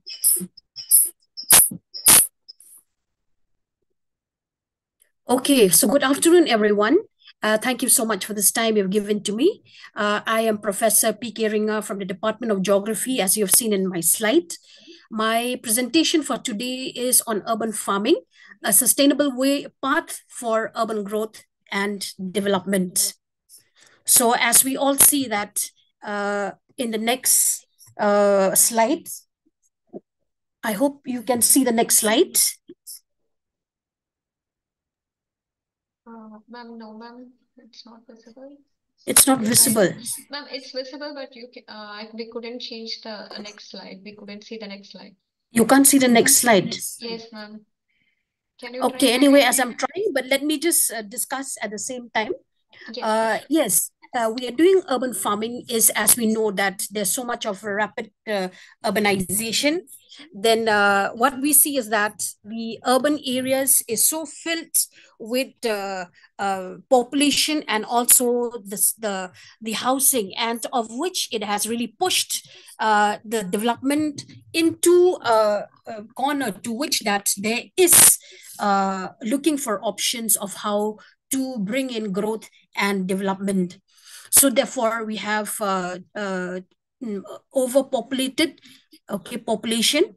And so also we have lack of green spaces in cities because of rapid urbanization. So uh, then what we see is in the late 2010 we have seen that uh, urban farming in india has started to mushroom particularly after 2015 where we have seen that there's an alternative for having our own food supply for having our own uh, uh, organic food because uh, nowadays people are more health conscious. So therefore, urban farming picked up in India, particularly after 2015. And we have seen that uh, all over India now we have farms in the cities. Uh, perhaps uh, COVID 19, we can say it is a blessing in disguise because after COVID 19, perhaps there is so much of a, you know, a picking up or we see a, a speed of uh, development, particularly in urban farming, which we see that there is a positive response towards the urban farming. So, therefore, uh, we have seen that uh, over the two, three years of the impact of COVID 19, we have seen that urban agriculture is the savior of rapid urbanization. So, as my uh, study suggested, that you know, looking into the case studies of uh, different areas, although I'll not pick up many, it's just a few. We are starting first with Hyderabad. We've seen that Hyderabad was the first one to pick up urban uh, farming. Yes, it started way back in 2017 by the company called Urban Kisan. And for them also, they started with the urban roof farming, where they have started first with hydroponic system that would allow uh, them to grow their own uh, fresh veg- vegetables and fruits. So also Urban Kisan has really kicked off and have given a, a kickstart to many others who started the urban agriculture in Hyderabad everywhere when we look in terms of its development till today. So also we have seen that uh, this uh, the the rooftop what I've uh, just said the urban rooftop far farming also has been done in CDMA building where they had uh, uh, as you've seen the picture there's so much of uh, blooming the greens in the midst of the city's you know high populated areas. Also in Bangalore what we have seen also they have also picked up urban farming and it has gained popularity yes, we have seen this is just uh, I've picked up from uh, one of the clippings in the Hindus, that means in the newspaper on 23rd November 2023. We have seen the green lushed, uh, not only vegetation, but then they are fruits, vegetables, which are very healthy because they are organic and also there is another uh, way of coming up with the urban farming in Bangalore and also in Chennai and many in other places, Jaipur as well, where uh, uh, an, an, a farmland is being acquired and people can have those plots to have, uh, you know, the farmhouses. Uh, but then they these are the people, the urban, urban farmers are taking care of uh, those plots so that you know that uh, urban farmers here also they manage everything okay? We can choose the plot and uh, you know they can work on our behalf. So that is how they do. And on also in ncr where we've seen in delhi or you talk of gurgaon you talk of jaipur the same thing has happened. And we have seen that even in the north uh, they're trying to bring roots to the roof okay of delhi people we have seen that delhi has really high popula- uh, pollution you know but then uh, with this new trend of urban farming coming up we we hope and we we we we expect that there will be a you know a turning around of uh, the positive impact of urban farming on the uh, pollution of uh, Delhi. So also in other areas, we have seen how they grow in the roofs where they have vertical uh, pillars. And this is where they run the hydroponic uh, system so as to have healthy eating and also that people will gain from a very small space and this is also in Jaipur where they do the same thing uh, in the rooftop because of uh, the space problem. And then what we can see like what i said i've just picked up few. I didn't pick up many uh, especially from my place where i come from because we still have yes uh, we also running short of space in the urban areas. But then uh, as of now we still have a kitchen garden. So as my topic is urban farming a sustainable path for urban growth and development we have seen here also that the urban farming in, in fact it impacted as you've seen the screen that we talk of climate change. Yes they have uh, bring in the positive note to to inspire the climate change yet they slow down the environment uh, degradation when it comes to urban farming. Then we have food security biodiversity agricultural intensification or you talk of resource efficiency or you talk of land management like what i said. This kind of a farming we need less space. It is not that we need a, a horizontal larger uh, space for farming but then urban farming you can always go vertically. It also brings in public health. Now people are more conscious about eating nutritious food than because uh, everyone are running for organic hygienic and sufficient food. So also if you look from the economic point of view we see that there's economic growth because it opens job employment for many other people who have not known this path. But then, as of now, we have seen that this is the hope for uh, urban agriculture or for urban dwellers or settlers if we look for urban growth and development. So with this, I end my presentation. Thank you so much. So if any question? Thank you, ma'am. This is very nice presentation. I just want to ask something that Yes. you are uh, you said in your presentation that uh, you are acquiring farmland uh, Yeah. to uh, proceed your uh, project are you acquiring free lands or uh, the uh, or asking for the people to provide their roof uh, roof Okay, uh, the one which I just mentioned just now, uh, some places like for example in uh, uh, Jaipur, in Chennai, they themselves they have big farms. Okay, they go by a company name. Like maybe I can just go. Uh, let me just go just now. Yeah, this urban farmers in Bangalore. Okay, these urban farmers they are a company who acquire well managed farmland in the city and what they do is that they uh, from that farmland they provide plots for people who wants for the city dwellers who wants the farmhouses and the facilities. What they do is they not only uh, um, you know uh, cultivate all the vegetables but then in fact they also allow them to come for retreat. They do have a kind of a small resort also so that people will distress themselves from the ordeals of the week. So this is happening in bangalore in uh, jaipur in chennai but not in our place. Our place, like what I said, we still, although we are running short now, okay, out of uh, the city space, but yet we still have some uh, plot where we just have kitchen garden. But then most of the houses also we have started with uh, the urban roof farming plus the kitchen garden. Thank you. Thank you for answering my uh, query. And uh, thank you for the this lovely presentation. Uh, Thank you. we Thank can we can proceed to the next participant, Niveda. Yes, ma'am. So the next participant is Linima.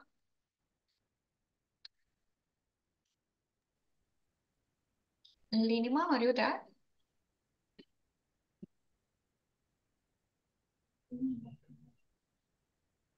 हाँ वो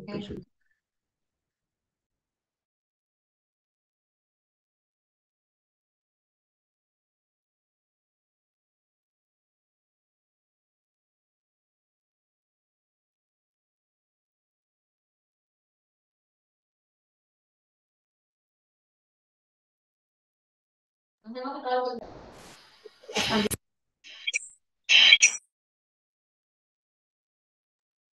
Linima, can you please unmute? We are unable to hear you.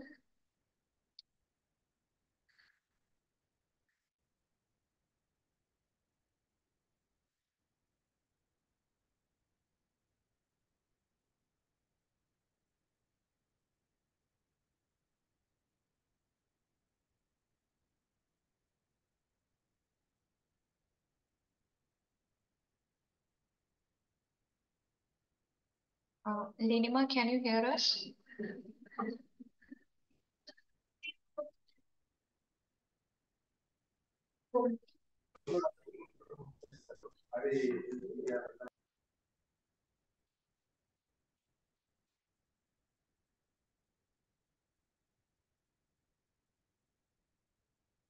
Uh, Linima, are you there? I think there is an it uh, something Okay. Okay, ma'am. technical error. Uh, You can proceed to the next next participant and ask participant. her to be prepared for. Okay. Uh, so the next Actually, uh, participant. Twinkle is asking to represent his uh, represent uh, his present her presentation uh, again again. You can uh, take her here in this slot now. Okay, ma'am. Uh, Twinkle, there? Can you present it now? Yes, ma'am. Yes, ma'am. Yes, Twinkle. Carry on.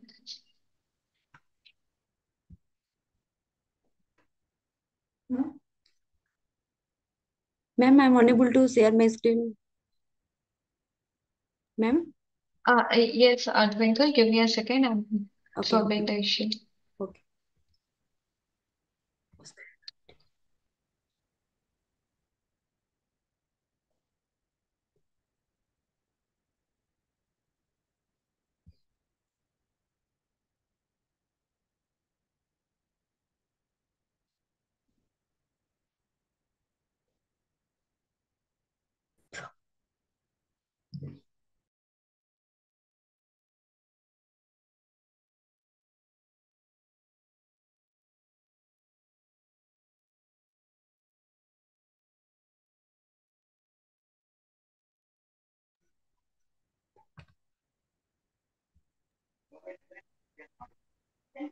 Twinkle?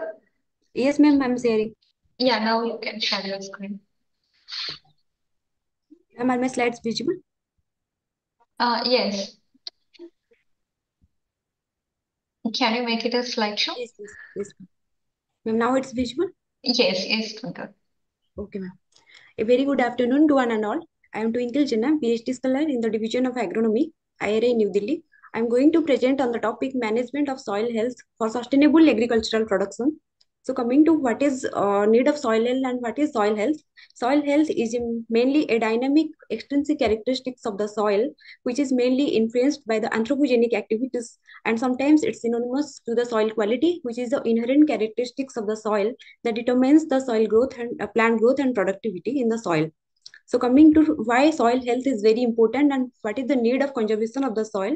And currently in our agricultural system, we are heavily relying on high yielding varieties and heavy use of mechanization and heavy reliance on synthetic chemicals such as fertilizers and pesticides, which is posing a second generation problems such as soil pollution, water quality deterioration, and conversion of substantial agriculture to commercial agriculture, leading to decreased biodiversity and further agriculture is found to one of the contributor to the greenhouse gas emission amounting to 21 to 37 percent which is causing climate change and increasing the temperature of the atmosphere further hastening the process of soil desertification and degradation which is negatively impacting the food security and posing challenge to alleviate rural poverty.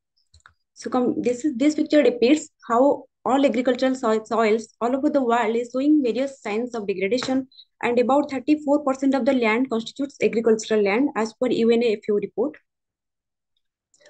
So soil health is mainly characterized by the interactive effect of both physical, chemical and biological characteristics of the soil and is determined mainly based on various indicators and what are the processes that is occurring in a soil and what are the functions it does and what is the soil services it is providing to us. Based on that, we can characterize what is whether a soil is healthy or non-healthy.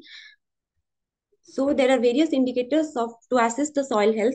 So physical indicators have a direct bearing on the water availability due to its influence on available water holding capacity and infiltration rate in a soil and various chemical indicators like pH, EC, they are regulating the nutrient availability in a particular soil because uh, it is influencing the nutrient solubility and mobilization in a soil.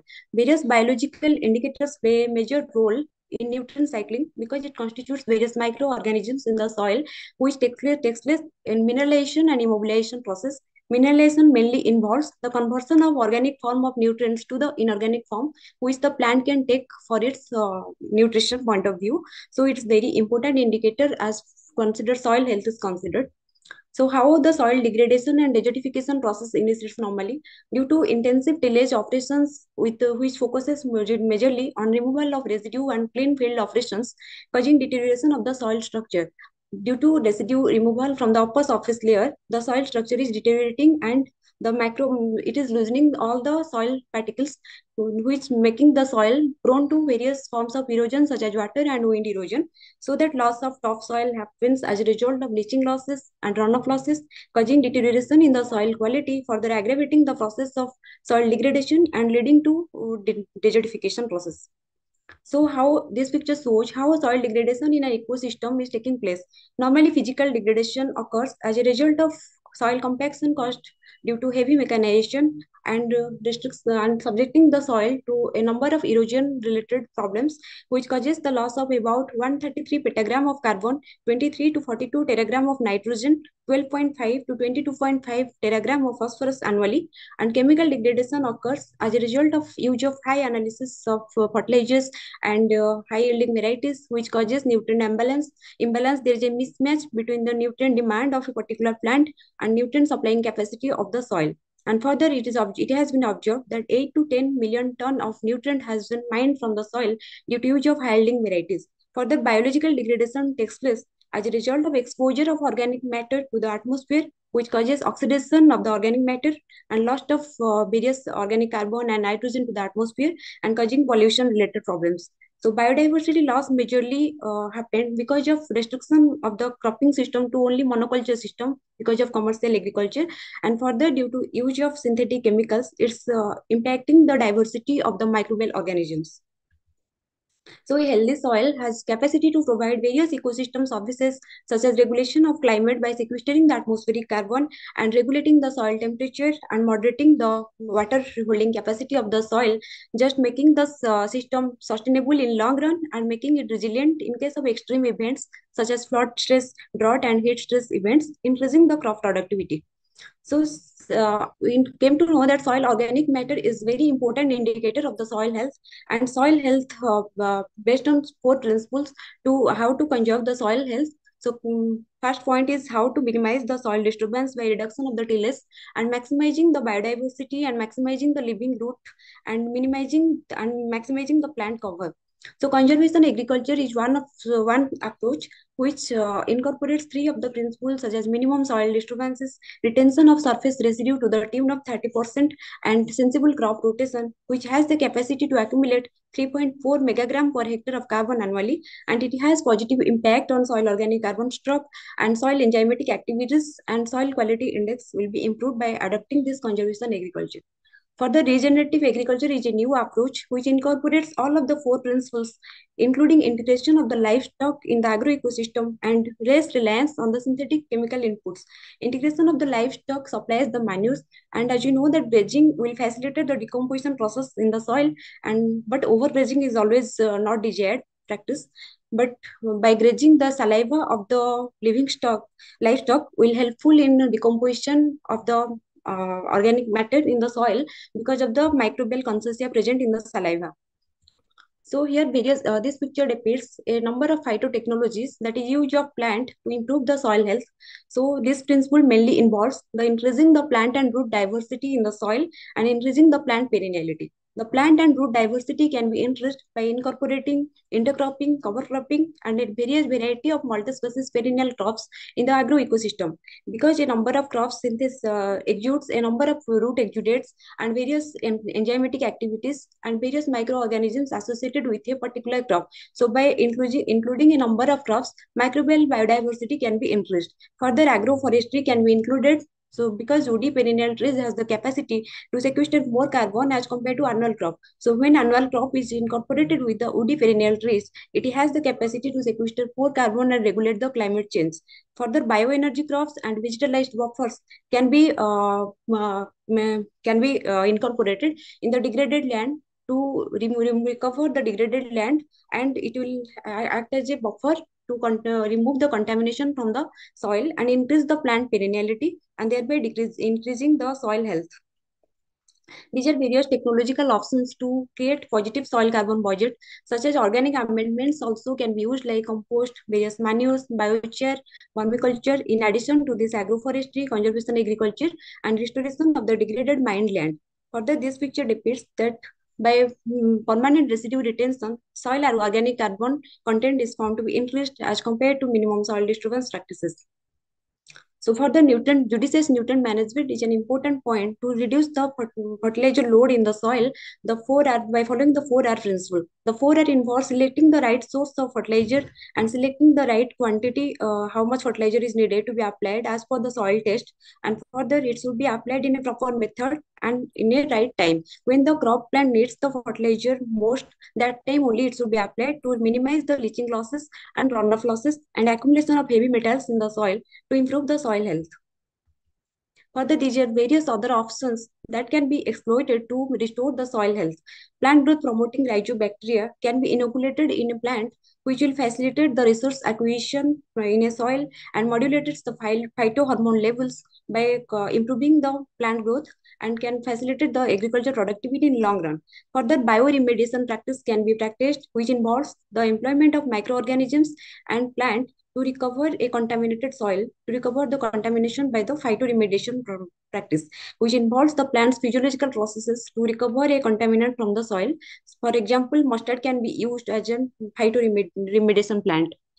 Then integrated nutrient management, which involves the judicious use of various green manuring, biofertilizers, crop residue, and incorporation of legumes along with fertilizers can be incorporated in the agroecosystem and agricultural practices for improving the soil health for further restoration of various problem soils by application of various soil amendment like uh, we can apply lime in case of acid soil And in case of salinity soil, we can go for gypsum application so that the soil health will be improved and all the nutrients in the soil can be available in optimal quantity for the optimum growth of plant and increase the productivity. For the erosion control is a major uh, of the technique that can be uh, exploited for maintaining the soil health to avoid the leaching losses and runoff losses from the soil.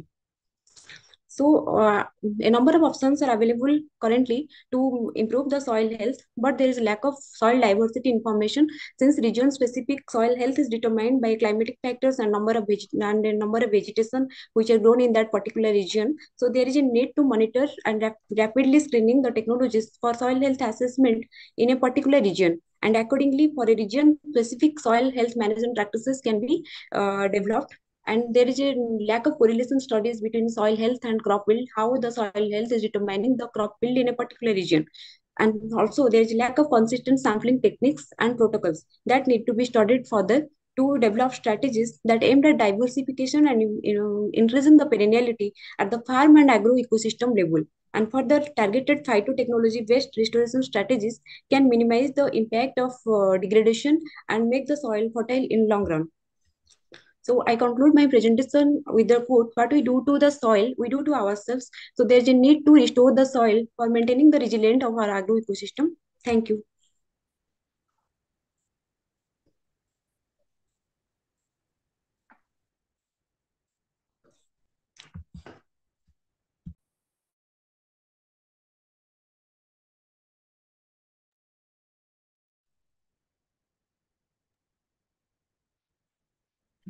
Thank you, Twinkle.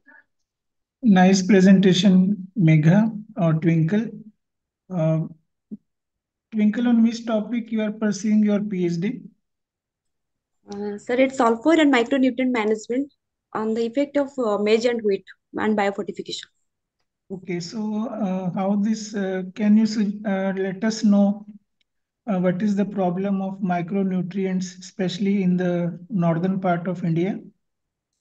So actually, in northern part of India, we are using mostly uh, depending heavily on this uh, high analysis fertilizers and using high yielding varieties and hybrids which are having uh, very uh, exhaustive crops. So they are uh, taking most of the nutrients from the soil. And though we are applying high analysis fertilizers which are rich in nitrogen and potassium. So in plant, normally there is a proper ratio for all the nutrients. So if we are providing nitrogen and phosphorus and potassium, that are the major nutrients, micronutrients are not in present in the soil in that much amount. And since we are applying a number of fertilizers, so they are having a toxic effect in the soil and their antagonistic effect is there. So micronutrient efficiency is nowadays very less. That is only one to five percent. Thank you, thank you, Twinkle. All the best. Yes, sir. Yes. Sir. Uh, any other question? No question. Okay, thank you, ma'am. Uh, so the next participant is Linima.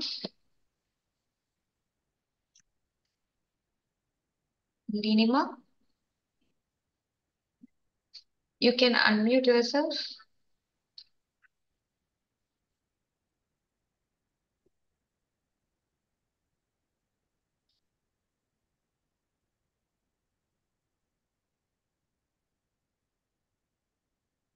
Linima, are you there?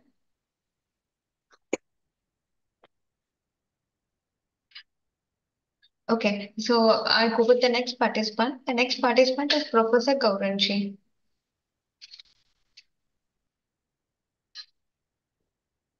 Professor Gauranshi, are you there?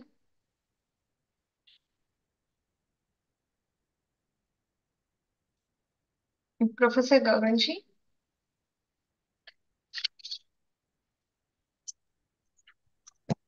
In my list, the, the next participant is Dr. Raghavendra K. Mishra. Uh, Ma'am, Raghavendra Mishra has provided a video presentation. Oh, okay, okay, okay. No problem. Yeah, okay. Okay. So the next participant is uh, Tejas. Hello. Uh, yes, Tejas, you can share your screen and start with your presentation. Yes, ma'am. Thank you.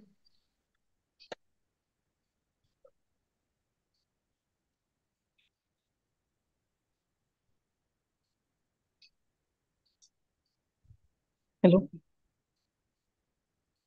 Uh, yes, sir, we can hear you. Ma'am, is it visible presentation? Yes, sir. Yes. Uh, good afternoon, everyone. My name is Tejas Solekar from Dr. Ambedkar College, Nagpur. The topic is analytical study on the role of green bonds and climate financing in driving sustainable development.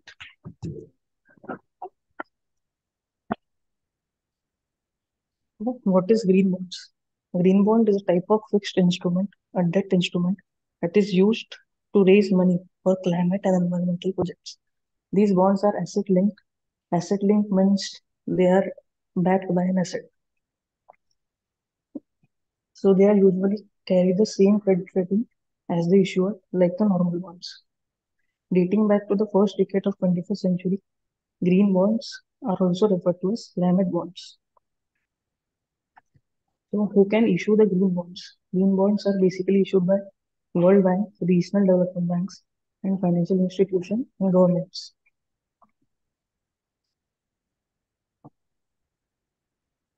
Uses. What are the uses of green bonds?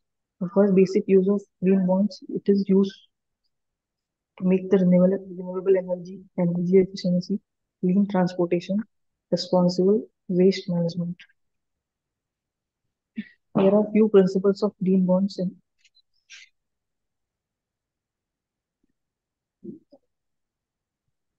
Hello. Hello. The first one is use of proceeds. Use of proceeds means the use of funds which we take from the public that are used in refinancing the green projects. These green projects contribute towards environmental objectives such as climate change mitigation, natural resources conservation, and other pollution prevention and control. The second one is process for project evaluation and selection. When we take money from the investors, we have to give them a surety that we are in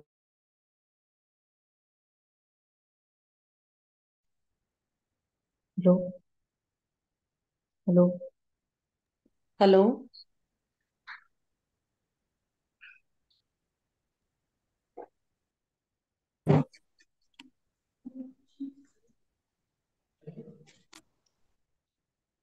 Thank you, Tejas.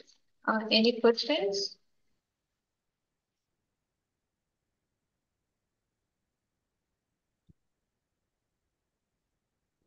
Last one is the reporting of green bonds. Reporting means which we have, it's the integral part of issue of green bonds.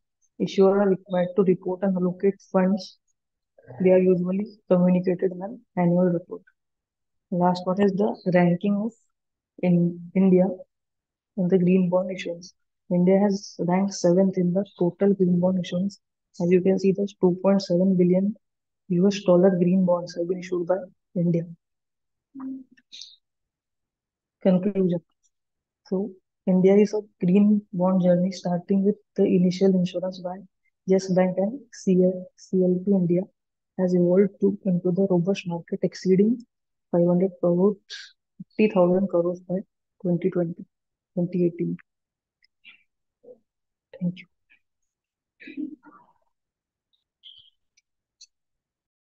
So, uh, Dr. Tejas, do we have green bonds in India presently? Yes, sir. Uh, can you explain about something about this type of bonds? What is the use and uh, how they will be helpful for our country in getting green economy? Uh, they are useful for financing the green projects, the green projects such as uh, renewable energy, green efficiency, green transportation, responsible waste management. These are the projects which are useful. So whenever country has launched the green bonds and for how much cost it is launched by the government of India, uh, Dr. Tejas?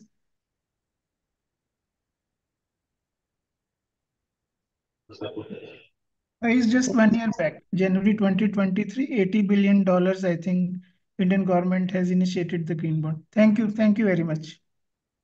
Yes.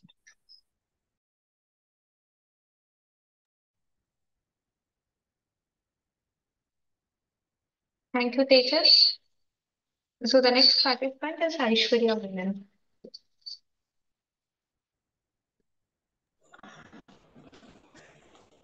Um, very good afternoon to everybody. I hope I am visible and audible. Yes, Aishwarya. Okay, thank you so much, ma'am. Um, uh, first off, I'm glad to be part of this conference. Thank you so much for the acceptance. Um, uh, the environment and uh, issues regarding sustainability have always been uh, uh, very close to heart for me. And I happen to be an avid reader. Um, and uh, very recently, I had been reading a novel called uh, The Island of Missing Trees by Elif Shafak. And I have the book here with me. Uh, this is the book, if you can see it. It's written by Elif Shafak. It's called The Island of Missing Trees. And um, while I was reading this, I was um, constantly, um, you know, mm, uh, getting these perspectives of um, how uh, how your reading habits shape your perspectives. And um, the novel uh, basically deals with uh, uh, an island called Nicosia, or uh, let's say let's say Cyprus, because Nicosia is, happens to be the capital of Cyprus, and uh, this place has been um, strangled with war. So the people living there are in a situation of tiff because of uh, the war, the ongoing war over there. And this novel uh, pays importance to not just the human suffering, but also the suffering of nature and specifically trees, uh, to be precise. Um, uh, something very interesting about the novel is that the narrative is carried forward by a tree, a fig tree. Um, so yes, you heard me right. Uh, it is a fig tree that uh, that tells the entire story of all the people living on the island, as well as of all the other trees and of all the other insects and animals and plants that got um, that had to suffer big time because of the war. And um, uh, when we talk about nature or when we talk about environment in general, we often um, sideline its importance, keeping ourselves into consideration. Right. So my research paper deals with the same thing. Um, the title of my research is Environmental Harmony versus Anthropocentrism, um, as explained in the novel uh, The Island of Missing Trees by Elif Shafak. Uh, I would like to uh, show a PowerPoint presentation which I have made on the same, and I'll start sharing my screen.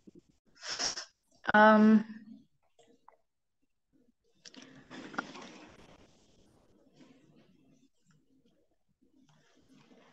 okay, I'm, I'm trying to share my screen. Um, I can't. Do we need to use the share option to do that? Uh, yes, Aishwarya.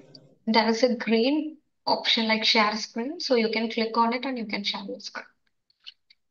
Uh, all right, I'll just figure it out in a second. I'm so sorry for the inconvenience. Share. Hmm. Okay, screen.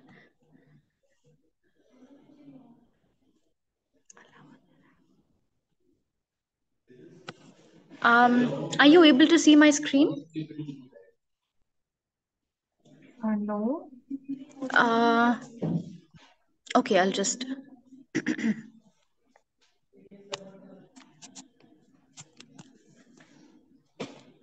okay, is it visible now?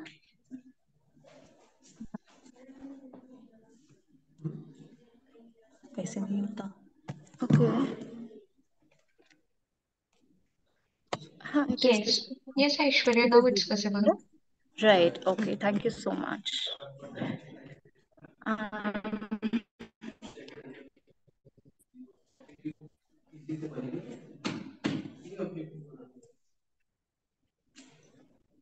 right. So that is the title for you.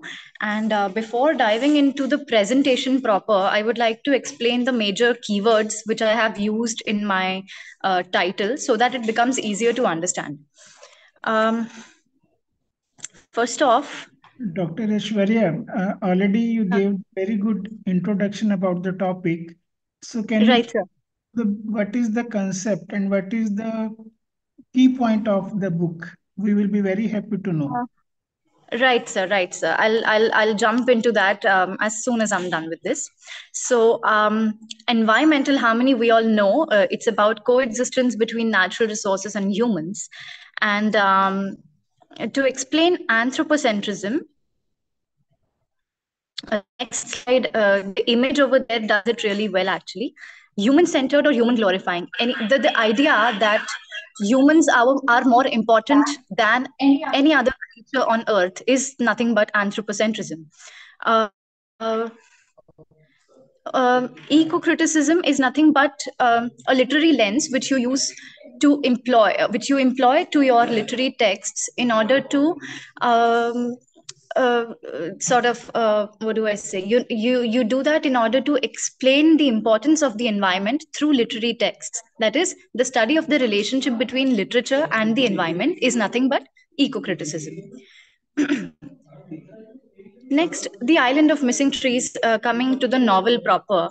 It is a novel that deals with belonging and identity, love and trauma, nature and renewal. So, um, uh, several themes are explored in the novel, but then um, as per my perspective, it is all about human versus nature, or I should say human versus the environment, because humans also are part of nature. So let's call it humans versus um, the environment, right? Uh, and why do I feel that this is the prominent theme in the novel? Is because of um, uh, uh, is because of the prominent, the intermittent glimpses of, uh, uh you know, the Elif Shafak's perspectives on how important the nature is and how she um, uh, inserts those per perspectives through these uh, different characters and their dialogues and their narratives. Um, uh, I'll just read this out for you. As we navigate the complexities of climate change, biodiversity loss, and ecological degradation, the dichotomy between human beings and the environment, that is, this constant othering between human beings and the environment, it assumes a heightened significance, that it, it becomes the primary um, uh, goal of concern. Amidst this backdrop, Elif Shafak's novel The Island of Missing Trees weaves together cultures, Uh, politics, excuse and me, Aishwarya. You have one minute to. Yes. All right, ma'am. Uh, I'll just do that. so, um, coming to the objectives, um, my objective is to delve into the intricate interplay between environment and anthropocentrism in the novel, and to employ an eco-critical lens to explore how uh, the author navigates the relationship between humanity and the natural world. Um, when we look at the literature review, uh, there are these certain there are these certain lines which I would like to bring to your notice in order to make it evident to you that um, environment is given a lot of importance in this novel. Um, in order to make progress, sometimes we have to make sacrifices. This is something which a character called Kaya says in the novel to another character while they are dealing with a situation where they have to choose between nature and between the progress of um, humanity, right? So if we come to the technological paradox, there's another line here which says, we can use technology to fix what we have broken. Uh, now, as easy as that sounds, it is actually quite a paradoxical statement because you cannot really uh, make use of technology without harming a single resource of um, of your environment, right? So, as much as technology is a boon to us, it also is a bane. So, it is a paradoxical situation that we are in, and this is um, this insight and this very important perspective is offered to us by this particular novel uh, by Elif Shafak. Um, there's another line which says, Nature is not an obstacle to be conquered, it is a partner to be respected. This is again um, a line which is said by a character called Nitya, uh, Nitsa in, in the novel. And uh, uh, again, when we talk about characters, it's not, this is a fictional story, right? So uh, it is nothing but Elif Shafak's perspective being given through different characters. And she says that uh, through nature we life comes full circle and it is it is uh, nothing but a cycle that we need to respect. It is a partner to be respected. It's not an obstacle. Um, and through that, we can say that, uh, uh, you know, the novel constantly oscillates between the human need and the environment, whereas it is so important for us to realize that we are nothing but one unit and we need to respect each other in order to live uh, in harmony and practice environmental harmony. So the conclusion is uh, that the, the, the novel uh, focuses on shaping eco-conscious readers and inspiring sustainable attitudes and contributing to broader ecological discourse by means of values imparted through literature. Uh, that's all I want to say, and it's pretty much explanative. Um, so I end my presentation here. Thank you so much. Uh, thank you, Dr. Aishwarya. Thank uh, you, sir. I have two questions and one suggestion for you. Uh, yes, sir. Can I know the PhD topic? On which topic you did your PhD and from where you did? Um, uh, sir, actually, I have not pursued a PhD yet. I am not uh, Dr. Aishwarya. I am. Uh, the second yes. question is that uh, can you name some of the tree plantation or tree saving movements in our country? Um, so tree plantation movement uh, in our country is uh, one is the Chipko Andolan movement uh, that I am aware of and that I can recall. Uh, uh, the Chipko movement was one that we had studied about. Add in your knowledge, please, that in 1730 there was a Khejarli movement in Rajasthan. The Khejri trees, yes, in Rajasthan, right. Amrita Vishnu by the government of India. Right. Suggestion to you and Tejas because you are the new researcher and the my colleagues, junior colleagues, I assume you that because after getting PhD, it took 16 years to become professor, dear. So just as humble suggestion to you and Tejas that you just not write professor in the name because if anybody says not having PhD and writing that designation and other, it's not look nice. Just a suggestion to you and Tejas also. That that that adds value to my uh, presentation. Thank you so much, sir. Thank you so much. I'll take care of that. Thank you so much, sir. The next one, please. The next presentation is by Priyanshi.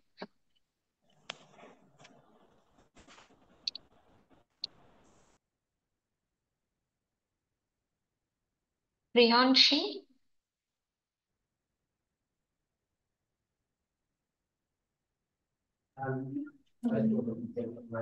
Priyanshi, are you Uh, there? yes, yes, ma'am. Yes, ma'am.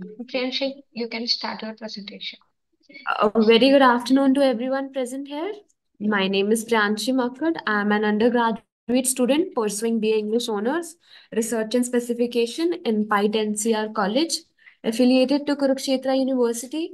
I'm very thankful to my mentor, Dr. Shweta Saroha, who motivated me to be the part of this conference. So I will further like to show you my PPT. So explain to the topic. Should I sc- uh, share my screen, ma'am? Excuse Yes, me, ma'am. Yes, you can share your screen.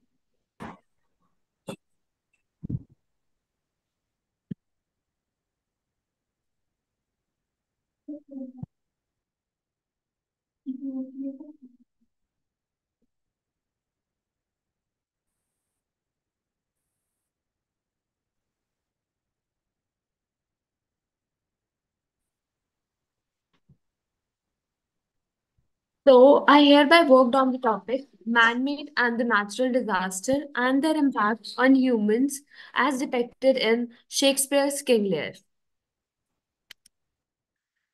So King Lear is a story. It is written by a great writer, uh, William Shakespeare, whose works usually depict the early capitalism, global trade, and colonization. There is a beginning of the masculine ideals found conquering the natural environment.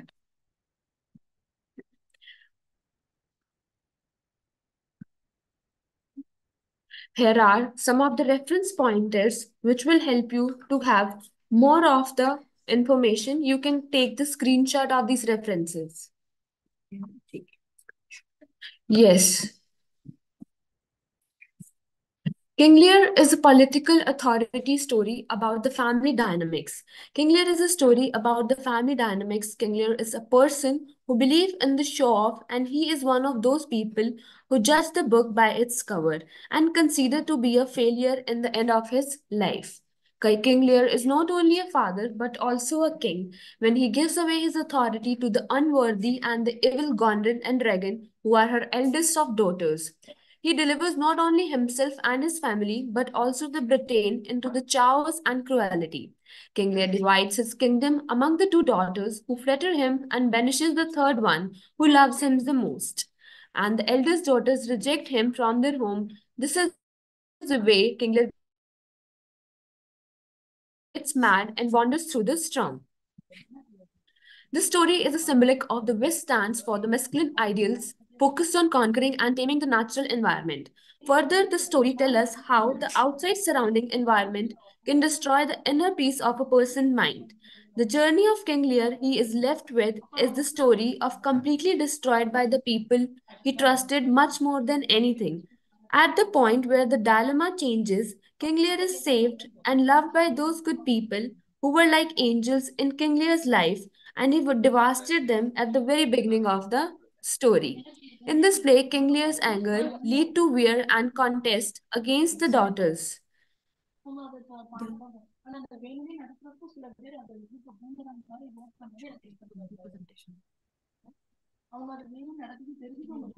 His male ego and patriarchal ideology get reflected through the storm outside.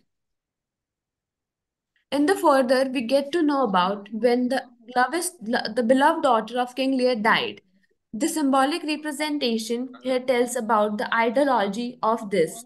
The storm and warfare are the greatest environmental disaster and gives a deeper understanding to this play.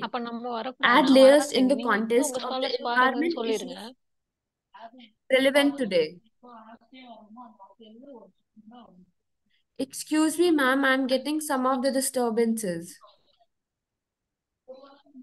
Uh, sorry, give me a second. Meena can you please mute your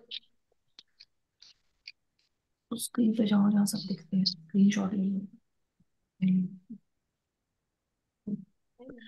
His eco-feminist sensibility is evident and time again in the entire play. Therefore, the story explore, analyze, assess, and critically examine the man-made disaster and their impact on human life. The paper also critically examines the effect of nature on King Lear's temperament and the change of personality at the end of play. Here are the some of the refrains and the keywords of the story like ecology, nature, environment, the man-made and the natural disaster, and sustainability. Ecology prefers the actual environment of the story where the main mind of the King Lears destroy the outside of the uh, the outside of his environment like the war was happening the outside but in the, his mind he was in uh, he was against his own preferences like his daughters in the nature of the story when the storms comes out he has he doesn't affected much but the storms created by his daughter in his life was much affected in that in the further, this PPT seeks the analyzation and much more of the molarity uh, that depends in his life. Here are some of the things that Shakespeare put into the story. Like Shakespeare was a person who led the main character of the story to keep his kingdom as it is in its ecology. Shakespeare was an environmentalist person. He was a person who was always being one with the nature.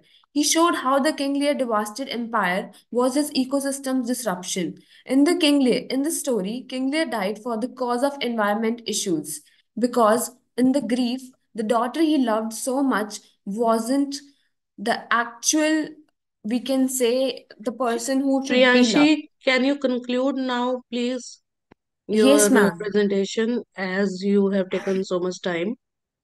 Yes, ma'am. Ma'am, life is very uncertain about this. We can never fully plan the eventualities, and there is no substitute for the moral etiquette. Upon the discovering beloved daughter died in the grief of generations, readers have found ending of King Lear unbearably sad, for the century of it was considered to be tragic to perform. Thank you so much, ma'am. It was grateful to be the part of this conference. Thank you, Priyanshi. Any questions?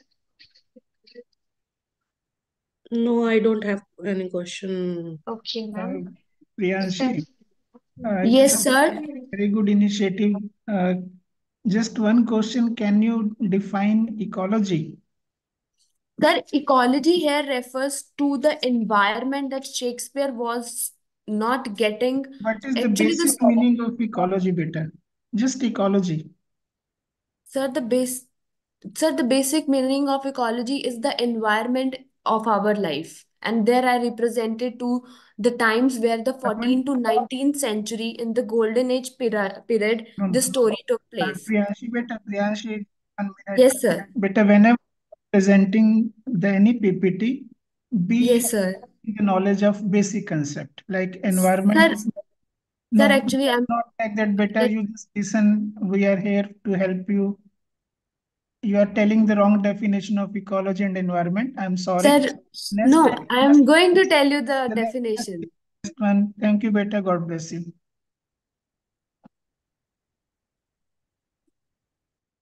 Thank you, Priyansh. Uh, So the next participant is Linima. Yes, ma'am. Okay, Shall I share my screen? Yes, Linima, you can share your screen.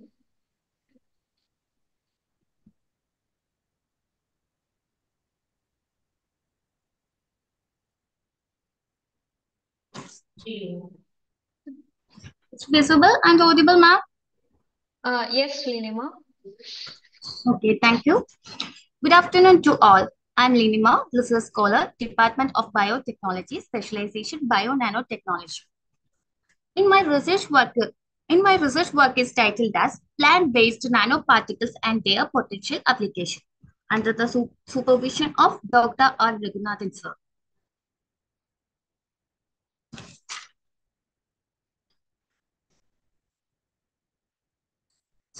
Excuse me, just a minute.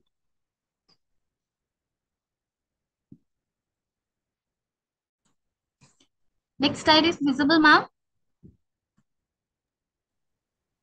Yes. Okay. Next, introduction. As we know about nanotechnology, nanotechnology is mainly concerned with the synthesis of nanoparticles of various shapes, size, chemical composition, controlled dispersity, and their potential use for the human benefits, especially in biological synthesis of nanoparticles. Plant-based nano plant-based synthesis of nanoparticles, it is a reliable and enabling environment-friendly process for the synthesis of nanoparticles. So, biosynthesis of nanoparticles is the major division in the field of applicable nanoscience and nanotechnology. Many researchers also reported plants with its medicinal properties. Plants are used medicinally in, medicinally in different countries and are source of many potent drugs with the possess varied medicinal properties. So, therefore, aim of in my research work whether plants with the medicinal properties of there is need of an alternative drug. So, uh, uh, to fabric, so I will select three medicinal plants: Ricinus communis, Centella asiatica, and Desmodium triflorum. To fabricate the plant-mediated both iron and silver nanoparticles using leaf extract of three these three medicinal plants. Then after the characterization of leaf extracts, then synthesis of nanoparticles and its characterization. Finally, the biomedical applications. Now I completed the first plant, Ricinus communis. Methodology. Mature leaves of Ricinus communis were collected and identified by Botanical Survey of India. Then after preparation of leaf extract, then synthesis of both iron and silver nanoparticles. After that, characterization of nanoparticles uh, by UV visible absorption spectroscopy, FTR, FTR analysis, XRD analysis, EDS, SEM, and TEM analysis. After its application level, antibacterial activity, antifungal activity, and minimum, minimum inhibitory concentration against human pathogenic strains such as E. coli, Staphylococcus aureus, Salmonella typhi, Aspergillus niger, and Aspergillus flavus by using agar well diffusion method and 96 well placed method. Now, I'm moving on to results. First one, phytochemical analysis. Phytochemical analysis of Ricinus communis were confirmed various secondary metabolites, such as alkaloids, flavonoids, steroids, quinones, proteins, saponins, and phenols.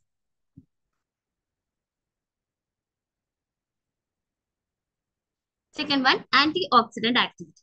Antioxidant activity of both DPPH and the total antioxidant activity of Ricinus communis mediated aqueous iron and silver nanoparticle were confirmed by its significant inhibition percentage. So the antioxidants were confirmed by the Ricinus communis leaf extract. Third one, thin layer chromatography. The TLC analysis of leaf extract was various phytochemical components confirmed by its RF value. Fourth one, GCMS analysis.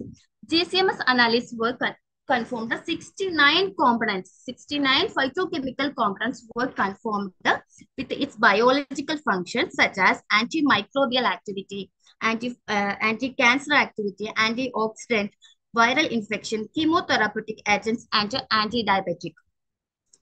This characterization of Ricinus communis leaf extract was confirmed with the various phytochemical components with its biological functions. Next, the synthesized uh, the next the characterization sorry the next the characterization of both iron and silver nanoparticles.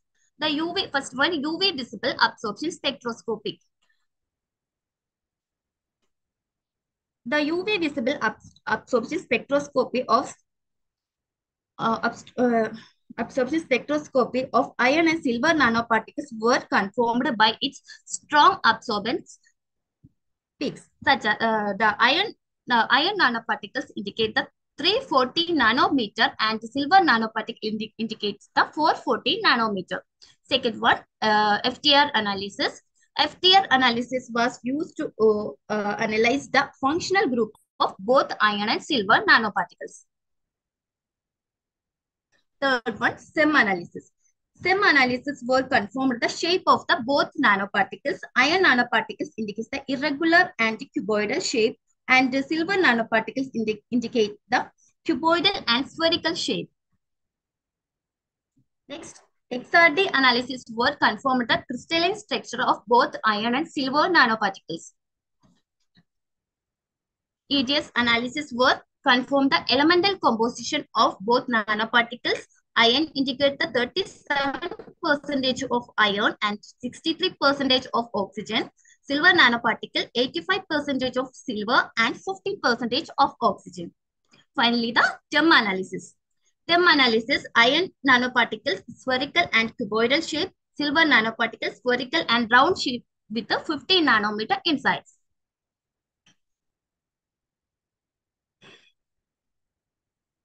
the application level antibacterial activity. The antibacterial activity of silver nanoparticle exhibits strong antibacterial potential when compared to the iron nanoparticles. That is Salmonella typhi followed by uh, Staphylococcus aureus anti-E. coli. Antifungal activity.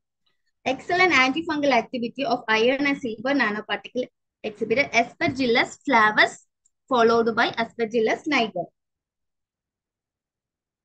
Last, minimum inhibitory concentration. The minimum inhibitory concentration of antibacterial activity of lowest and highest cell death percentage against Staphylococcus aureus. The iron nanoparticles indicate the 63.09 percentage, the lowest value, and highest 26.67 percentage. Silver nanoparticles indicate the 74.18 percentage, the lowest value, and the 89.27 percentage, the highest value. These studies demonstrated that Ricinus communis mediated silver nanoparticle exhibited strong antimicrobial potential followed by iron nanoparticles. Based on these results, it can be concluded that these nanoparticles hold great promise as a therapeutic agent for a range for biomedical Applications. As we know, the in modern medicinal field, uh, the emergence of the emergence of various multi-drug resistant pathogens and various types of cancer diseases. So there is need of an alternative drug. In this regard, the plant with the medicinal properties are considered as one of the best alternative source of antibiotics of biomedical applications. These are the references. My heartfelt gratitude goes to my research supervisor, Dr. R. Raghunathan, CBNR family, my parents, husband. Thank you.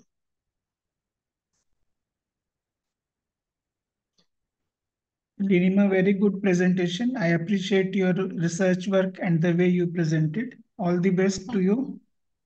Thank you, sir. Um, maybe you can extend your work uh, that you Yes, can. Yes, sir. use This is my, this my primary for bioabsorbents and other work. And Okay, uh, all the best. Very nice presentation. Thank you, sir. Thank you so much. Thank you, Lenima. Okay. The next presenter, N. Senthil Kumar.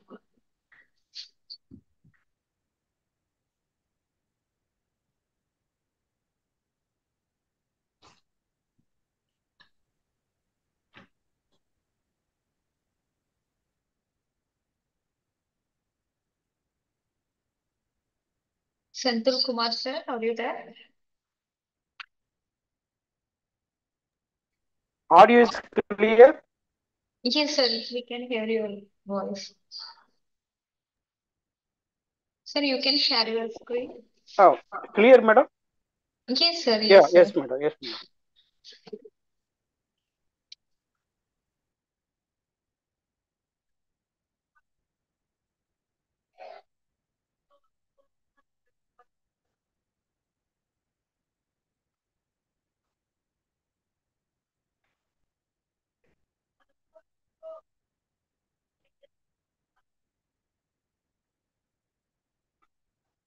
Just a minute.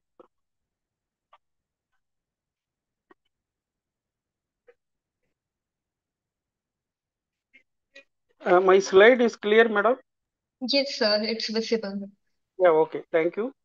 Uh, myself, Dr. N. Senthil Kumar, working as Associate Professor, Department of Soil Science and Agricultural Chemistry, uh, Annamalai University. So now I am going to present my seminar topic on effect of integrated nutrient management on improved growth and yield of traditional rice variety. So Mapillai Samba in uh, rice varieties.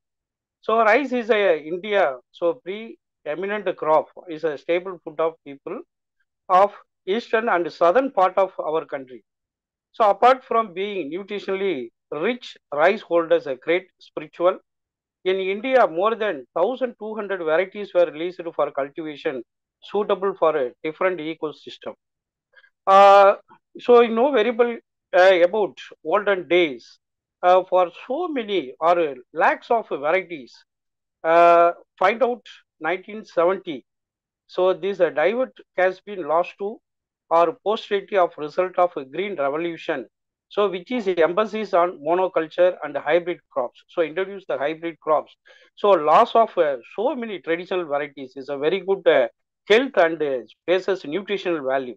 So now only 6,000 species are varieties of rice survey. So destruction of rice uh, diversity of the country in contribution of a green revolution, Dr. Said. Okay, now I am uh, so important given for Mapillai Chamba is a very famous for our Tamil Nadu area. Uh, is a uh, uh, told you bridegroom's rice. So simply told us very healthy food for the Mapillai Chamba variety. So is a who wants to get good energy and strength. Here the benefits. So he high fiber content present in the rice is a digestion and another vitamin B1 present and uh, rice aids in healing stomach and uh, mouth uh, ulcers. So improve immunity and stamina. The strengthens muscles and nerves. So so I am chosen for uh, these varieties. Uh, increases hemoglobin content also. So good for diabetics since it is have low glycemic index. Little ones will achieve better growth.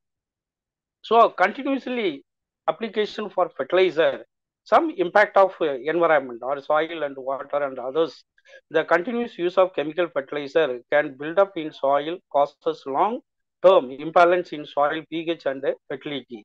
So these are uh, thinking about for fixing the objectives to study the effect of organic and inorganic. So 50-50. So reduce the inorganic dosage on growth and yield of traditional rice variety. And another one to achieve the best combination of solid and liquid organics menus. NPK consortia. So with the olden days using for uh, biofertilizer. So this advanced one liquid consortia. So NPK so is unavailable available form the foliar spray and increase the fertilizer on nutrient uptake and quality of traditional rice to find out the effect of solid and liquid organic manure and the NPK consortia with foliar spray and inorganic fertilizer and the post-cover soil fertility status. Okay, so these are experimental details uh, for using uh, Samba season in uh, cultivation of Mapli Chamba. So these uh, treatment details for absolute control 100% recommended dose of fertilizer. So next 50% recommended dose plus FYM 12.5 tons, 50% recommended dose of fertilizer, vermicompost at the rate of 2.5 tons per hectare, 50% recommended dose of fertilizer, humic granules at the 25 kg per hectare. So 50% recommended dose of fertilizer FYM at the rate of 12.5 tons per hectare and we NPK consortia. So these uh, same like this 50% recommended dose vermicompost at the rate of 2.5 tons per hectare plus NPK consortia. Uh, T uh, uh, 8 50% recommended dose of fertilizer humic granules at the rate of 25 kg per hectare at the NPK consortia. So T9 50% recommended dose FYM NPK consortia. So another additional at seaweed liquid at the rate of uh, 2%, the foliar spray of two times. T10, so same like this 50% recommended dose in the combined with vermicompost at the 2.5 tons per hectare NPK consortia plus seaweed liquid at the rate of 2% foliar spray two times. So this one uh, finally, so adding humic granules for at the rate of 25 kg NPK consortia plus seaweed liquid at the rate of 2% foliar spray, uh, the following the treatment. So this is experimental result, our field one physicochemical properties. So it is a typical Usto step or a sandy clay loam type of soil. So average present in or uh, available nitrogen, medium, available phosphorus, medium, available potassium, high level. Okay, so finally my uh, result they express uh, with the effect of application of different solid and liquid organics along with inorganic sources in plant height and traditional rice varieties of Mapli Chamba. So among the treatments, T10, so 50% recommended dose of fertilizer, the NPK consortia and vermicompost at the 2.5 tons per hectare.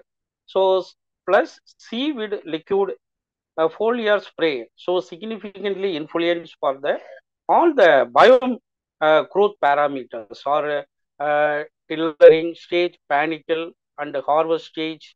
So other all the characters so influence with the t10 treatment okay so this uh, so other uh, yield and yield parameters panicle length uh, number of grains per panicle number of uh, trillers per grain. Uh, finally, so conclude uh, so the data, and the grain yield. So compared to control treatment, so 3,782 kg per hectare. So get a grain yield from Mapli Chamba variety.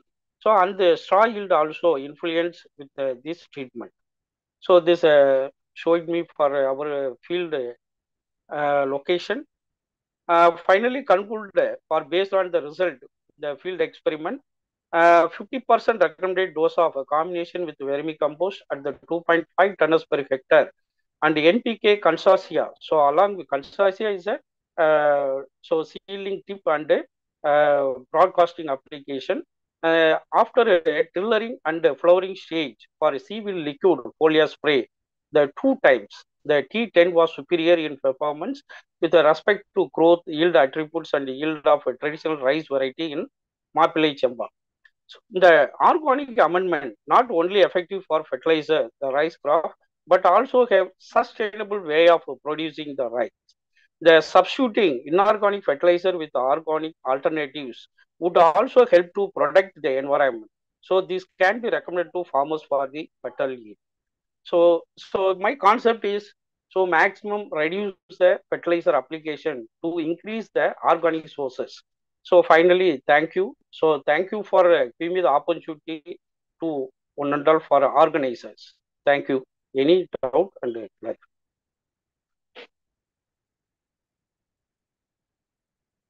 Any question?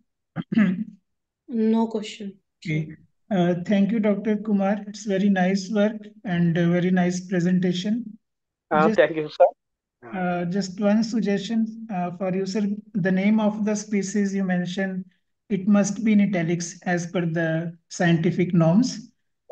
And uh, another thing is that uh, uh, just it's a knowledge sharing. You know that uh, uh, seed mother Rahi Bai Soma from Maharashtra, she Yeah, got yeah. the Padam Shri Award in 2020 to conserve the traditional seeds of rice and so many Yeah. plants.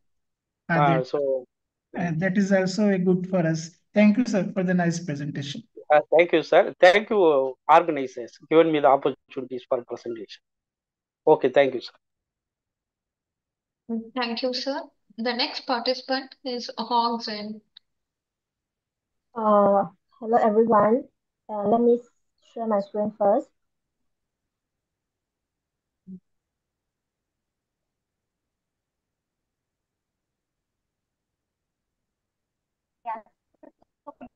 On.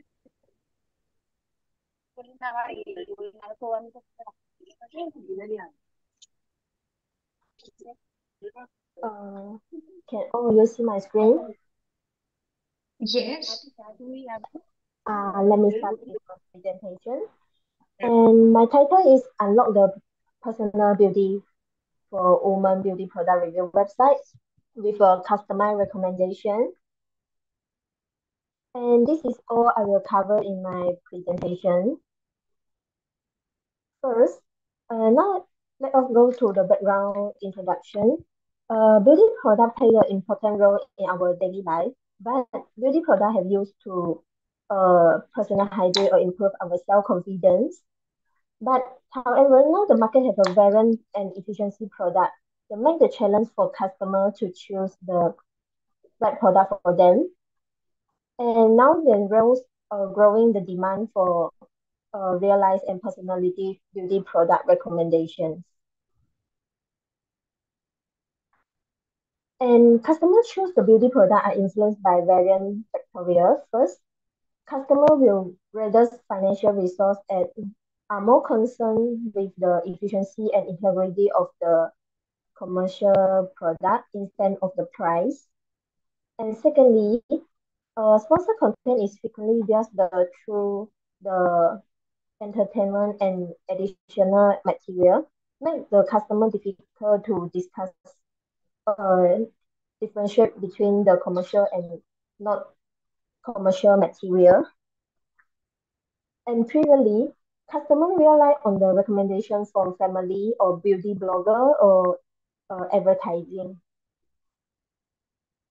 But the problem is that the beauty product review are only suitable for the small percentage of persons. And because the different different person have a different skin characteristic. And now some existing the beauty product review website they not display the reviewer characteristic. So the reviewer, the user cannot determine the review is suitable for them or not. And now a lot of uh, review website they're using the long article to explain the product benefit. And some website that not have the responsive design. They're requiring user to zoom in and zoom out to navigate the website, make on uh, making the pro experiment for user.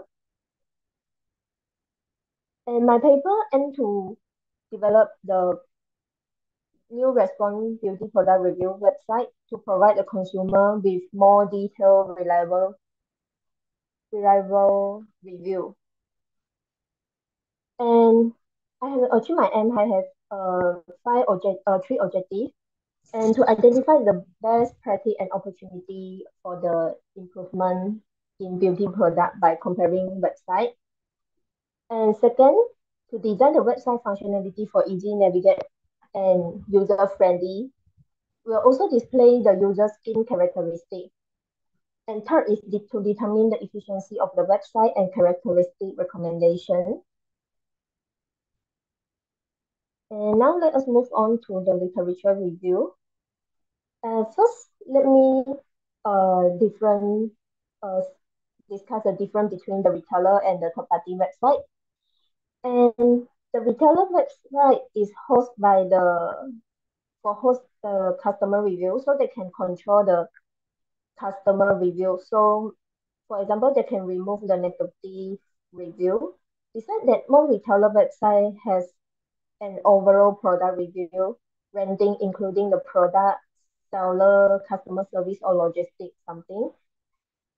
And the third-party website typically provide the information about the product packaging, efficiency, and integrity, and the consumer review. Third-party website focus on the review for the product. More than 50% online customer trust the third-party website more than the retailer website.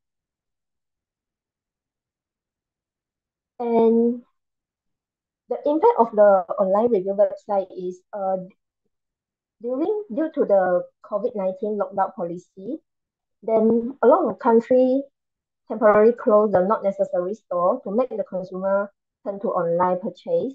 However, you when the customer on uh, purchase on the online, they cannot try the product before their purchase, and the customer cannot be sure that if the product is suitable for them or not. And online review become a main information. Can you the please uh, conclude your uh, presentation now? Okay.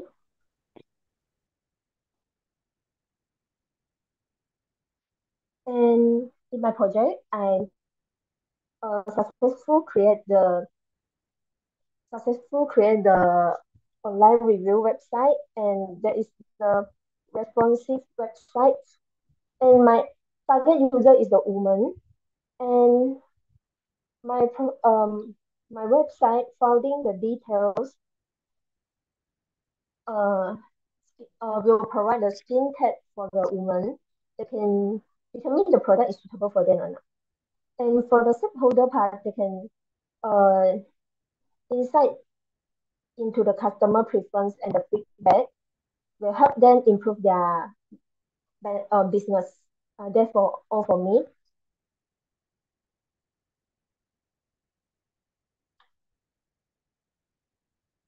Thank you.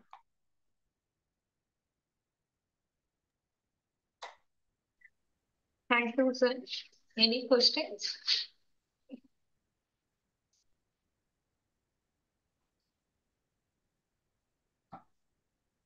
Okay, so the next participant is Professor Gaurangi. Yes, ma'am. You can share your screen and you can start your presentation. Right away, ma'am.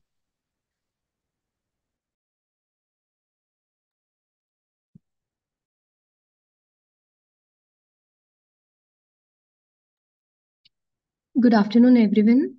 I hope the screen is visible. Yes, ma'am. Okay. Uh, so the our topic is an investigation on employees' insight towards green HRM initiatives for environment sustainability for the betterment of the of the organization. So as my fellow presenters have already explained that green human resource management, like we are talking about the green management. Now, when we are talking about the green human resource management, it involves the integrations uh, or integration of the sustainable practices into the HR strategies, which is aiming to minimize the environmental impact of organizational activities. It emphasizes eco-friendly policies, resource efficiency, and employee involvement in sustainability efforts. These initiatives align with the HR functions with uh, sustain with environmental objectives, fostering a culture of responsibility and ecological awareness within the organization.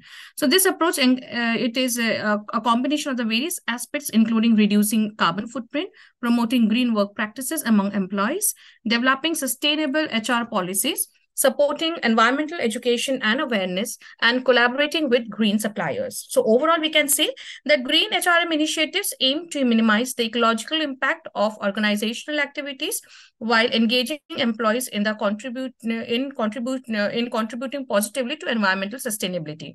So I think there are some advantages and disadvantages to this topic, which we can discuss overall.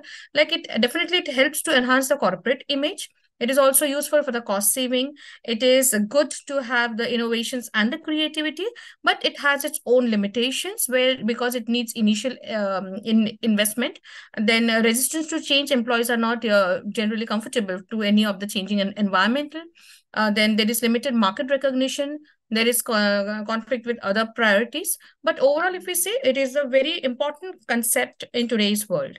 So objectives, when we talk about uh, the green HRM, it is to reduce the carbon footprint, promote green work practices. So it is uh, to minimize the energy consumption. We are talking about the energy uh, to, en to encourage eco-friendly habits among the employees. Then if we talk about enhanced employee in engagement, it means um, like we are trying to engage the employees in environmental initiatives, fostering a sense of ownership and responsibility towards sustainable practices. Then uh, develop uh, sustainable policies, that is uh, to formulate the HR policies uh, formulate HR policies that promote sustainability, including flexible uh, work arrangements. Uh, then uh, when we are talking about uh, the next point, that is to develop sustainable, to partner with green suppliers, means to collaborate with eco-friendly vendors and suppliers, ensuring that the supply aligns with the sustainability goals. And uh, lastly, uh, corporate to the social to the co corporate social responsibility, which we are all aware of CSR, means to demonstrate a commitment to environmental stewardship, uh, contributing positively to the community and industry.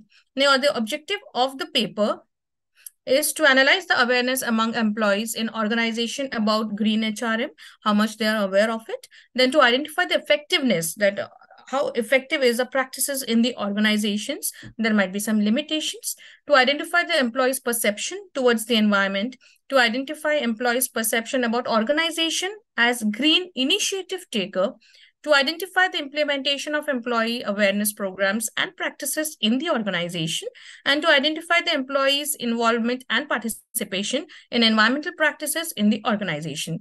This paper is having some hypotheses.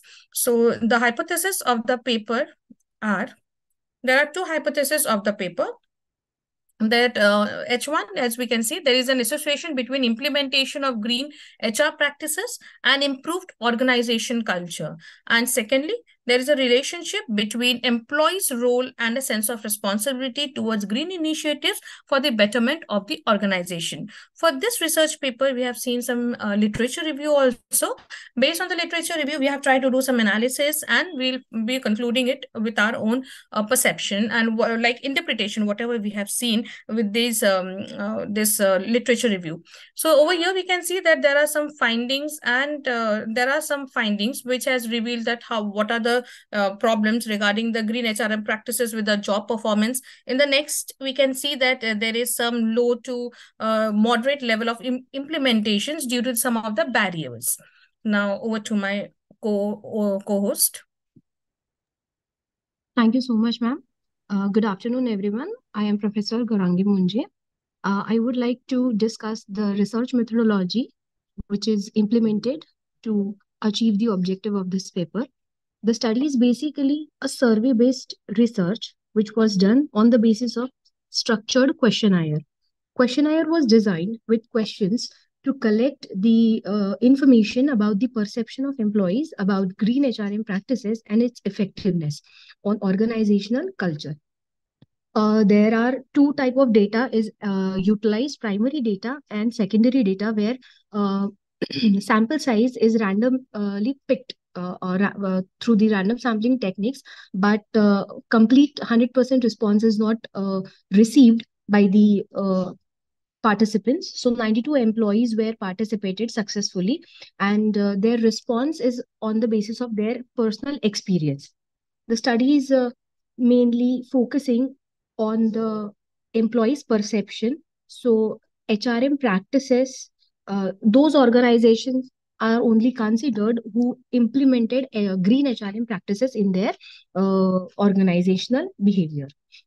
So the analysis is completely done on the basis of graphical representation and uh, graphical representation is basically a way to analyze the numerical data. So there are few graphs are uh, designed uh, on the collected data. Uh, the structured questionnaire is designed on the basis of a hypothesis which is divided into three parts the first factor is employees perception of organization towards the role uh, in uh, green initiatives. The second factor is to uh, identify the employee's role in green initiatives in organization. And the third factor is employee sense of responsibility for green initiatives uh, within the organization. So first, second, and third, all the sections are analyzed on the basis of graphical presentation. Uh, so the response is calculated and interpreted on the basis of percentage and graphical presentation where 80% uh, of respondents are agreed that green initiative is implemented in an organization successfully. 78% of respondents agreed that they participated in various meetings conducted for environmental safety uh, with uh, and uh, implemented employee uh, employee awareness programs within the organization likewise so the entire result of analysis is that 93% of respondents agreed that employee perception of organizational role in green initiative is very positive. Then 96% of respondents agree that employees own role in green initiative is very important and positive. And 89% of respondents are agreed that employees sense of responsibility for green initiative is very important.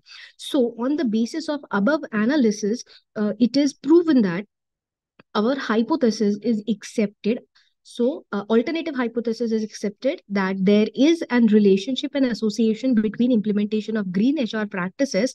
Uh, uh, it will help to improve organizational culture as well as there is a relationship, a relationship between employees' role and sense of responsibility towards green initiative for betterment of the organization. Uh, it is found out that respondents are very aware about the term green HR and they know how uh, green HR concepts and uh, how to believe that these green HR concepts are very effective for organizational culture. Uh, it it was uh, also uh, further analyzed that people who are not aware of the term green HR are aware. Uh, sorry, ma'am. Uh, there is disturbance. Suresh அண்ணா மட்டும் தானே இருக்காரு உங்க scholar uh, green HR uh, are aware of the practices and know uh, that uh, organization should follow such practices for organizational development as well as for environmental sustainability. So the conclusion is green HRM practices are increase uh, helpful to increase efficiency uh, of employees it helps to reduce various costs.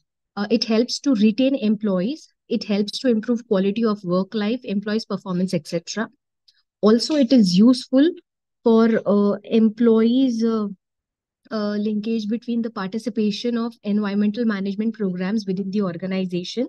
It will help to promote employees' participation in environmental sustainability. It will help to enhance a commitment level, willingness, participation, motivation, encouragement, and also generate various ideas and efforts for greening their working atmosphere or working environment and to reduce carbon footprints. Sorry. Uh, the findings are also uh, identification uh, that uh, it is identified that employees are uh, very much concerned and uh, focused on the environmental sustainability and green initiatives uh, and also the uh, organizational role towards green initiative. Uh, it is also result that employees perception of their own role and organizational role is equally important for benefiting organizational conclude uh, benefiting organizational culture. Uh, it is uh, through the study suggested that organizations should more conduct employee awareness programs to enhance awareness about the green HRM and develop various management policies and practices towards green HRM and also develop green teams uh, for very different uh, functional departments. Thank you so much.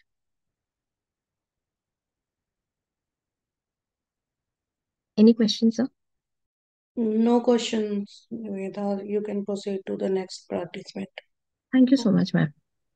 Thank you, ma'am. And so the next participant is Subeshia.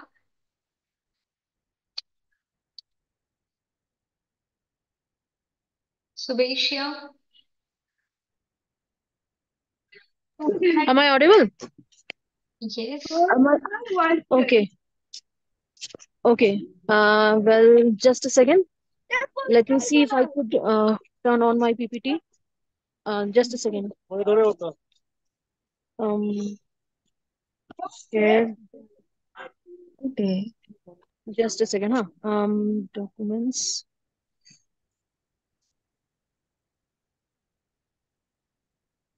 Documents.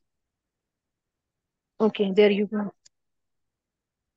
Select. Oh, uh, PPT is not presentable, right? Is it like so? You can Um, share your screen. yeah, I'm trying to share the screen, but they're asking only uh, PDF type is available. Can you turn this on? That PPT. I'm trying. Okay, if it doesn't, then I'll do a oral presentation. Will that be okay if I'm unable to share? Yes, but uh, can you please try? Yeah, I'm trying this. Um, I did not know like uh, they need um, share. I'm doing here. Then um, documents. Uh, madam, you can send your slides to the organizers. They will present on your behalf. Is it possible? My, is it possible? Yeah, I, I can. I can. Like uh, the number I was given here. Just a second, huh? I'm I'm just sharing it. Mm, mm, just Uh, Subesha, if it take more than a minute, I ask the other participant to present it. Then later you can present it. Okay. Okay. After this, uh, yes, yes. After this, I'm sharing then. Um. Okay. Uh, so the next participant is Pratyusha.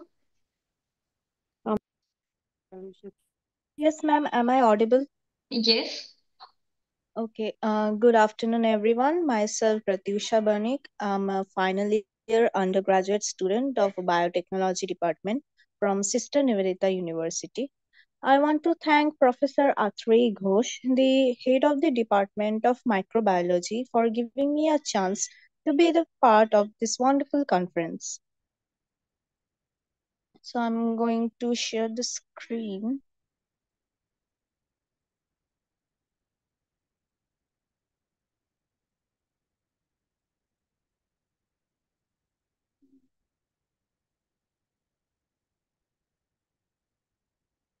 Just a second.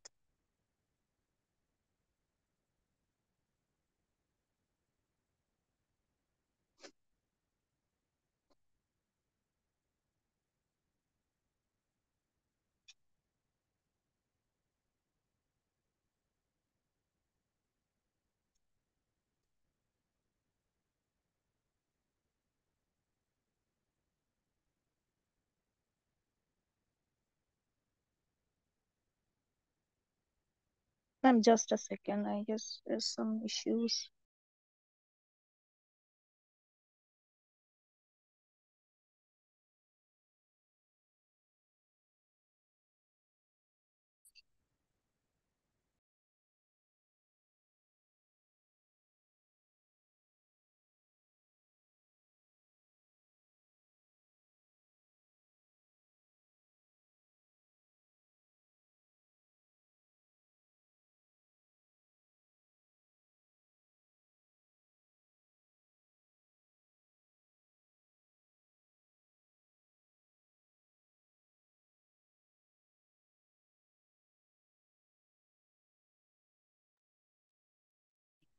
What happened, Pratyusha? Are you unable to oh, present your presentations?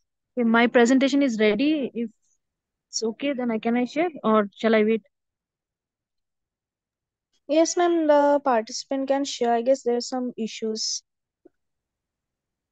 Okay, shall I wait for uh, Pratyusha ma'am to complete her presentation or shall I start?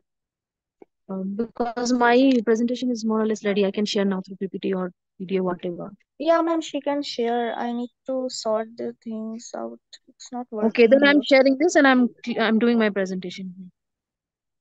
Okay. Uh, is it audible here? Sorry, is it visible and audible? Yes, it is visible. You can proceed now. Okay, I'll, And I'll just take, yes, yes, ma'am. Please try to uh, be brief. Yeah, I'll be brief. I'll just take only already wasted. Yes. Okay, uh, so uh, the name, uh, the title of my paper is Role of Educational Institute Towards Sustainable Lifestyle in Youth in India. So in this paper, we have tried to um, highlight that how educational institute, it can be school, college or university, can actually um, help the youth or actually uh, spread awareness among the youth to maintain a sustainable lifestyle. So I'll just go directly to the point. That is the first one is knowledge uh, dissemination. That is the educational institute can directly share knowledge we all know. It can be through curriculum it can be through activities it can be through different other means. So the very first point is knowledge uh, dissemination. Uh, they impart information on renewable energy. Research can be done on this kind of topic. Uh, the next point i would like to go is uh, curriculum in that is the curriculum can be integrated. That is uh, the syllabus or anything experiential learning this kind of sustainable lifestyle can also be uh, you know um, taught through experiential learning. So subjects like environmental sciences their ecology sustainable development they provide a kind of a foundation for understanding and significance leading a sustainable lifestyle. So curriculum integration is uh, one of the very important uh, means through which a sustainable lifestyle can be initiated the next one is practical learning and initiatives. That means through experiential learning by um, initiating people for research or by giving projects. Like this way uh, through practical learning sustainable lifestyle can be done. Here we have mentioned gardening waste segregation recycling program etc engaging students in uh, activities which actually uh, which is actually the base of uh, sustainable lifestyle can also help through the process uh, the next is promotion of green technology. This is absolutely research oriented. Educational institute can often serve as a hub of promoting this. Uh, different kind of research, uh, I mean, uh, uh, sorry, research uh, funding can be done by universities, by colleges through which the sustainable lifestyle can be maintained. Okay, so uh, uh, I mean, uh, for this purpose, mostly the education can uh, play a big role. Higher educational institute Next is cultural shift and mindset change that is by instilling values and ethics. This can be done in the school level where the children can be uh, taught about uh, the importance of sustainable lifestyle and uh, the cultural shift. We can actually make a cultural, uh, sorry, cultural uh, dynamism through this initiative. Next is student-led initiative. This can be done both in school, colleges, and universities, encouraging the students um, and led to sustainable clubs, then sustainable groups that will actually empower the students in organizing the awareness campaign, tree plant planting and advocating of sustainable policies. Uh, next is partner and uh, sorry, NGO can collaborate. Uh, higher education many uh, uh, universities can collaborate with NGOs and any other national or international organization, sustainable development or uh, uh, sorry, the sustainable development or anything associated with environment. Next is the institute often conduct research and sustainable technology as this earlier. That is mostly this is a university level where uh, space and research to share the sustainable lifestyle among youth. Next is development that is educating the sustainable and the importance of uh, conservation of uh, environment and ecosystem. This can be or making them aware daily and through leadership management. Uh, next is long is the impact on educational institute on fostering sustainable lifestyle change beyond a very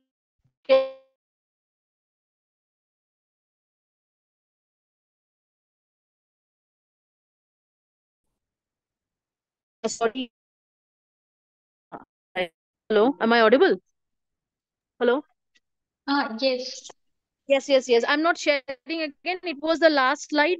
I would like to conclude directly that uh, these points collectively emphasize the profound influence that educational institutions process in shaping mindsets, behavior, and actions towards embracing and promoting sustainable lifestyle. So it's a very long-term impact that is uh, from school environment to immediate graduate who are educated in sustainable practices, carry these values into the career, communities, and daily life contributing to a more sustainable society. So this is where I would like to conclude.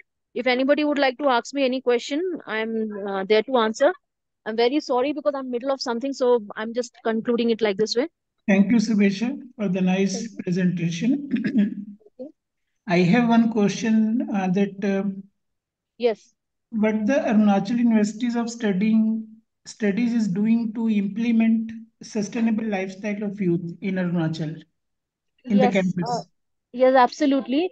Um, as a research scholar, I got to know about there is a Go Green campaign was there.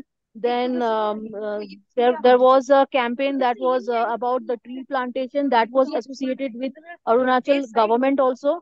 And uh, another um, campaign was done along with the Border Road organization where trees were uh, planted and the students of Arunachal of University, sorry, Arunachal University of Studies they have uh, taken part in that rallies happen every year Okay. and uh, and many other things are there which is which country every year we do something one very important point you are missing that every undergraduate student in India, as per Yes. the of Supreme Court, they have to take environmental studies course as a compulsory one.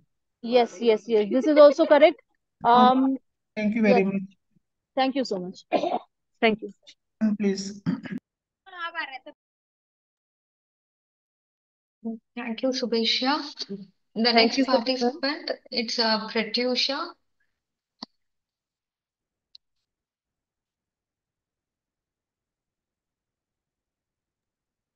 Yes, Pratyusha? ma'am. I'm, I'm sharing the screen. Yes. Yes.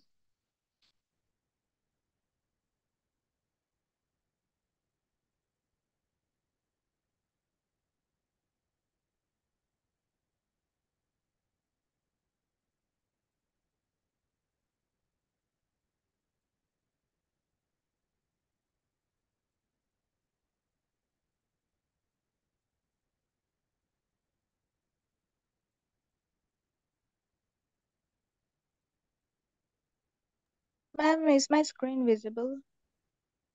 No, Pratyusha, no.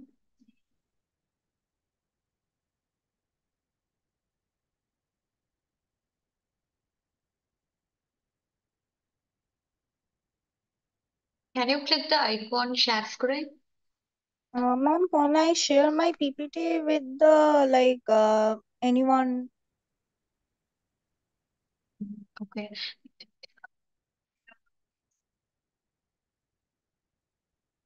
Pratyusha, can you please try it now again?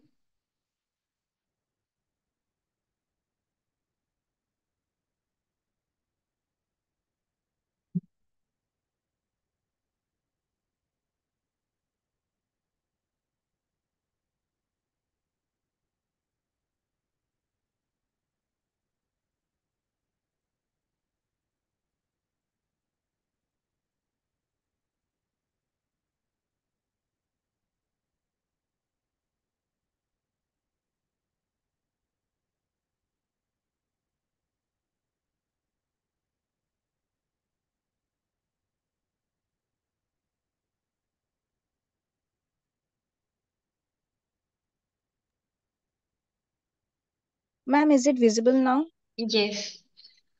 Okay. So, uh, I'm going to talk about the topic fungal pigment in textile industries.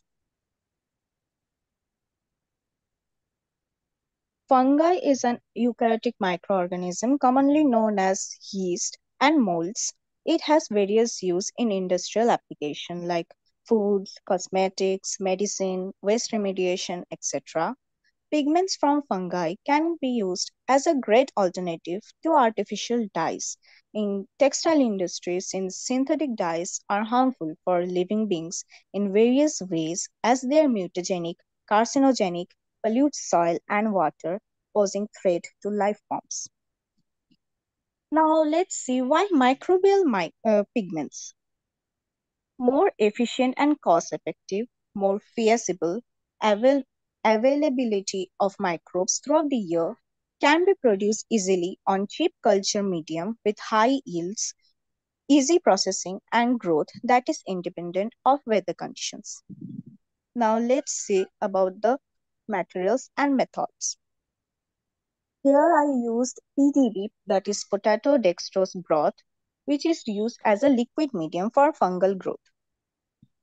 Now, uh, here I have boiled uh, 50 grams of chopped potatoes in 100 ml distilled water, followed by the filtration in two different conicals. Then we added 2 gram of dextrose powder in them and mix it properly, followed by steam sterilization. Now here comes the collection of sample from unknown fungal strain, giving yellow and red pigments into two conical. Now growing the pigment, uh, growing the fungus. Both samples were grown separately into the conical and kept for incubation. Now isolation of fungus and subculture in it. After the incubation, we, we will see a thick blanket of fungal growth on the top of PDB, giving colored pigments as yellow and red in both the conicals. Now, both the conicals were sterilized using pressure cooker for 8 minutes for 2 days. Then we filtered out both yellow and red pigments in reagent bottles by using cotton cloth and thick fungal layer was discarded. Now, after this filtration process, we stored the fungal pigments in minus 20 degrees Celsius refrigerator Further process are yet to be done for proper identification of the unknown fungus. Here we can see the observation. These are the results showing the formation of fungal blanket after incubation and the pigments after filtration. And here comes the conclusion. From the previous observation, it is clear that unknown fungi produce pigment in liquid medium the red pigments became dark red and the yellow pigments uh, became orange due to the sterilization. Further spectrometric detection, toxicity of fungus, and other process for identification is yet to be done. After this detection, we can apply those pigments on different textile materials to check if it's a better alternative to artificial dyes or not. So thank you. Uh, that's all.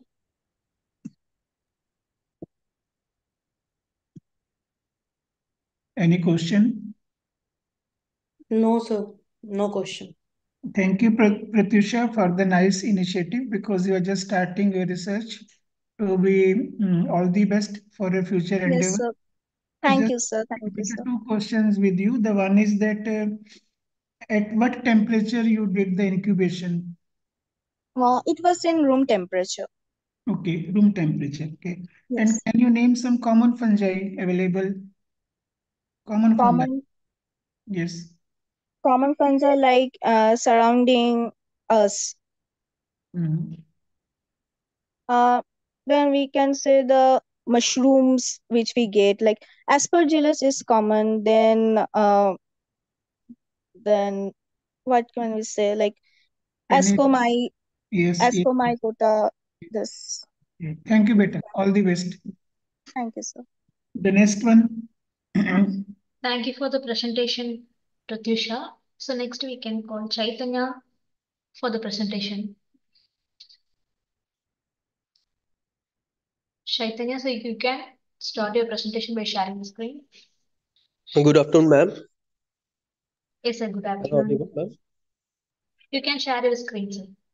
Yes, ma'am.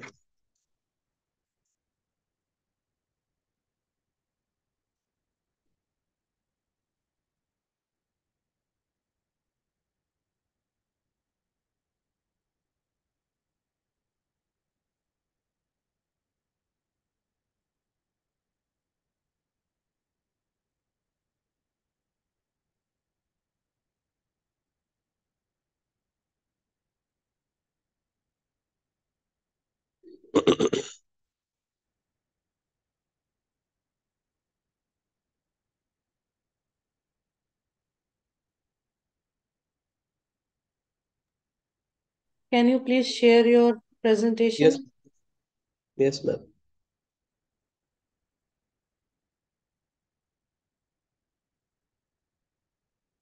Trying to share, ma'am.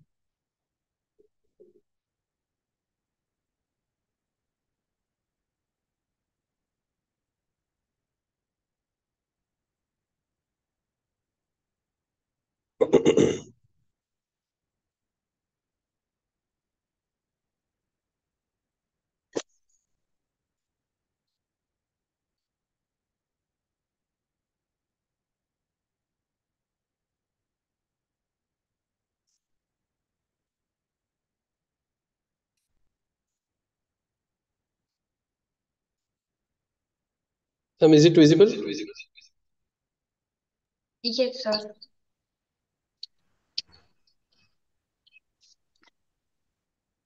Yes, ma'am. Uh, I'm Professor Chaitanya Sakhare, and uh, my topic for uh, research paper is Navigating the Dynamics of Recycling Business, a comprehensive analysis of market trends, challenges, and sustainable strategies. Now, the main issue what we are facing nowadays is escalating environmental concerns and imperative for sustainable practices. And recycling industry stands as a pivotal player in shaping a greener and more resilient future. Now, this paper, research paper, embarks on comprehensive analysis of navigating what are the integrate dynamics of recycling business by exploring into market trends, what are the various challenges, and what would be the sustainable strategies. This study seeks to guiding beacon for businesses, policymakers, and stakeholders alike. Also, in essence, exploring of a recycling landscape is not merely a study of material, but an exploration of possibilities for more sustainable and circular economy. Now, what are the various need why we should focus on environmental issues? Because the most important problem now we are facing is because of the industrial wastage, what we are creating and whatever amount of products we are using that are creating a large amount of waste product. Okay.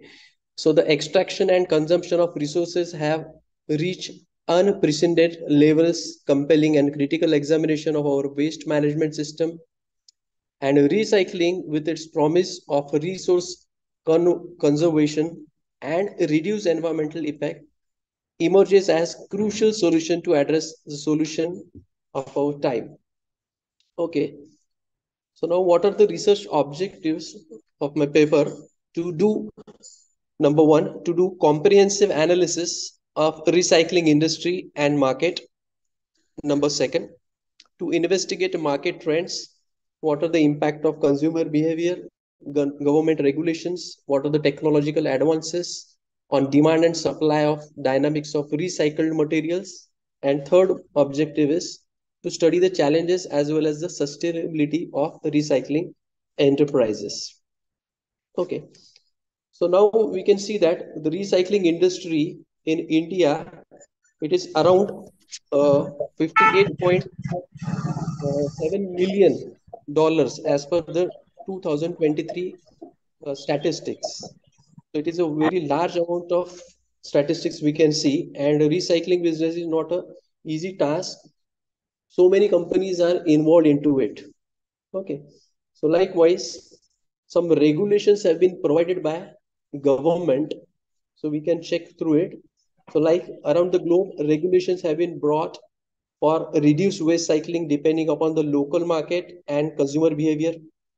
And what are the various hazardous effects because of that environmental products that has been increasing more problem and the whole world is facing a more problem related to these hazardous products. So in India, we can see that some regulations have been provided like hazardous waste that is management handling amendment rules which was provided in 2003 likewise guidelines for environmentally sound management of e-waste in year 2008 and likewise e-waste management and handling rules. So these are the some rules check which government is providing and companies have to follow those rules. So what are the challenges which uh, generally are faced into this business? Okay. So number one is poor recycling quality. So whatever products which are being produced after recycling are not of very good qualities. Like we see uh, when we consume in a thermocol or a recycled product, a tea or a coffee, so that products are not very well uh, having a good quality. So that is a problem. Number second is a lack of education. So there is a lack of awareness among various consumers. What are the various uh, utility or what are the those companies who are producing that products? Third is safety for workers. Now, those products which are being recycled into companies have to be prepared in a very uh, cautious way. So there has to be taken some kind of safety for workers, but that has not been taken so much. Number four is expensive and inadequate services. So at times the products uh, which they want to produce are expensive and the services and infrastructure is also not properly maintained there. Next is low cycle, low market for recycled materials. So most of the times people want to buy an fresh product rather than recycled product. So that is also one of the problem which is faced. Next is technological advances. Number one is chemical recycling.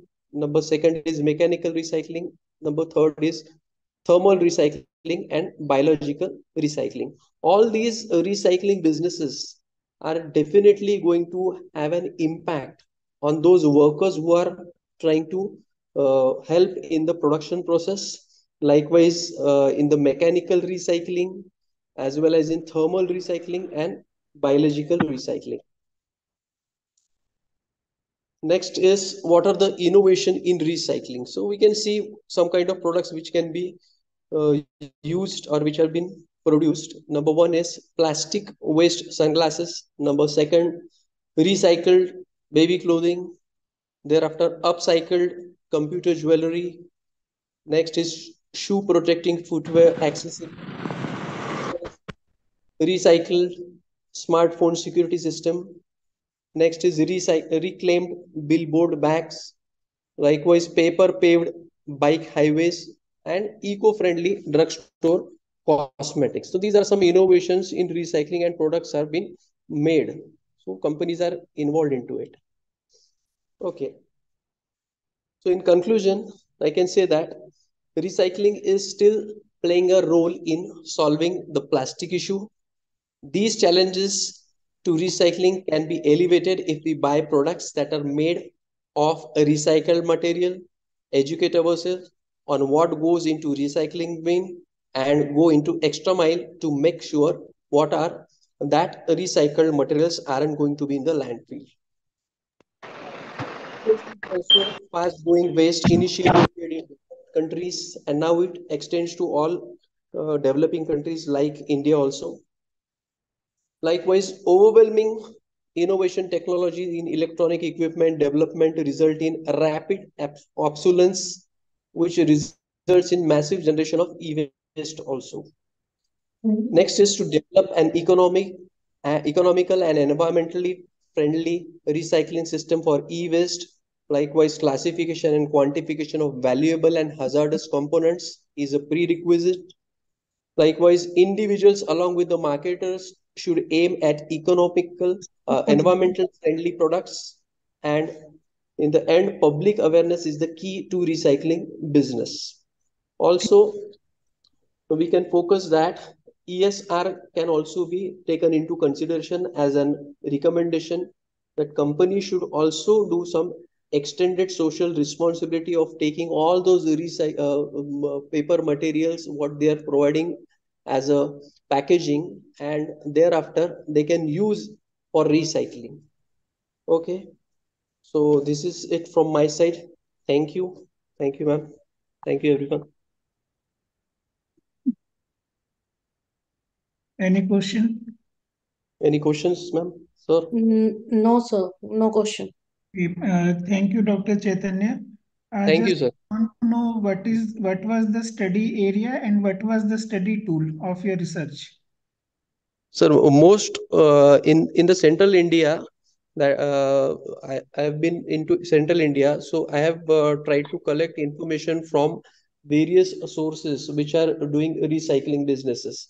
Like uh, we have some uh, uh, Kanak company's name is Kanak that is involved into recycling business and uh, majorly from government websites. I have taken information. Okay. So just want to update your knowledge, Dr. Chaitanya, that the Yes, hazardous sir. waste management rules are updated and now they are of 2016 and they still Okay, they revised in 2023.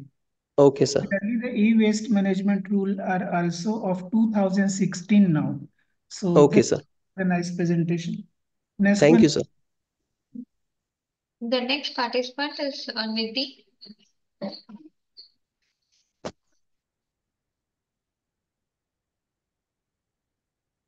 Uh, Nidhi Somani. Hi, this is Nidhi Somani. I would like to present on the particular chapter. That's why I will be sharing my PPT first.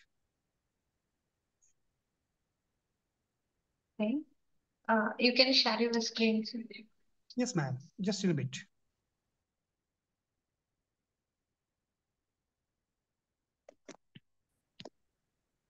Yeah, as we can simply say that it has been shown that the father of Tony Stark, Mr. Howard Stark, talked about electricity in MCU universe, and it really is relevant in today's world as well. When we say about electricity, it Yeah. not only moves forward, Nidhi, it also you- talks about moving forward with the leg of light. Ma'am, is my slide visible? Are you the presenter or somebody is presenting on your behalf? Oh, I'm presenter. Uh, sir, can you please on the video? Is it visible? Uh, can you please on the video? No.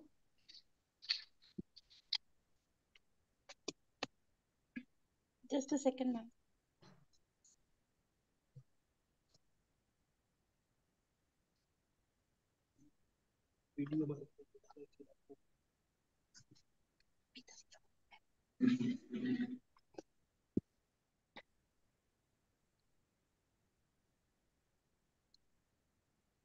I think we should not entertain because Nidhi is a female as per the LinkedIn profile and some male was presenting. Nidhi, yes, good afternoon.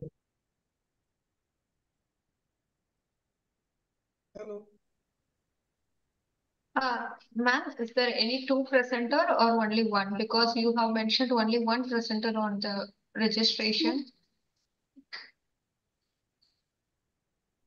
One presenter.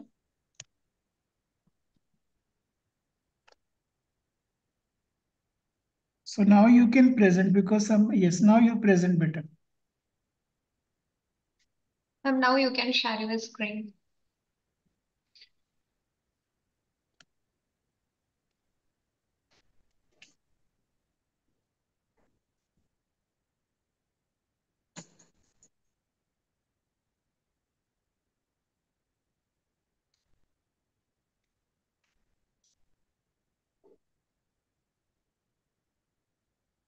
Just a second, sir.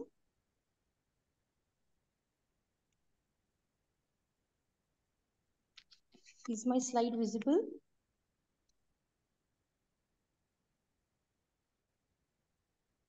Is my slide visible? Not yet.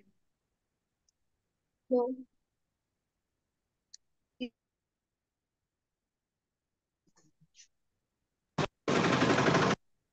Hello.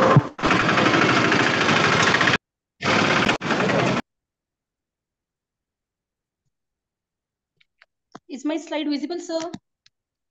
No, ma'am. But I have shared my screen.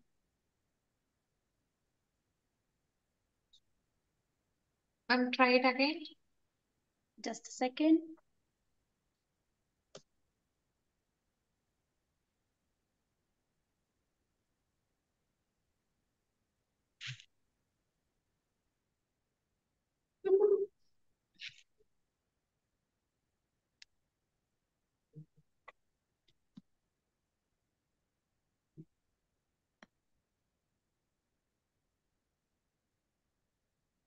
Is it visible now?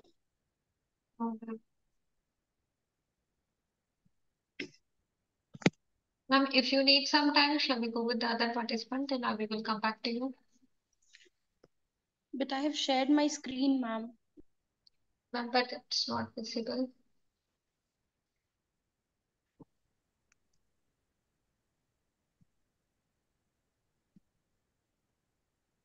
Still, it's not visible. Hmm. No, ma'am.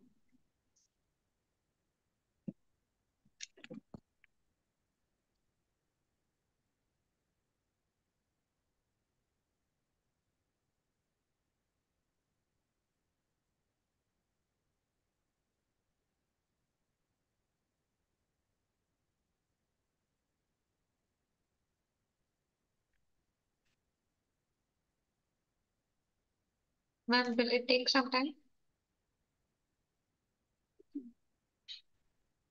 Just few seconds, ma'am. Okay.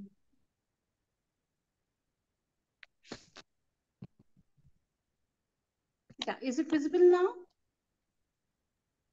Yes, ma'am, yes. Shall I start?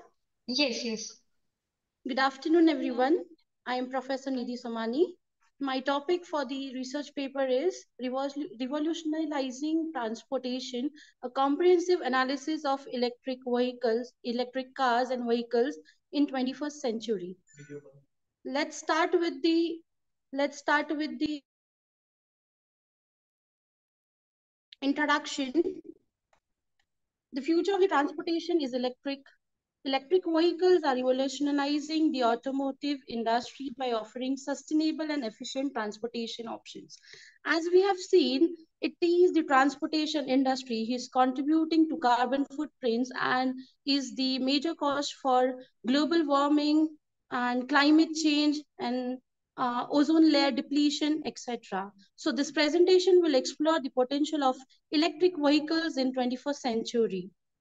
Research objectives of my study are to examine the evolution, current state, and future prospects of electric cars and vehicles, to study impact on technology, the environment, the economy, the society, to know the technological improvements, environmental impact, economic implications, sociological issues involved with the widespread deplo deployment of electric vehicles. So basically, this is a secondary study wherein I have gained the information about what was the uh, what was the idea behind introducing electric vehicles, how it is being evolved, what is the current state, what is the acceptance level, what are the future prospects, what is the impact of technology on the environment and the technological improvements and economic implications. Benefits of electric vehicles.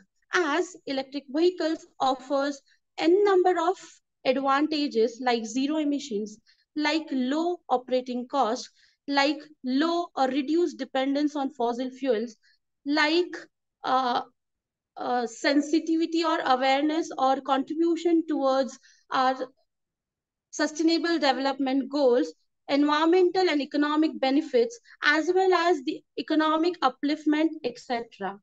The requirement for the uh, electric vehicles is, first of all, charging infrastructure. Infrastructure plays a crucial role in uh, adoption of electric vehicles. So I have uh, I have studied into this area and uh, the outcome or the finding was there is less of charging infrastructure available in India. So the adoption rate is least and but the uh, individuals are trying to adopt uh, electric vehicles and uh, government is promising fast charging stations and smart grid technologies uh, in coming future uh, future years charging infrastructure. The development of charging infrastructure is crucial for widespread. And next is market trends. The global market for electric vehicles is experiencing rapid growth as consumers and governments are prioritizing sustainability. They are more towards uh, environmental concerns as they are experiencing increased diseases, increased uh, uh, climate change, increased uh, uh, breathing issues, etc. And autonomous and connected EVs are reshaping or will be reshaping future transportation. Battery technological advancements, innovations in battery technology uh, is significantly improved.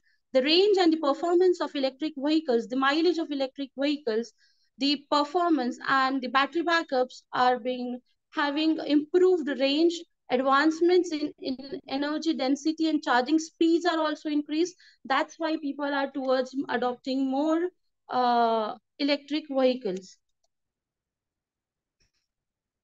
Environmental impact as electric vehicles is towards zero emissions. So this will contribute to greenhouse reducing greenhouse emissions and ultimately towards uh, mitigating climate change. Not only that but that will also contribute to environmental sustainability.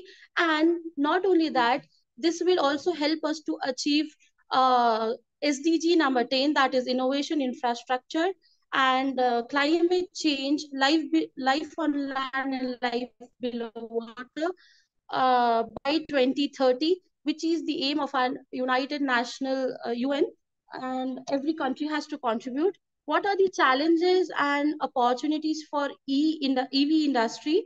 Electric vehicles offers numerous benefits, but there are challenges too. The major challenge is the cost issue because battery recycling, uh, charging infrastructure, uh, ba battery replacement, cost of traveling is high uh, with respect to traditional vehicles. So uh, these are some of the challenges which we need to address in order to achieve sustainability and opportunities for innovation and growth.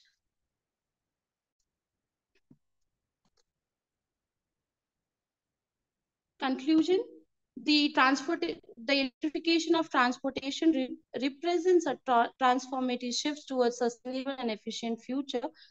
But some of the challenges needs to be addressed and awareness among public towards environmental concerns needs to be addressed and we need to drive positive environmental uh, uh, sensitivity among uh, youths as well as among all the manufacturers uh, and this can be done through various government uh, policies regulations and their programs which will have greater economic impacts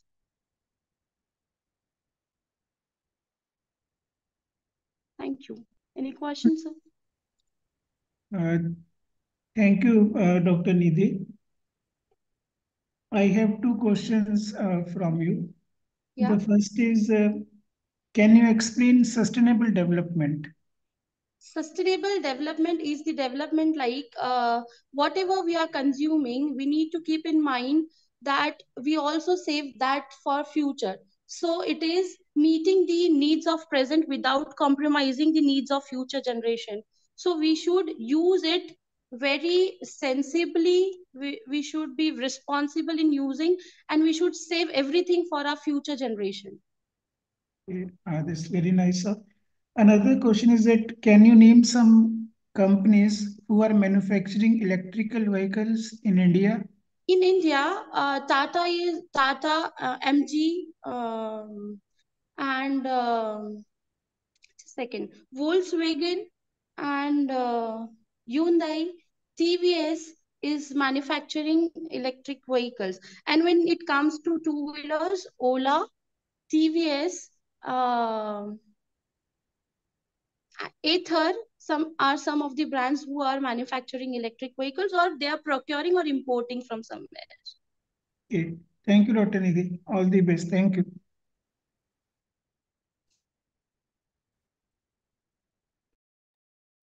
Thank you, Nidhi. The next participant is Professor uh, Dr. Raghavendra K. Mishra. Uh, they, he has shared the video and I will share it with you.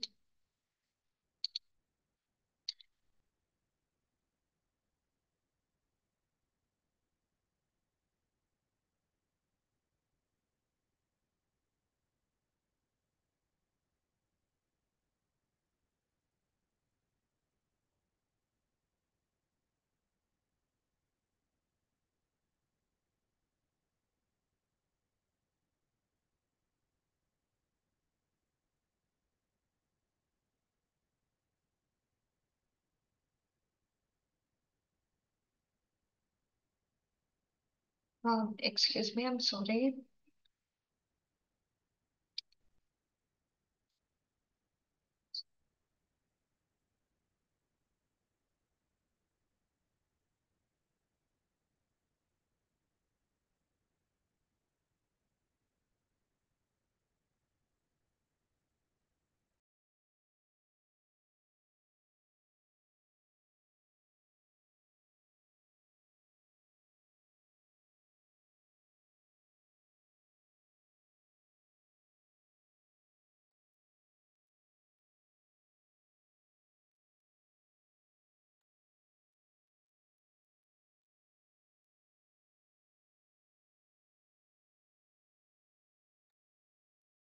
Uh, ma'am, is my screen is visible?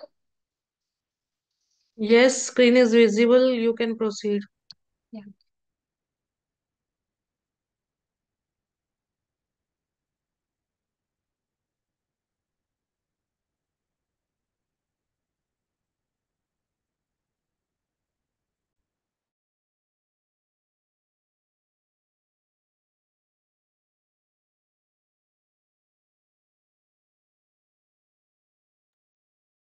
But it's not audible.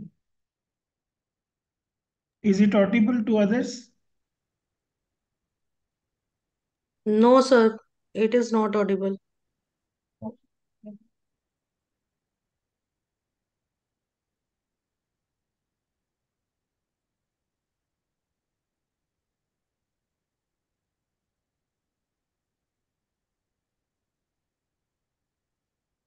I'm sorry, we are facing a network issue. Give me two minutes.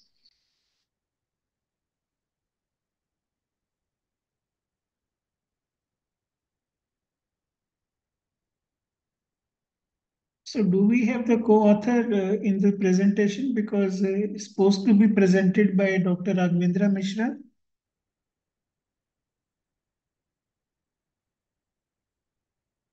Actually, sir, it is a video presentation he has sent uh, yesterday to the uh, organizer.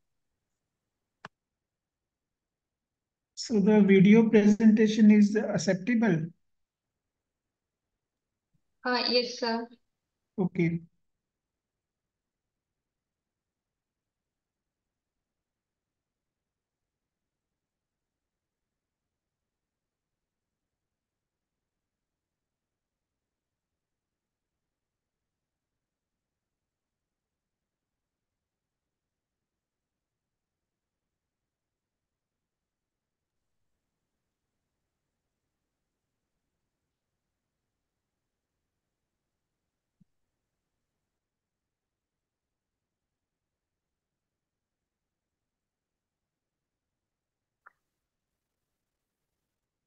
Good afternoon, honorable dignitaries on the dais and uh, my dear attendees. Myself, Dr. Raghavendra Mishra, working in Dr. Ambedkar Institute of um, uh, Management Studies. Is the video is visible? Can anyone please answer? Answer? Yes, now it's visible and And audible. audio? Yeah. Okay. Th oh, thank you, sir.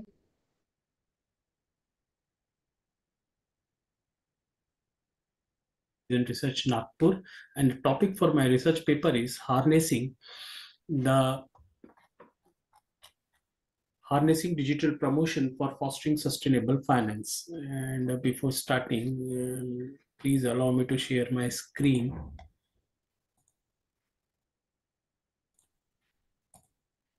Okay, so the research paper is all about importance of digital promotion for fostering sustainable finance and uh, as we all know, the world is changing remarkably due to digital interference. Innovative financial instruments designed to assist ecologically sustainable initiatives are becoming more and more prevalent uh, as a result of the pressing need for global action to address climate change. Now, we can, this is not uh, a surprise if I say that everywhere green has become a bu- buzzword nowadays. You can, we almost used to hear about green marketing, then green HRM, then green banking, green finance, and all these are related to sustainable development. And uh, uh, in, in the in the field of sustainable finance, climate bonds have surfaced as an impressive instrument for rerouting resources towards climate protection projects and sustainability sustainability oriented uh, initiatives. In this regard, the relationship between online marketing strategies or the digital promotion strategies and the climate bond investment landscape has drawn more attention because of the possible impact on investor behavior and market dynamics. Climate bonds, to more popularly, popularly known as green bonds, are a particular kind of fixed income security, the revenue of which goes towards funding environmental friendly projects. These bonds are invest, intended to finance a broad range of projects, uh, which includes uh, conservation and climate adaptation, then sustainable infrastructure development, renewable energy projects. They have been approved by independent third parties. Climate bonds are important not just because they are financially significant, but also because they help to achieve global environmental goals. Simultaneously, the digital platforms has transformed marketing and communication strategies, providing unheard opportunities for involvement and worldwide appeal. Digital marketing strategies, social media, and online platforms are now essential for spreading any sort of information or the knowledge, forming public opinions, and swaying customer behavior. In the financial sector, these instruments or the, these methods of digital marketing, we can say, uh, are essential for advancing different investment vehicles, such as climate bonds, by increasing investor engagement and understanding.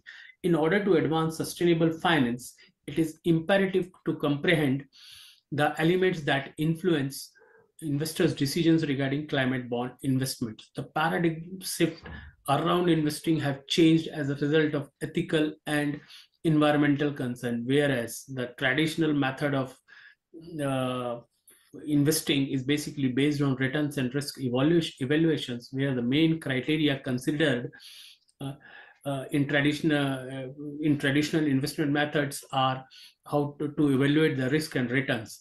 Online advertising has the power to sway investor opinions about the financial sustainability and environmental impact of climate bonds by creating narratives and spreading uh, information. Social media's ubiquity has exploded in recent years due to increasing digitalization initiatives and low data, data prices. A substantial uh, percentage of people in India were able to actively utilize the internet. 467 as uh, the 467 million of them of uh, uh, Indians nowadays are using social media. And this is for the reason this study looks into how different digital promotional strategies affect investors' decision making when it comes to investing in climate bonds.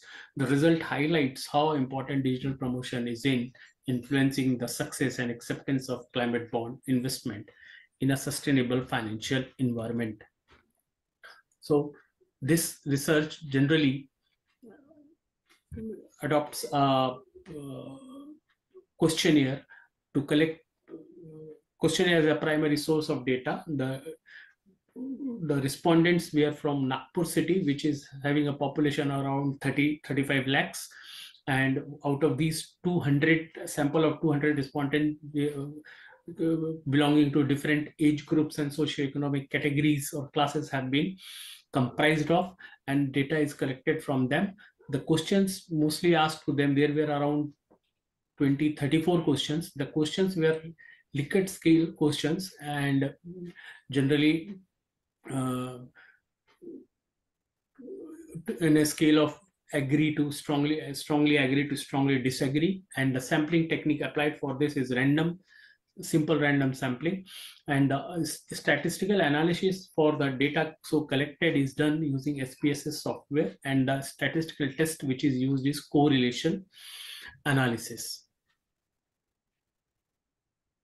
the main objectives of this research paper is to study the impact of digital promotion on buying behavior of climate bonds or sustainable bonds by investors.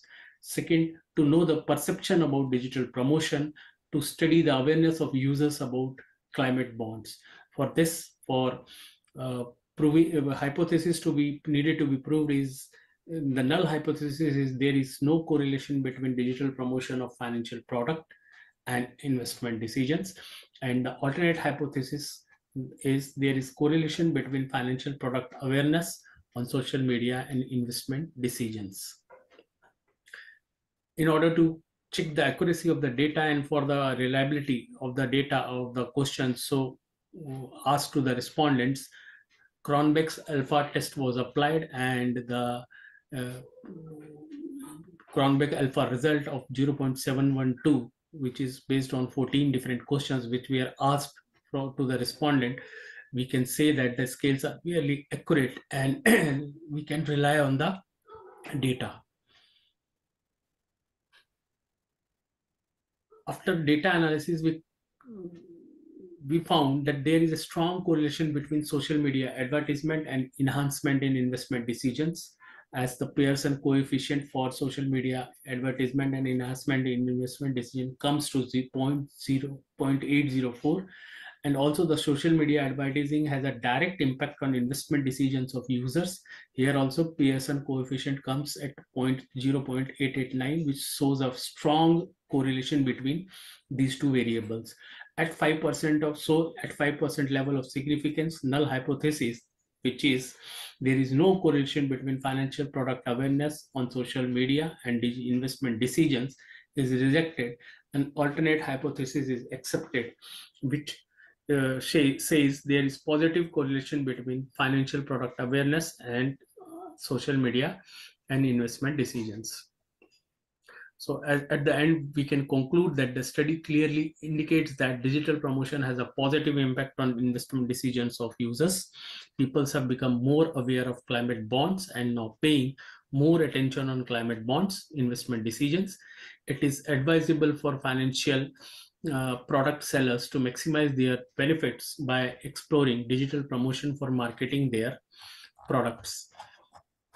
So in this way, we can say that if the future prospects of this research is that after uh, studying, uh, we can conclude, or I can, I come to a conclusion that the digital promotion is influencing investors' opinions and choice about climate bonds. Digital promotion techniques are very effective in increasing stakeholders' engagement, increasing public awareness, and directing funding towards environmentally friendly projects online campaigns that have been successful have shown to have the ability to pay uh, uh, have to pay the investing companies and uh, they can draw attention of the investors as well as foster deeper comprehension of the financial and env environmental advantages of investing in climate bonds. Digital, digital promotion has raised public knowledge of the range of financial solutions that different financial firms provide. Majority of respondents in this research uh, stated that digital promotions are how people learn about about the personalized goods that are most appropriate for them. We may conclude that digital promotion do influence investment decisions related to climate bonds and for stakeholders in the sustainable finance ecosystem insights from the examination of effective digital promotion techniques and their effects on climate bond investment provides insightful counsel. So this can be used by all financial institutions or the institutions who are interested uh, in issuing green bonds or the sustainable bonds. It can also uh, give insights to legislators and environmental groups to improve investor trust in climate bond issues, improve transparency, and design their promotional strategies. So this is with this, I come to an end of my presentation. Thanks a lot for having patience and hearing me. Thanks a lot. Thanks.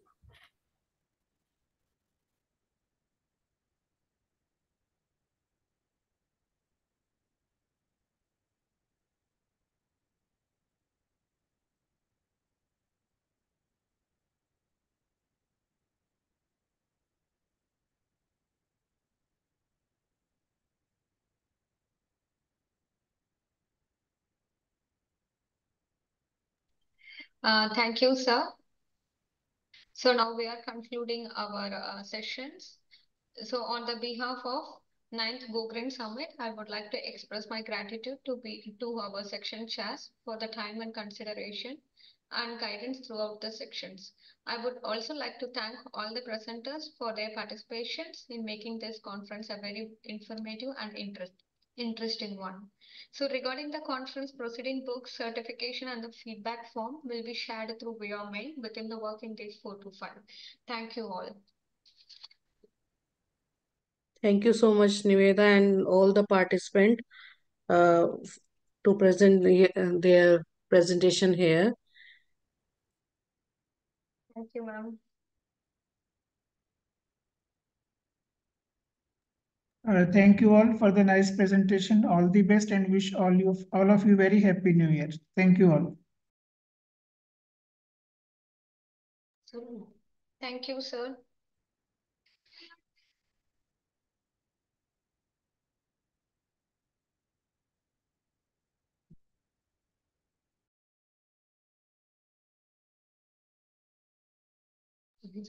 Uh, now all can leave the meeting. Thank you all. சரிங்களா?